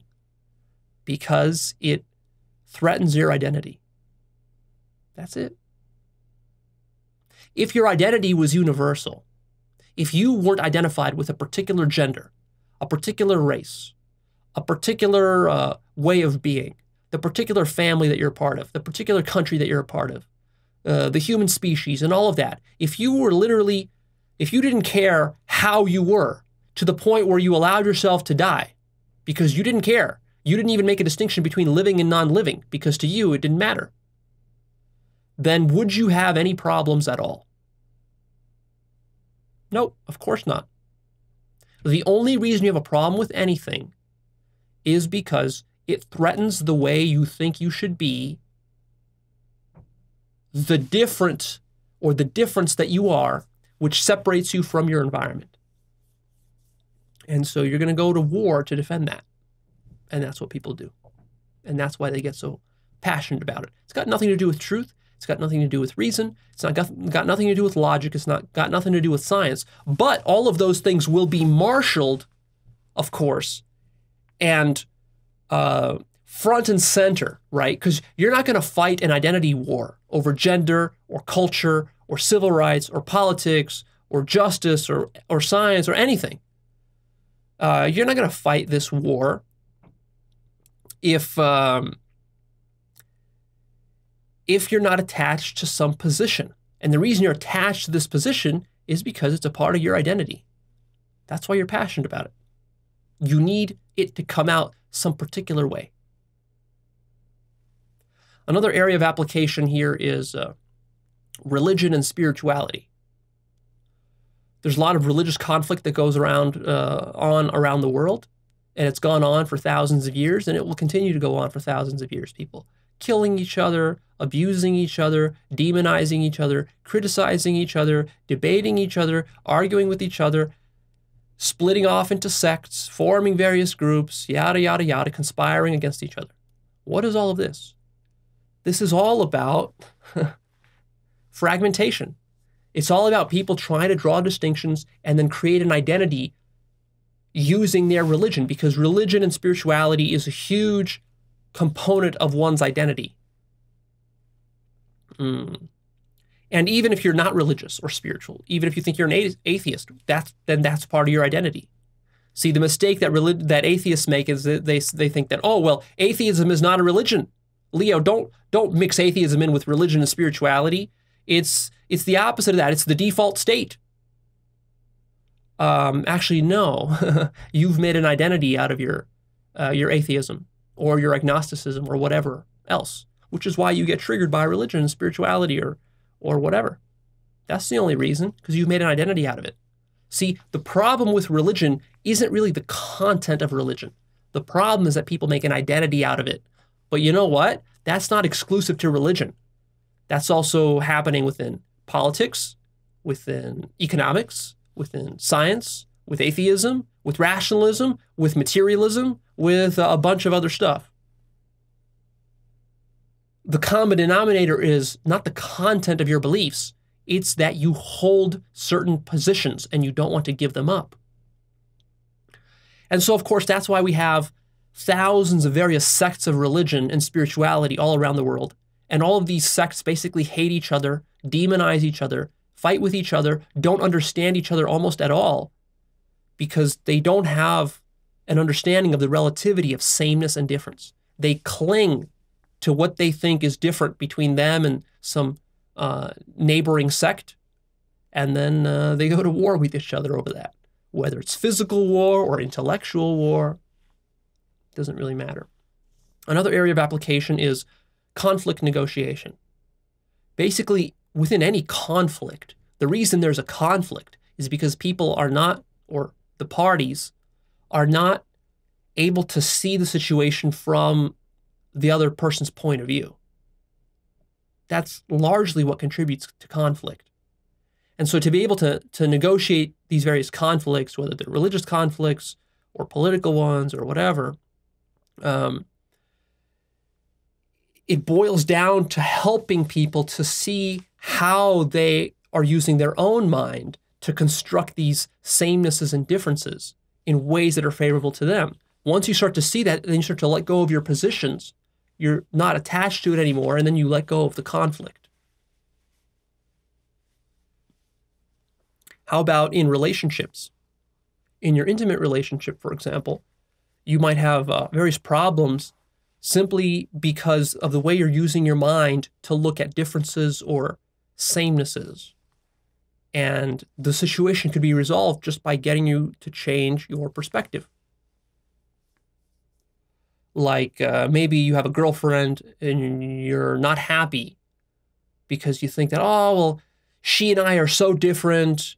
Uh, we we can't get along. She's always doing this thing there and I'm always doing this thing here and we're so different blah blah blah blah blah. But that's because your mind is is focusing on those differences. You could also conversely train your mind to focus on the similarities that you two have to emphasize those and to let go of the differences. See the deeper similarities between you two, and that could actually make your relationship work. And see, the problem is, is that if you're using your mind improperly to be always nitpicking at the differences of things, that means that the current relationship you're in, you're going to nitpick the differences until you reach the point where you're just going to get so fed up, you're going to say, ah, fuck, fuck this, I'm, I'm leaving this relationship. We're too different. We don't get along. And then so you go to the next relationship. But guess what? Your mind comes with you your sameness and difference filters, they don't change, they come with you because they're a part of who you are. And you don't want to give those up. So in your next relationship, you're going to do the same thing. You're going to nitpick, blah, blah, blah, blah, blah. And then, of course, you're going to, in the end, get fed up. You're going to blame the other person and then leave and then go to the next one. And you're going to keep doing this until you wake up and you realize, oh, it's me, it's my mind, it's the filters that I have. I got to learn how to use my mind differently. And then you'll see, oh shit, all those relationships that I uh, thought were so bad that I left, I could have actually salvaged all those if I was just using my mind properly. Uh, even as an area of application, let me just point out to you even finding, for example, new music that you like, or new movies that you like, or new books that you like, or new teachers and gurus that you would resonate with. What is that but you looking for samenesses in between differences? And there are, in fact, many music services available online today who will do this job for you. They have various algorithms or editors who try to create music lists for you such that whatever music list you currently have, they will try to match you up with some other music list, which is very similar to this kind of music that you like, whether it's techno or pop or dance or hip hop or whatever you like. And the success of their entire business depends upon their algorithms or their editors being able to, to properly match up these samenesses or differences. Uh, the the music app Shazam. You know, you, you press that button on that app and it just listens to some music that's playing at a restaurant or whatever, and it finds that music for you in a couple of seconds. That's a pretty amazing technology. But what is that technology doing? It's filtering out all the noise, all the differences, because, you know, if you're listening to music in a, in, in a noisy restaurant, that music is different than the actual original song. So this program has to somehow use some fancy algorithms to remove all the noise and match things up such that it says, oh, yeah, this is a match and these are actually the same, when in fact, they are technically different. You see? So, in a sense, what scientists have had to do in order to create smart technology or like facial recognition technology on your smartphone where you press the button and it recognizes your face. Um, and that technology is getting better every day. Uh, it's still pretty crude though. Is what they had to do is they had to kind of actually build in a, a fudging factor. Because when I take a photograph of your face, every photograph is going to be different. So I need to create some kind of algorithm which is going to fudge the truth and actually say, wait a minute, that first photograph and this second photograph, they're actually the same. It's the same person. The mistake that people make is they think, well, uh, the smartphone really is tracking the same person. And what, what, what I'm telling you is that um, no, that's your mind fudging things. Your smartphone is not tracking the same person. Your smartphone is is tracking stuff, phenomena. There's no law in the universe that says that you are you. Only you say that you're you. And therefore, by saying that you're you and believing it, you become you. And so you are born. Ta da. That's how identity happens. Identity is not found out in the world. Identity is what you create it to be. And then, of course, uh, we're building machines that are also going to be capable of doing that, uh, getting better and better at that keeping track of these uh, similarities and putting in these fudge factors and so forth. What I want you to really understand is that um, there's no like scientific fact of your identity out there somewhere in the universe. See, you constructed it like a story. And because you constructed it, you can also deconstruct it. And only if you fully deconstruct it will you possibly ever become aware of what your identity is without any constructions. What is your identity without any kinds of stuff added onto it? What were you before that giant snowball even started rolling? What was that? And that's a pretty radical thing to discover. Let me uh, also point out specifically applications of samenesses and differences with respect to self actualization. For self actualization, you need to really get good at seeing the deep samenesses.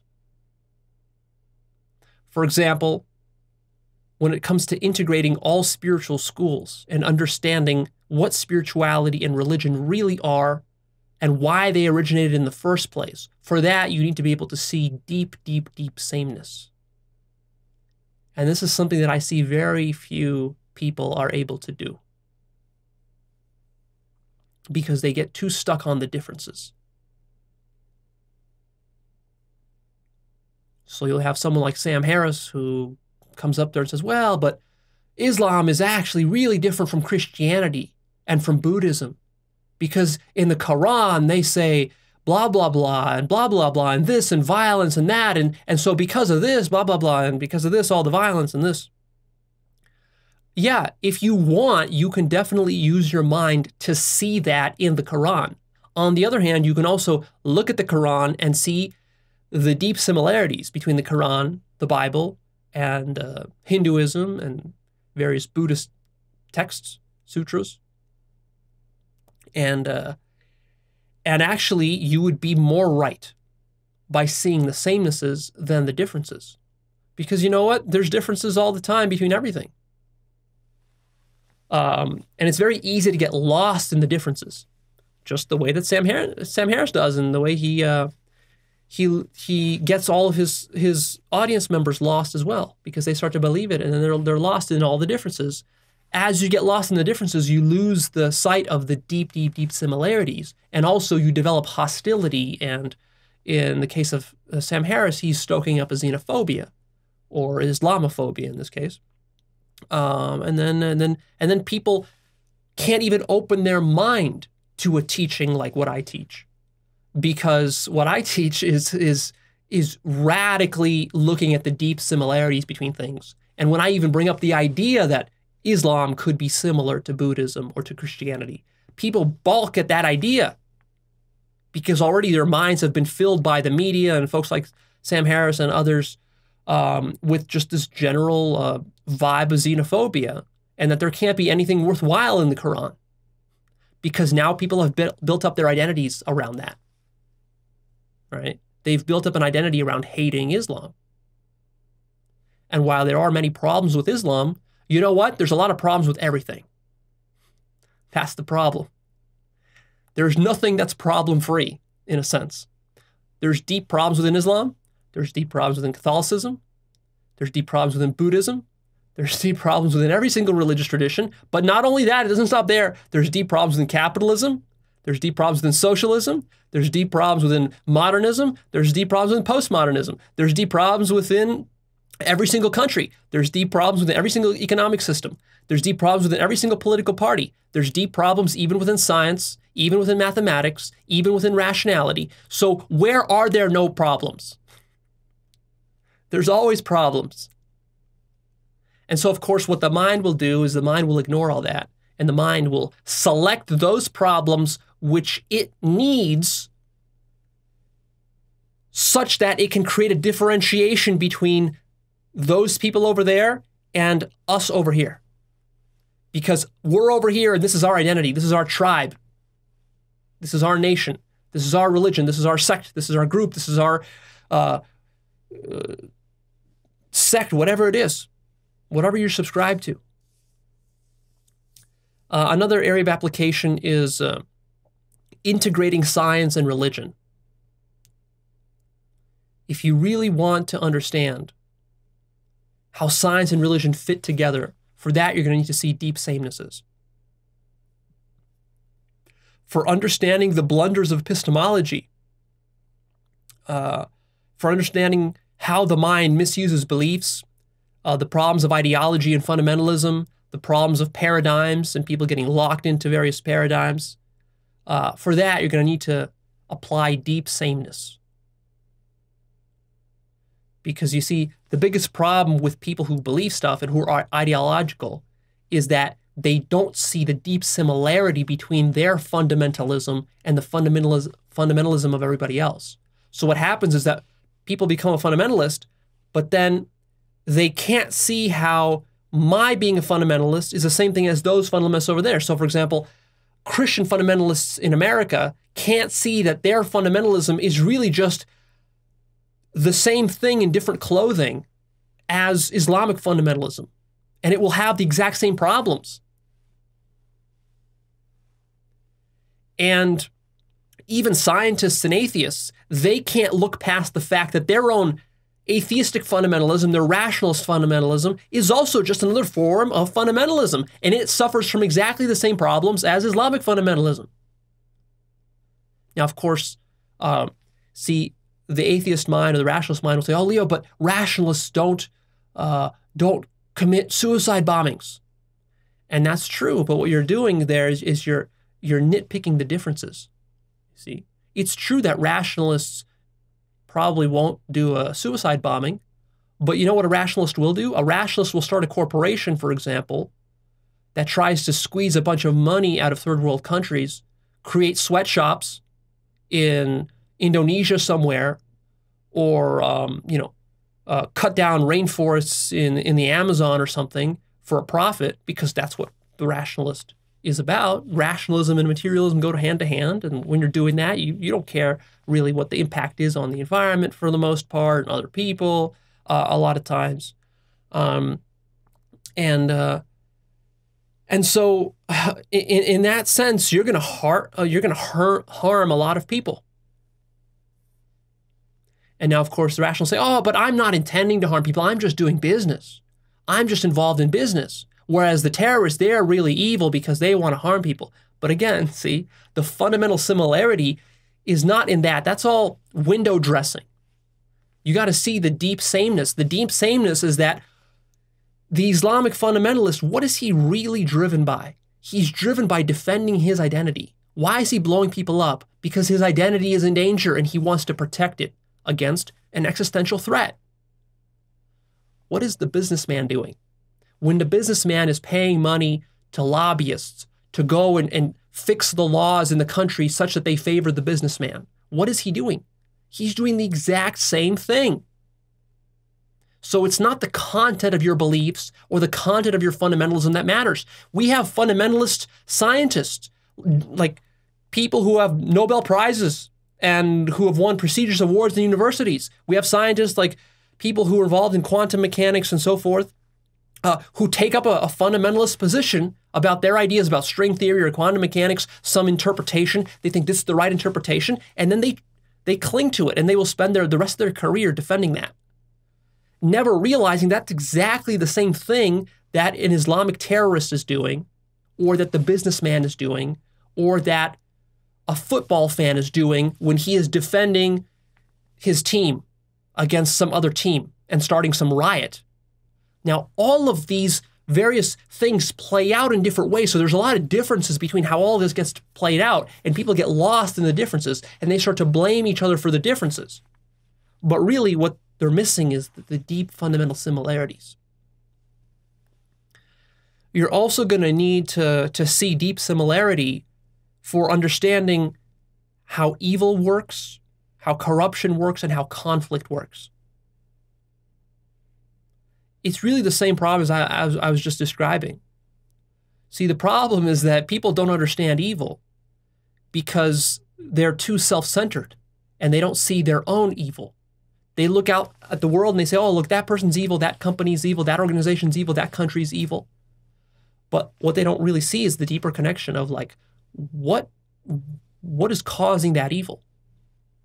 That company, organization, or person whatever they're doing, they're doing it to advance their self agenda because they're self biased. But guess what? Who else is self biased? You are. Who else has a self agenda? You do. Who else is ignorant of their own evil that they cause? You are, just like they are, because every evil person believes they're a good person. Just like you believe you're a good person. But to see that requires you really looking past the differences. And it means admitting some bitter truths, like that there's not much of a difference between you and a Nazi, or you and a terrorist, or you and a fundamentalist. And uh, especially a lot of scientifically minded people, they like to think that they're above all that, which is precisely what gets them to commit their own versions of evil. Now, of course, all these groups commit their own unique versions of evil, which are different. So there are important differences. I'm not saying that a that a quantum physics professor commits the same level of evil that uh, some is uh, radical Islamic suicide bomber does. They're different versions of evil, but it's stemming from the same source. And if you want to understand that, you got to be able to see the deep samenesses. If you want to understand human motivation, why human beings do what they do, you got to be able to see deep samenesses. Because fundamentally, all human beings are driven by exactly the same psychological drivers, which are grounded even further, even deeper into existential drivers or motivations, which have to do with, like I said, uh, defending one's identity, because that's what life is about defending one's identity. Because without an identity, um, who are you? What are you? What is there to defend? Uh, uh, a lot of people who buy into science, again, rationalist types, skeptic types, atheist types, they just assume that, oh, well, Leo, that's easy. Uh, natural selection and evolution explains all this. So human beings were just like biological machines who grow up and are supposed to replicate, and that's described by evolution. It's not so simple, though. How does evolution know that something is a thing that needs to be perpetuated or survived at all? And of course, people just naively assume that, well, creatures are just creatures and they just they just are themselves because you're already taking identity for granted. You're already assuming that the creature knows it's, it is itself, but that's not at all obvious.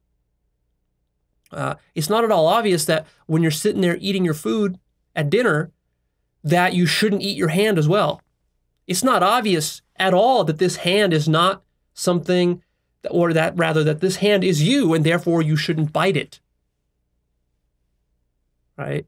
So somehow your mind had to actually draw a distinction between what is acceptable to eat and what's not acceptable to eat. And that is based literally on what you believe you are. That's not a given. That's not a physical given. Nowhere in physics does it tell you that you are you and that your body is you. Science doesn't tell you that. and uh, also as an area of application for self actualization for understanding all of human suffering. If you want to understand where all suffering comes from, you're going to need to see deep sameness because all suffering basically comes from one source. But because suffering proliferates in so many different ways, you can be depressed, you can be angry, you can be bitter, you can be mad at some political group, some religious group, and it seems like all your problems are such specific problems out there. You have a problem with your wife, with your boss, with your children, with your work, with this, with school, blah, blah, blah, blah, blah, blah. And you're sol- you're trying to solve these problems all the time and you're just inundated, never ending problems. Have you ever wondered why you never run out of problems in your life? There will never be a day where you just kind of sit back and say, okay, that's it. I've solved all my problems. No more problems left anymore. Why is that? Could it be because you're creating the problems yourself and all the suffering that comes along with it? Well, maybe you could start to become aware of that, but for that, you would need to be conscious of deep samenesses, which you're not conscious of right now because you're overly focused on the differences. It's very important that you understand here that even though I am stressing deep samenesses here, and I am sort of presenting them as superior to seeing difference, it's really important to understand that sameness is not better than difference, nor is difference better than sameness. Both can be traps. There are trade offs with both abilities of seeing sameness and seeing difference. Seeing difference is very important and it's very good, especially for developing technical mastery in some kind of field, which is why it's used so much within science you need to be able to make fine grained distinctions to become a technical master at anything, whether it's a sport, an art, business, science, or anything else. The danger in doing that is that you lose sight of the bigger picture as you get lost in the details and the minutiae of your technical craft. So the opposite thing you could do is you could develop a really strong filter for sameness. And seeing sameness is good for holistic understanding, big picture stuff, which is why I emphasize that so much with actualized.org and in this particular episode, because that's what we're concerned with here. We're concerned with the very big picture. The, the, the largest, broadest, most, po- uh, most possibly broadest context. Because we're looking to recontextualize our life in the, in the most powerful way possible. Uh, but the danger with that is overgeneralization. Because if all you see is sameness everywhere, and you fail to make distinctions and to see the differences, then that will create all sorts of problems and evils in and of itself. So you need to be able to do both. Don't fall into this black and white trap of being only a sameness person or only a difference person. Or it will become pathological. In fact, what I want to do right now is I really want to give you some examples of how sameness and difference turn into pathologies, because this is eye opening and it's super important because these here are some of the biggest traps that minds fall into. So, first, let's start talking about uh, sameness pathologies. Uh, there's a really great example that I love, which comes from mm, the early scientific revolution and the discoveries of Galileo. So, Galileo created a, a telescope. He didn't actually invent it, but he created his own. And he started looking out into the stars, and Jupiter, and the various planets and moons that are out there. He started just counting them up. He was very empirical.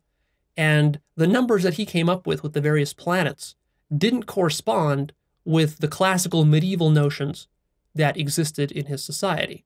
And so he brought up this discrepancy to their attention, thinking that they would be open minded and that they would listen. But of course, the church and the prevailing uh, uh, intellectuals at the time roundly rejected him. And here is their justification for why he was wrong. This is very, very illuminating because it is a sameness pathology. So look at this. Read this with me.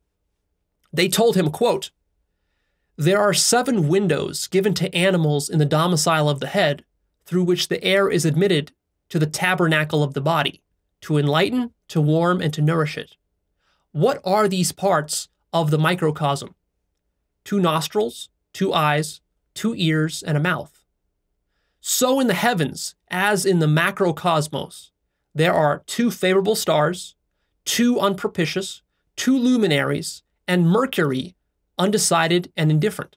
From this and many other similarities in nature, such as the seven metals, we gather that the number of planets is necessarily seven. End quote. So you see what they did there? They had a reasoning based on sameness. Because they thought that God created the human body and the head, and the head is the most important part of the body, and it has seven orifices in it, that means there must be a, a sort of isomorphic similarity between the number of holes in the human head and the number of planets. And to them, that made perfect sense. Now, to us today, after all the uh, centuries of various kinds of discoveries and changes in our philosophy and metaphysics and epistemology about how science works and all of this, because, you know, back then, scientific method was a totally new invention, didn't really exist at that time. So back then, this reasoning was perfectly valid. Of course, today to us it seems ridiculous. Why would there be a similarity between the number of holes in your head, a human head, and the number of planets? That seems to be such an arbitrary correlation. And that's exactly the problem is that the mind will pick these arbitrary correlations, but then hold them up as though they're the truth, as though they're somehow physically mandated by God or by atomic theory or by quantum mechanics or by whatever else. And the mistake here that rationalists and scientifically minded people make is they say, oh, Leo, but this is actually an example of how religion corrupts science. And this, though, is the wrong conclusion to draw. Because what you have to understand is that this type of reasoning wasn't really religious reasoning. This was the prevailing science of that time. This is how scientists thought at that time. By scientists, what we really mean is people who think about the nature of reality.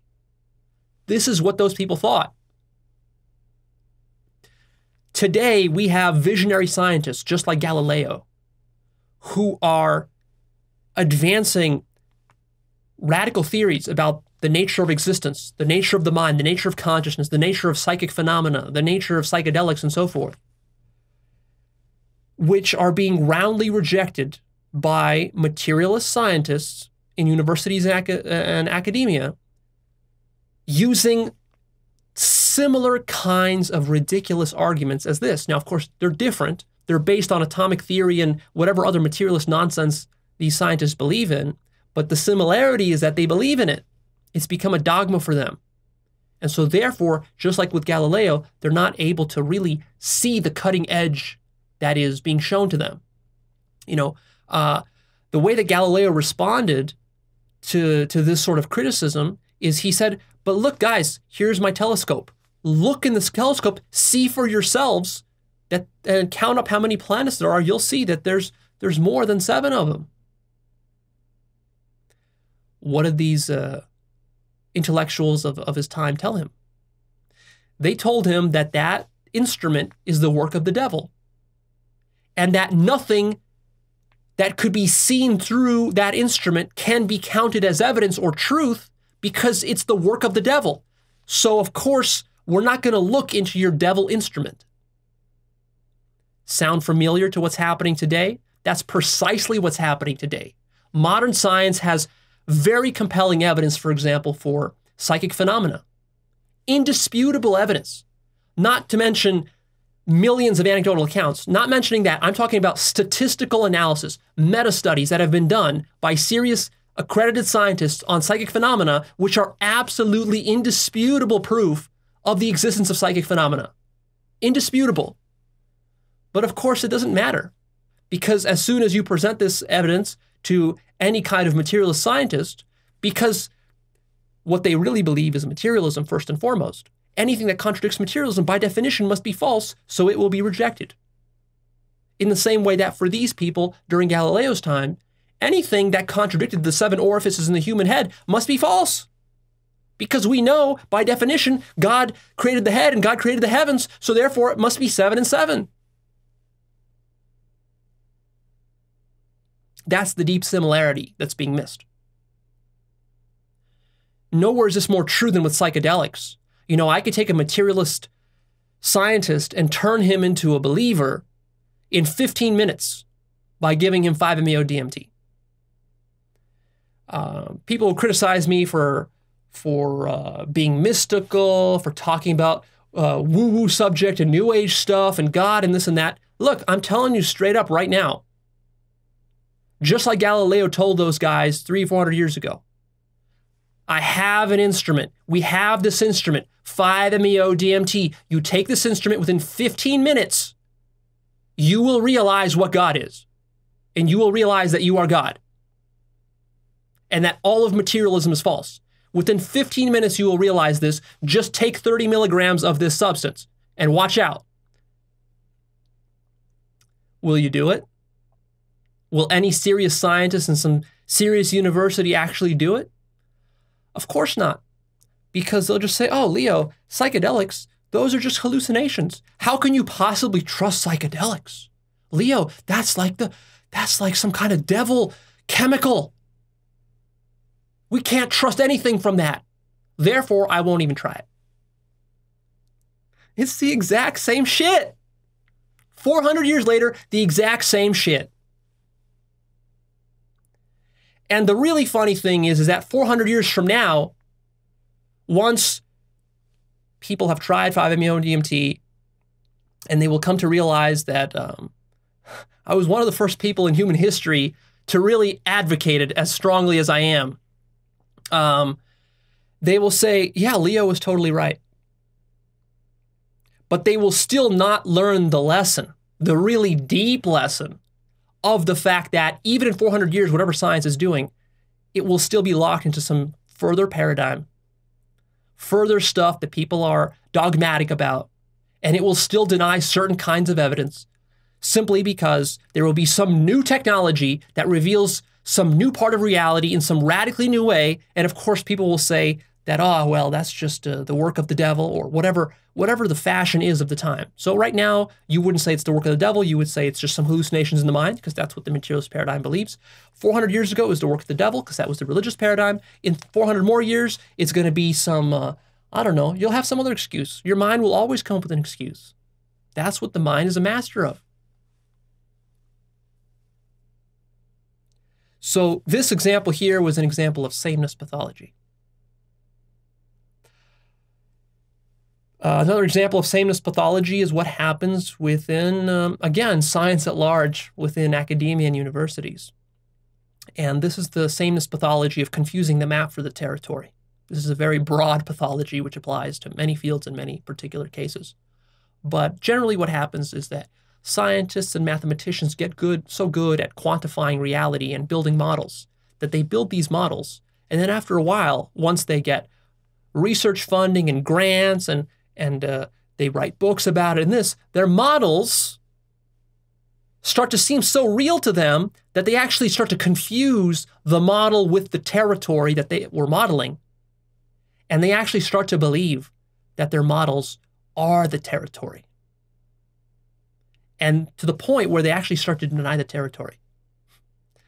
And um, I mean, th- this might seem like I'm making this up, but there are serious academics and scientists right now in the top universities, in Harvard and Princeton and elsewhere around the world,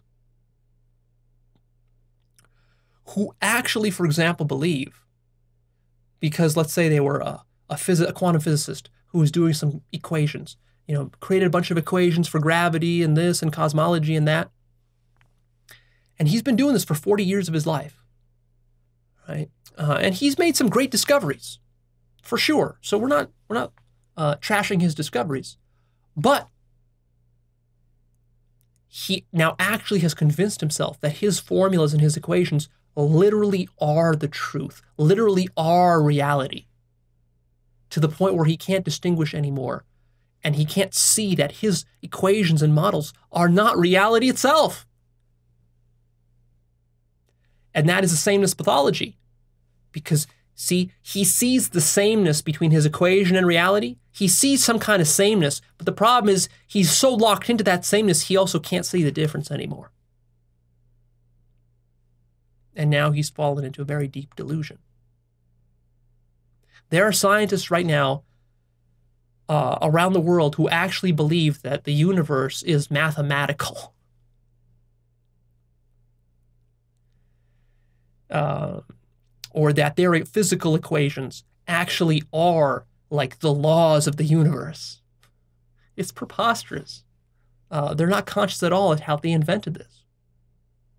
Uh, it would be just as ridiculous as uh, a pig believing that God looked like swine with snout and bristles. Why would the pig believe that? Because he's a pig. So why would a mathematician believe that the world is mathematical? Because he's a mathematician. That's how he sees the world. But he's not conscious that he's the one who's projecting the mathematics onto the world. There's nothing mathematical about reality whatsoever. It's a projection. But to see that requires overcoming this sameness pathology. Uh, another really good example for you from the social domain. I read an article recently that in Scandinavia, some Scandinavian country, maybe Sweden or something, I forget exactly which one, um, uh, they're becoming very sort of politically correct, as they say. And so what they want to do is they want to remove gender stereotypes between men and women. And so in Sweden, let's say they had a, a catalog with with toys for, for boys and girls in school. And this catalog would feature, you know, the traditional gender roles. They would show a boy playing with a Nerf gun and a girl playing with a with a Barbie doll. Um, but in the name of equality, because there's this kind of movement of of social justice warrior equality. And so what they want is they, they want to remove these stereotypes because you know we don't want to pressure boys to necessarily have to act macho and we don't want to pressure girls to necessarily have to be housewives and so forth. So why don't we just kind of like mix it up? And um, so what they decided to do is they decided to switch the roles such that in the magazine they will show the girl playing with the guns and the boys playing with the dolls. Um, but of course, this creates a problem. This is going to create a whole generation of boys and girls who are confused about how to be masculine and how to be feminine. Now, of course, uh, these people who are who are planning this equality, um, they they're doing it from a good intention, because it's true that you know not all boys want to be masculine, not all girls want to be feminine, but it's also true that it's certainly not the case that boys and girls are indifferent to which toys they play with or who they are going to have sex with when they get older, um, and whether they want to be masculine or feminine. It's overwhelmingly the case that most boys will skew masculine and most girls will skew feminine. And the problem is that if you're going to raise boys and girls in an environment where you're forcing them, like literally in some of these um, Scandinavian schools, they will take a toy away from the boy, like they'll take away his gun and give him a doll.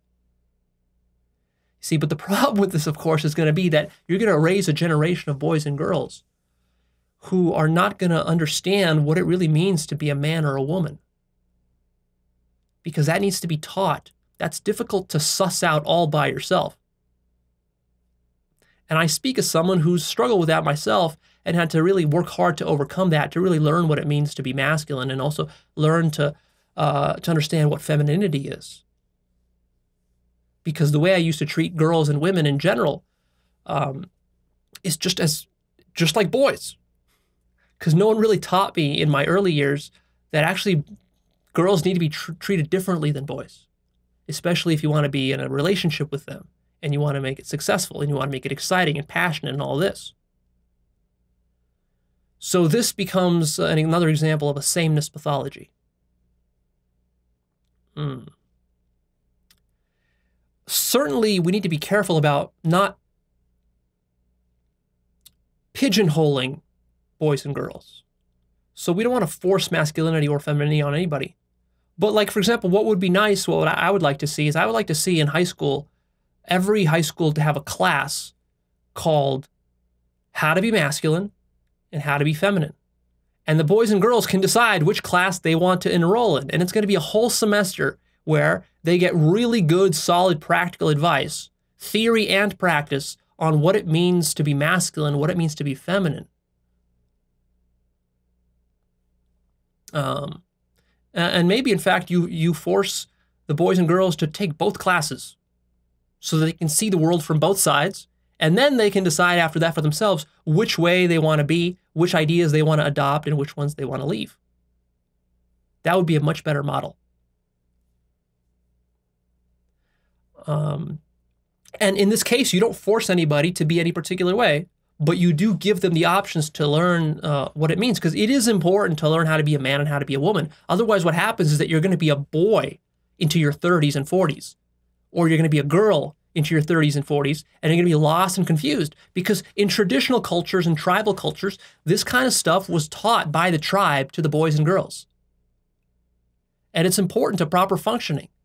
Otherwise, what you get is you get these entire generations of boys and girls who grow up and they're sexually repressed or they're incompetent in bed, or they don't really understand the opposite sex. And then, of course, because they don't understand them and they can't attract them, then they get bitter, they get mad, and they get angry. They get depressed. They get suicidal. They go up, shoot up a school or something because of a simple problem like this. That's a sameness pathology. Lumping together fundamentalist religion with mysticism is also a sameness pathology. This is what Ken Wilber calls the pre rational transrational fallacy. So, um, this is something that scientific and atheistic people make all the time is this fallacy. Is whenever they hear the word god or spirituality or religion spoken they automatically assume that what that is is that that's just like old school christianity fundamentalist religion. They equate it with islam and fairy tales and nonsense and flying spaghetti monsters. And they don't make any distinction between that and non dual teachings, uh, Buddhist scriptures, uh, mysticism, They consider all of that just one thing, all of it is fairy tales, all of it is anti scientific, which is, of course, precisely wrong. Because even though science and rationalism is one evolutionary step above fundamentalist religion, mysticism is a few evolutionary steps above uh, rationalism and science. But that's lost on most people these days, especially within universities, where mysticism is not allowed because it's considered to be religion. Or if it is allowed, it's lumped together with religious studies, which is, uh, which is real shame. And that's the sameness pathology. Another sameness pathology is lumping together all forms of sexual harassment, like I said earlier. Like um, people will just ask for people to get fired and um, and sued for exactly the same kinds of uh, uh, crimes or abuses, uh, even though they're not really the same. Like they will start to treat uh, a serial rapist with the same outrage as uh, as someone who pats a woman on the butt, with the same outrage as someone who tells a dirty joke, with the same outrage who uh, with, with something something else, right? I mean, there's there's different degrees of sexual harassment, and so you got to be careful about lumping them all together.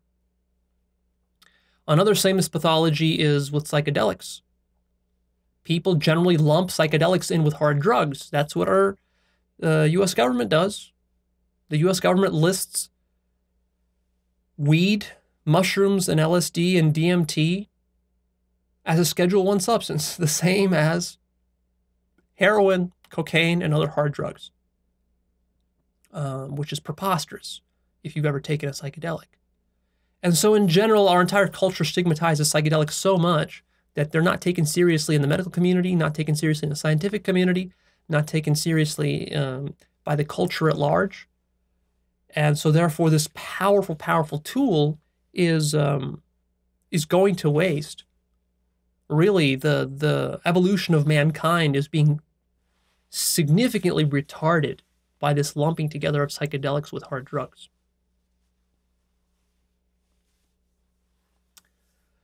Um, and of course, that's done on purpose. A lot of this lumping together, it's not an accident. These sameness pathologies, if they're done by the ego mind on purpose, precisely because the ego mind doesn't want the truth. The ego mind loves being deluded because it doesn't know it's deluded. It tells itself that delusion is the truth. So therefore, it already thinks it has the truth. Once you think you have the truth, why go looking for the real truth? You already have the real truth in your estimation.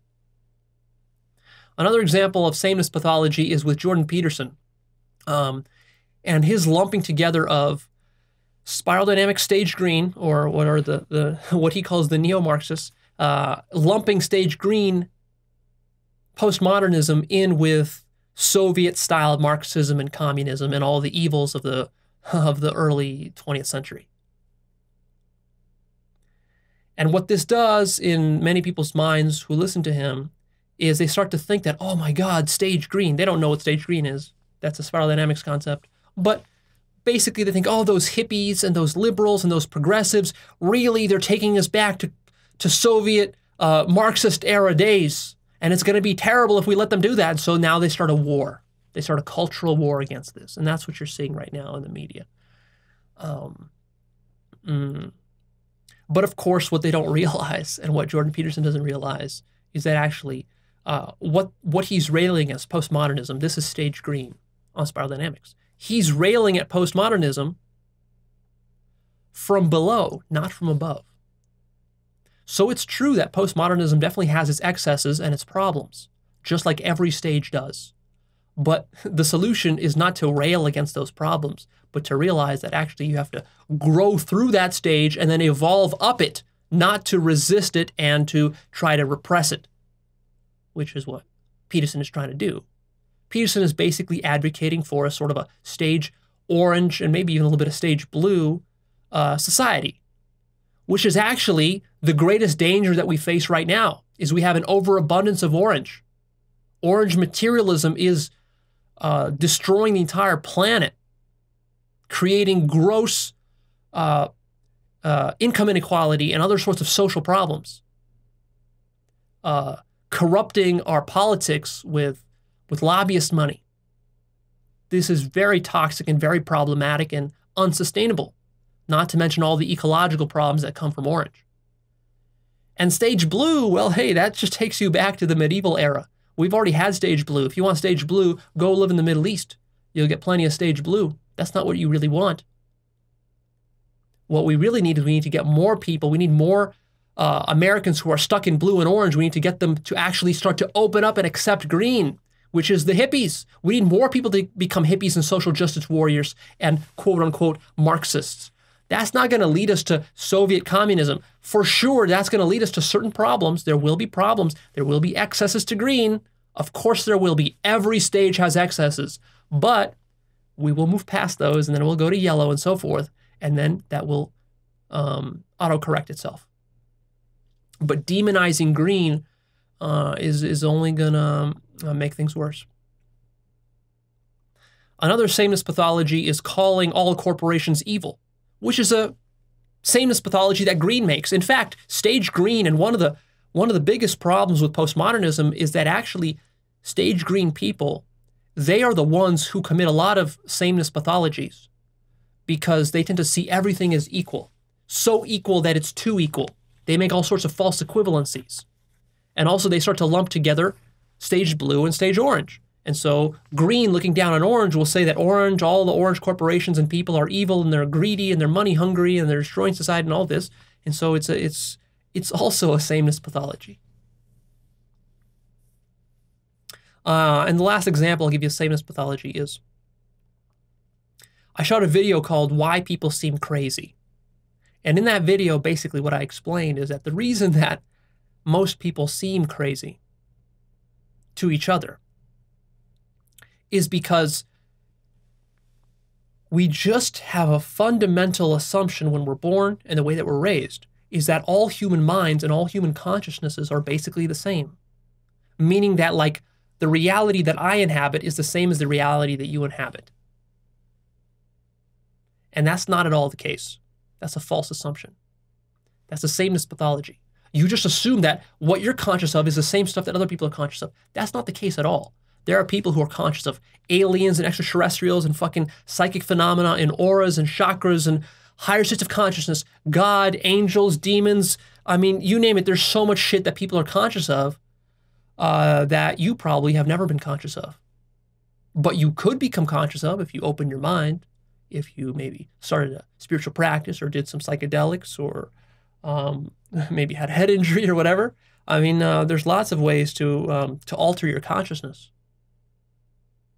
radically, radically, such that you're living in a different reality. People don't, don't understand this. Scientists don't understand this. The scientific paradigm does not understand or account for radically different degrees of human consciousness. It just assumes that all human consciousness is the same. And that what the scientist sees is what everybody sees. No, that's not the case at all.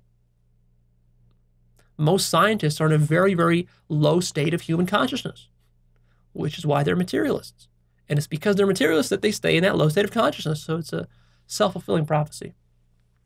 So if you want to if you want to understand that sameness pathology, check out that episode, Why People Seem Crazy. I think it's one of my better ones.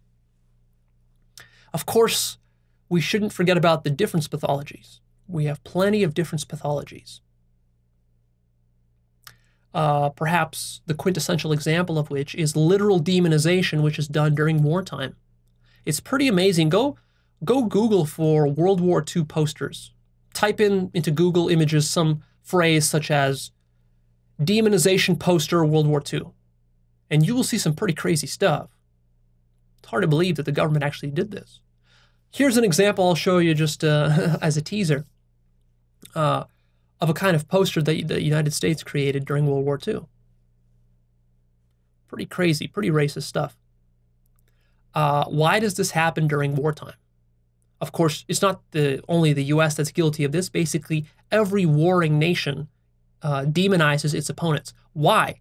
Because it's pretty hard to kill other people in a sustained fashion without separating oneself from them, without demonizing them. So literally, oh, we draw people with fangs and claws and and devil's tails and horns and pitchforks. We demonize them. Uh, a very interesting uh, example to illustrate this is that in the 60s or 70s, I believe, uh, the CIA, CIA and the U.S. government uh, wanted to use LSD, thinking that it might be great for creating super soldiers, because they thought, hey, if we give them this mind-altering drug, then maybe they will uh, become super warriors and be able to indiscriminately kill on the battlefield with no remorse and no moral compunctions or anything. So they gave some soldiers uh, uh, LSD uh, as a test, and then um, what happened was the exact opposite of what they expected. What happened was that the LSD expanded their identity so much, such that they became so unified with their environment and with all the people around them, that they couldn't shoot the enemy because they saw themselves in the enemy. And there's no point in shooting yourself. So instead of shooting people, these soldiers were just loving their enemies, such that there could be no war. So, of course, they had to nix that whole thing real quick. And um, that's a very funny story. So, another difference pathology is what you see with the men's right movement, which is uh, rather problematic. You see it with pickup, you see it with MGTOW, with Red Pill, um, Jordan Peterson's so called incels, this sort of stuff. What is the men's rights movement? Uh, really, it's a bunch of guys who have dysfunctional problems with their entire relationship to womankind as a whole because of the way they were raised. They were raised um, in such a way that they didn't know how to attract women or they were um, they they suffered some suffering from women, and uh, and so uh, because of this now, of course, their egos are wounded. But at the same time as their egos are wounded, of course, uh, they have their biological needs and their hormones. So they love to have sex with hot women. But at the same time, they actually have a secret hatred of women. Because really, what they want is they want to be able to use the woman, have sex with her, um, from a sort of dysfunctional position, but don't want to really commit to a serious relationship because they don't really know how. Because a lot of these guys are very dysfunctional on the inside. Um, they just don't even know how to approach a woman. They don't know what really masculinity is, or what femininity is, or how to treat a woman properly. And so, because of this, they develop very dysfunctional views of women and they start to blame women for their own inadequacies because of course for a man to admit that he's not good with women is a, is a rather ugly and unpalatable thing for the ego to admit. So what the ego do is, uh, will do is it'll exteriorize this problem and it will start to blame the women. It'll start to blame the feminist movement. It'll start to blame the social justice warriors. It'll start to blame um, uh, political correctness It'll start to blame uh, the, the repression of men and the taking away of men's rights and all this. You see, it'll start to act like a victim. Which is, of course, ironically, the very opposite of what a true man would do. A true man would never bitch and moan about the problem that he's not getting enough sex. A true man would go out there and say, okay, I have a problem with attracting women. It's probably because I was uh, raised by a bad father, bad mother, or whatever. Problems happened in my childhood, and now I have to take responsibility for it. It's my problem. I'm going to go out there and fix it. I'm going to read the books, watch the videos, take the courses, go out there, socialize, meet women, and uh, solve this problem. And I'm not going to develop any kind of ideologies. I'm not going to blame women for my problems. And of course, in a certain sense, that's what pickup artists try to do. Um, but even as they're doing that, they're still wounded inside. And they're still not really addressing the root problem because what pickup usually teaches men is they it, it teaches them how to attract women, but it doesn't really teach them how to understand women. Um, and in, in, fact, it it feeds their egocentric view of of women as just sexual objects and uh, uh, how to have transactional relationships with them. And in fact, the more uh, PUA gets good at that, um, it still doesn't resolve his problems. Deep down, he still has uh, insecurities about women. He's still using women to try to uh, feed his own soul, the, the hole in his own soul that's there, because he hasn't really done any really deep inner work. Um, and so, because of this, he, even though he might get good with sleeping with lots of women, he still can't really develop serious relationships with them. He's still extremely immature, and he still has an ideology of, of blaming women in the back of his mind. Um, and so this is a difference pathology because what this creates is creates a fragmentation in the PUA's mind or in the incel's mind or whatever. They are they're creating a, a rift between themselves, men as an identity, and women as an identity. And then they start to blame the women as though the women aren't giving them enough sex or they aren't doing something right or whatever. They're cheating on them. Women are cheaters. And so there's all these stereotypes. Women are cheaters. Women are sluts. Uh, women aren't doing their, the, the, the, the, their job with men, blah, blah, blah. It's the feminists. It's the radical, crazy feminine Nazis and this and that. And so this, this turns into not uh, just a, a problem with women, it turns into a whole political ideology. And that's, of course, where Jordan Peterson comes in because Jordan Peterson feeds into this. The reason Jordan Peterson is so popular with these types of folks is precisely because he comes in there and he says, "Hey, you guys are incels, and I I know why you are, and I will provide you on a silver platter with a political philosophy and an ideology that will explain to you why you're a victim and why, in fact, you're being mistreated and why, in fact, your identity is threatened and how to get your identity back. And that's by attacking those people over there. It's the postmodernists, it's the green, spiral dynamics green people, it's the women, it's the feminists, it's all this. Is that's why this is happening. If we just revert back to old school, uh, deep orange and even blue um, traditionalist society, then you'll get all your sexual needs met. And of course, this is preposterous. This is preposterous. Uh, it's the opposite of taking responsibility for the problem, blaming, scapegoating somebody else. But of course, this serves the uh, the needs of, of Jordan Peterson. Um, it serves his identity needs because he himself is coming from a wounded place, from having these sorts of problems on university campuses with with feminists, with women. Look, you can have legitimate problems. I'm not saying all women are, are angels. I'm not saying you can't get hurt by a woman. I'm not saying a woman can't cheat on you. She can. The problem, though, is, is that when you start to create an ideology about it, just because some one woman offended you or didn't give you sex or mistreated you or whatever, that doesn't mean that you get to you create an ideology uh, anti-women because of that. That's preposterous.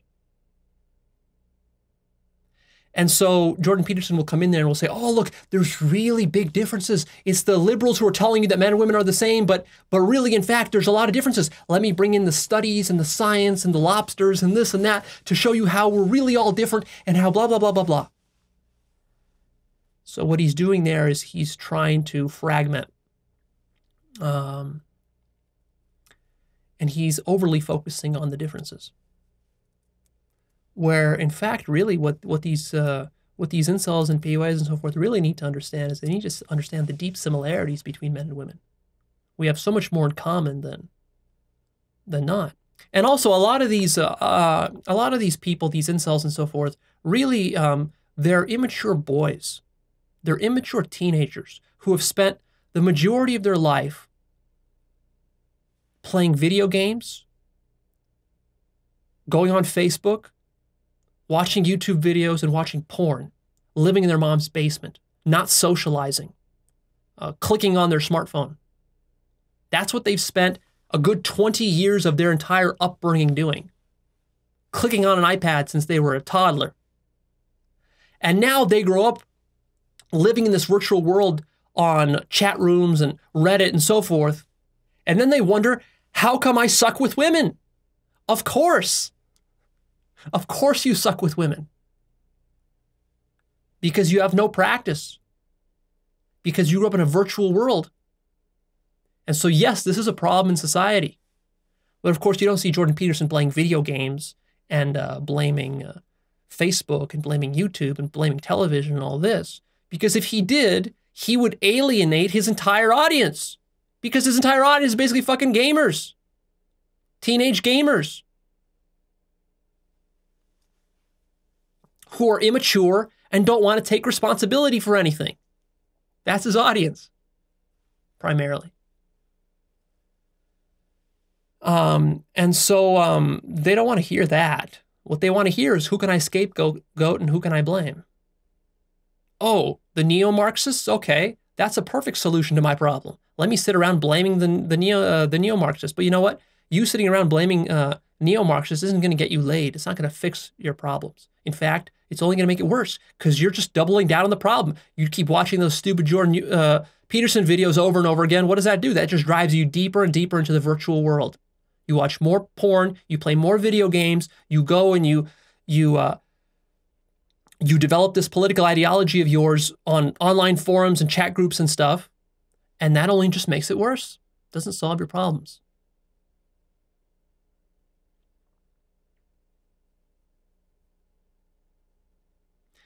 How do you think you're going to relate to women when deep down you hate women? And yet at the same time, you need women to satisfy your sexual needs. That's a really tough place to place yourself in you are really in a pickle there. Because what's going to happen is that even if you do manage to accidentally bump into a woman and she's beautiful and you like her and all this, and uh, you're going to destroy that relationship because deep down you have this bitterness inside you. Jordan Peterson's bitterness will creep into your mind, and then you will go around spouting the bitterness. And yet at the same time, you're going to need that woman to have sex with her. And so you're gonna you're gonna both hate her at the same time as needing her and loving her. And that's gonna become a really dysfunctional thing. And then you're gonna spend your whole life bouncing between different women, wondering what's wrong. And then of course, as you do that, you're gonna blame the women more and more. Because again, of course, the ego doesn't want to take responsibility. So it's not gonna admit that it's wrong. It's not gonna admit that all these Jordan Peterson ideologies are are silly and immature and regressive and so it's going to double down and it's going to say, oh no, it's really the women. Even the good women, even the women that I thought were good, even they are evil. They're right. Jordan Peterson is even more right than I thought. The red pill movement is even more right than I thought. And so you will create your own living hell. Another difference pathology is Sam Harris and Islam. So Sam Harris likes to rant against Islam drawing a, a, sharp distinction between Christianity and other religions and Islam, saying that Islam is particularly dangerous and evil and bad and um, uh, non humanist and against Western values and the motherlode of bad ideas. That's his direct quote.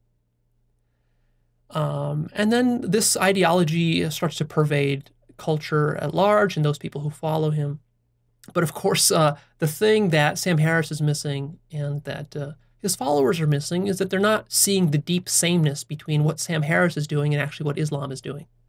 So, uh, really, Sam Harris's greatest problem with Islam is that the problem with Islam, and it's a real problem, so he's right that it's a problem, is that Islam falls into the trap of the lesser jihad.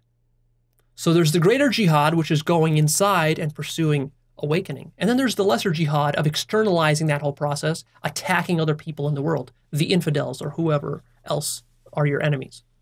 And that's, that's a big problem, for sure. And it exists within Islam. But the problem is that it also exists within Sam Harris and within his whole movement. Because even though Sam Harris is anti religious and all this, uh, he's a rationalist fundamentalist. That's what he is.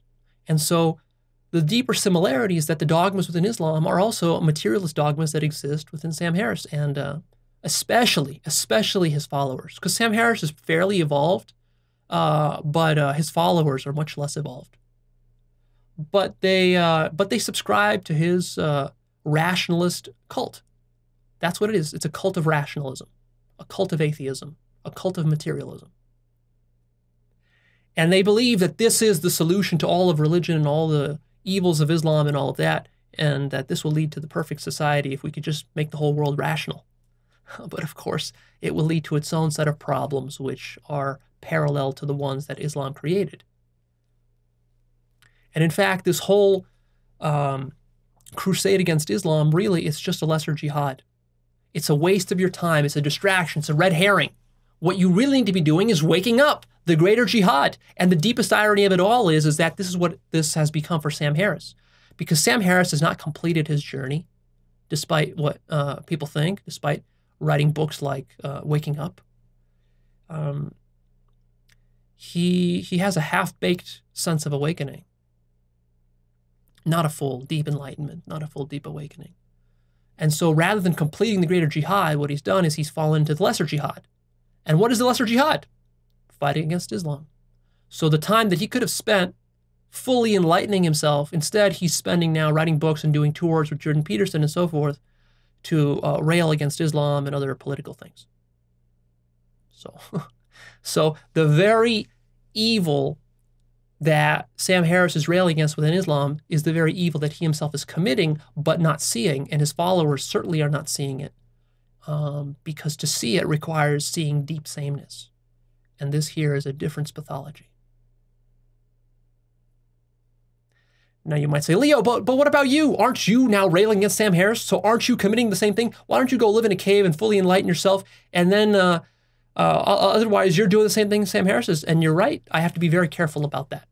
I have to be very careful about um, uh, starting ideological crusades against any of these people. Jordan Peterson, Sam Harris, Richard Dawkins, who I'll talk about next, uh, and so on. You know, I could I could I could get so many followers. I could write books. I could write books tearing down and deconstructing all these popular finger, figures within politics, within science, within spirituality, within religion, all of this, you know.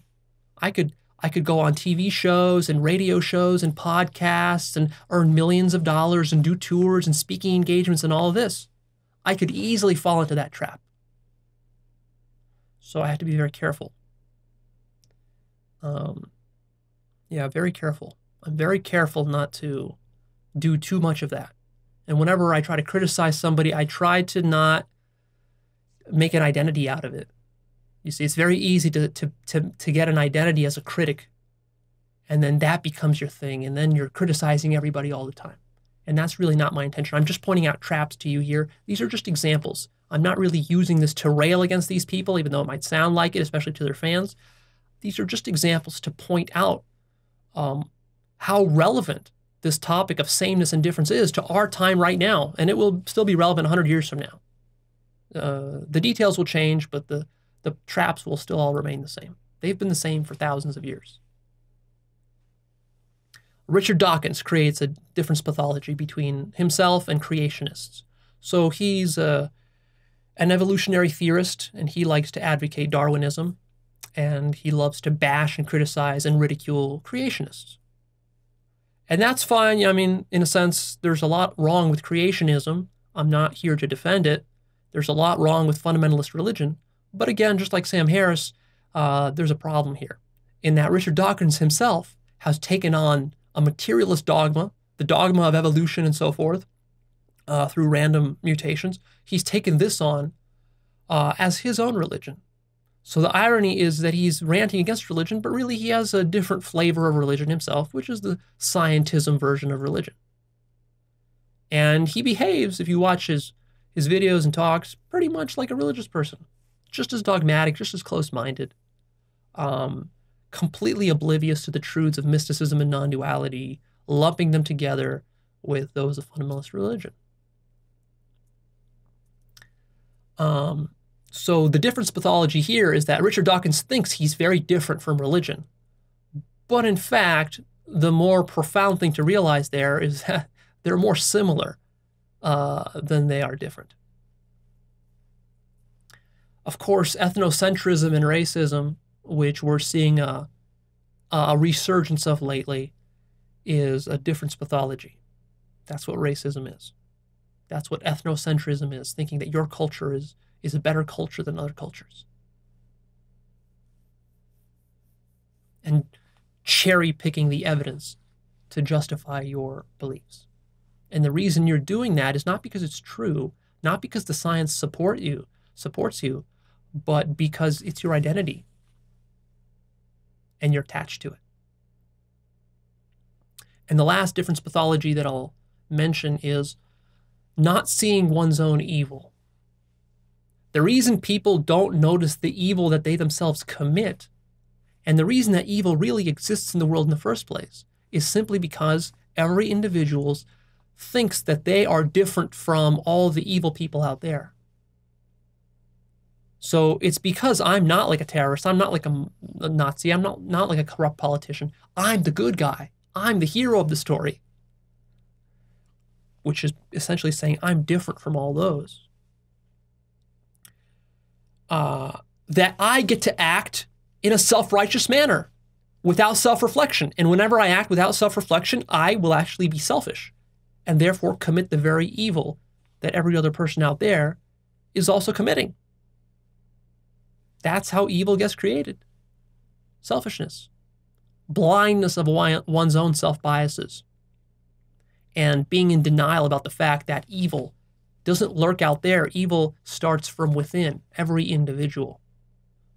And uh, it gets worse the less you self reflect about your own self biases. So um, the mistake is drawing too strong of a distinction between you and all the other evil people out there. Really, what you need to do is you need to do the opposite. and You say, if there's so much evil in the world, where's it coming from? It's coming from the human mind. And I have a human mind. And fundamentally, we're not that different from, or yeah, we're not that different from each other in terms of our, the way our brains and our minds work. So, because of that, I should assume that I am capable of the very same evils that everybody else is. And therefore, I have to be really careful about justifying my own selfishness to myself, using reason, science, logic, and all sorts of excuses and rationalizations. And if I do that by seeing the commonalities between us all, then I will actually be able to transcend evil and commit less of it.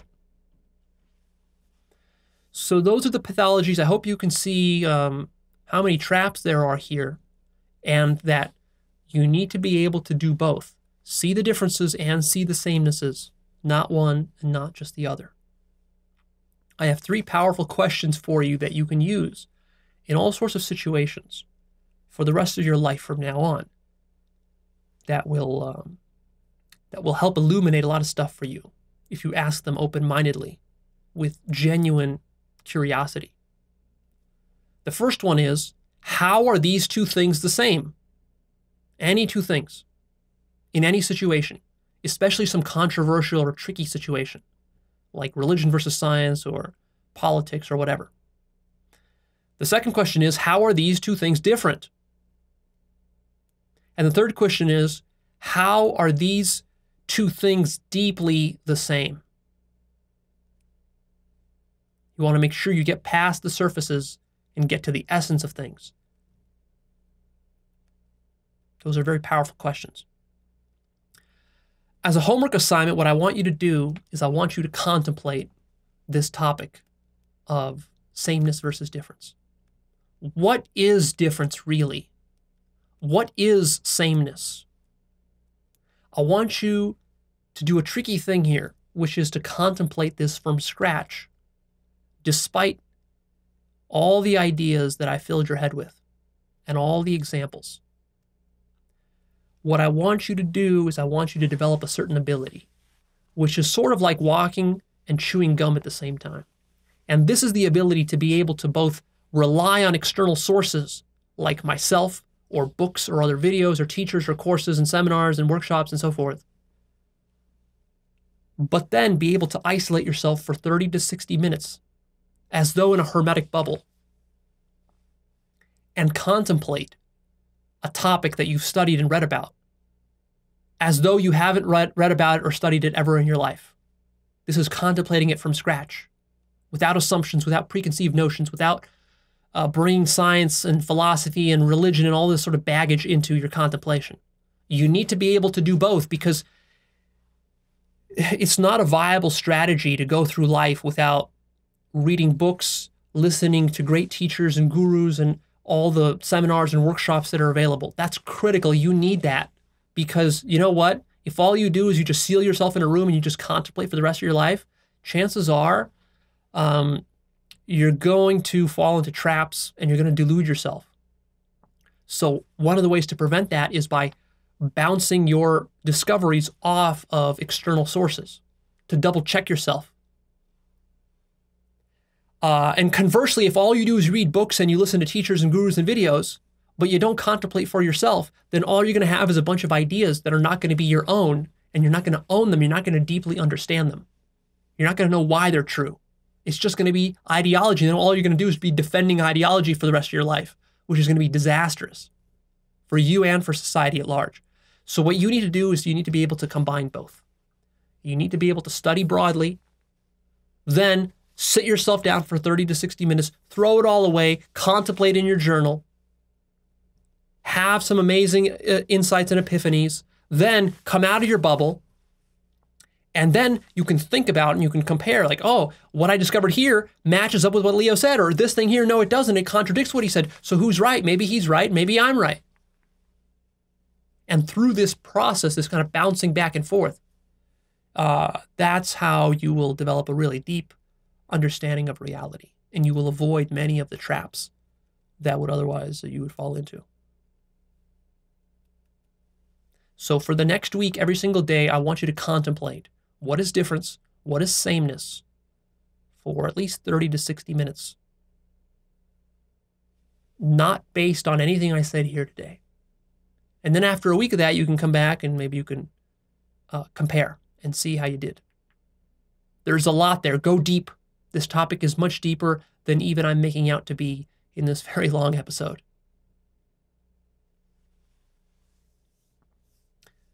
So, in conclusion, you need to become mentally flexible. You need to get good at seeing both difference and similarity without getting trapped into holding an ideological position.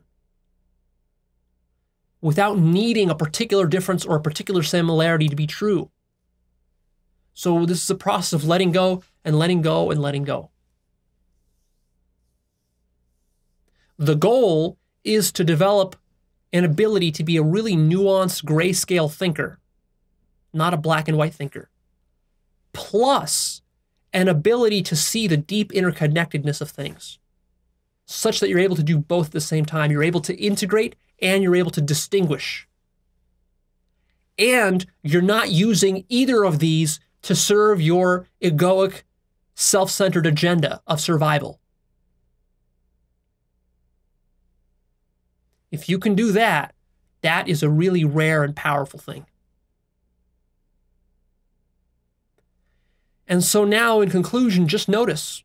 Notice where we started with this episode. Notice how much ground we've covered. Notice how much um, uh, practical stuff came out of it, all the ramifications. Notice how far we've gone. We started with a very uh, innocuous seeming topic like sameness and difference. And you might think, oh, well, what's the big deal about that? There's nothing special about that. I can contemplate that for 30 minutes and uh, be done with it. And now you discover, no, it's not the case at all. In fact, ultimately, what we discovered is we got to the very root of reality itself. This very question has led us to the very structure of existence. And as it turns out, reality is really nothing but differences which are all the same and at the same time, reality is nothing but samenesses, which are all different. And that's the end. All right, I'm done here. Please remember to click that like button for me and then come check out actualized.org. That's my website. You'll be able to find some exclusive stuff there my blog, the forum, the life purpose course, the book list. Uh, all of those could be life changing for you. So make sure you uh, check those out. And uh, the last thing that I want to leave you with is uh, something really profound to ponder over the next week. Something that puts a bow, ties everything we've talked about here together in, uh, in the deepest way. And this is the deepest truth about reality. And that is what I will leave you with.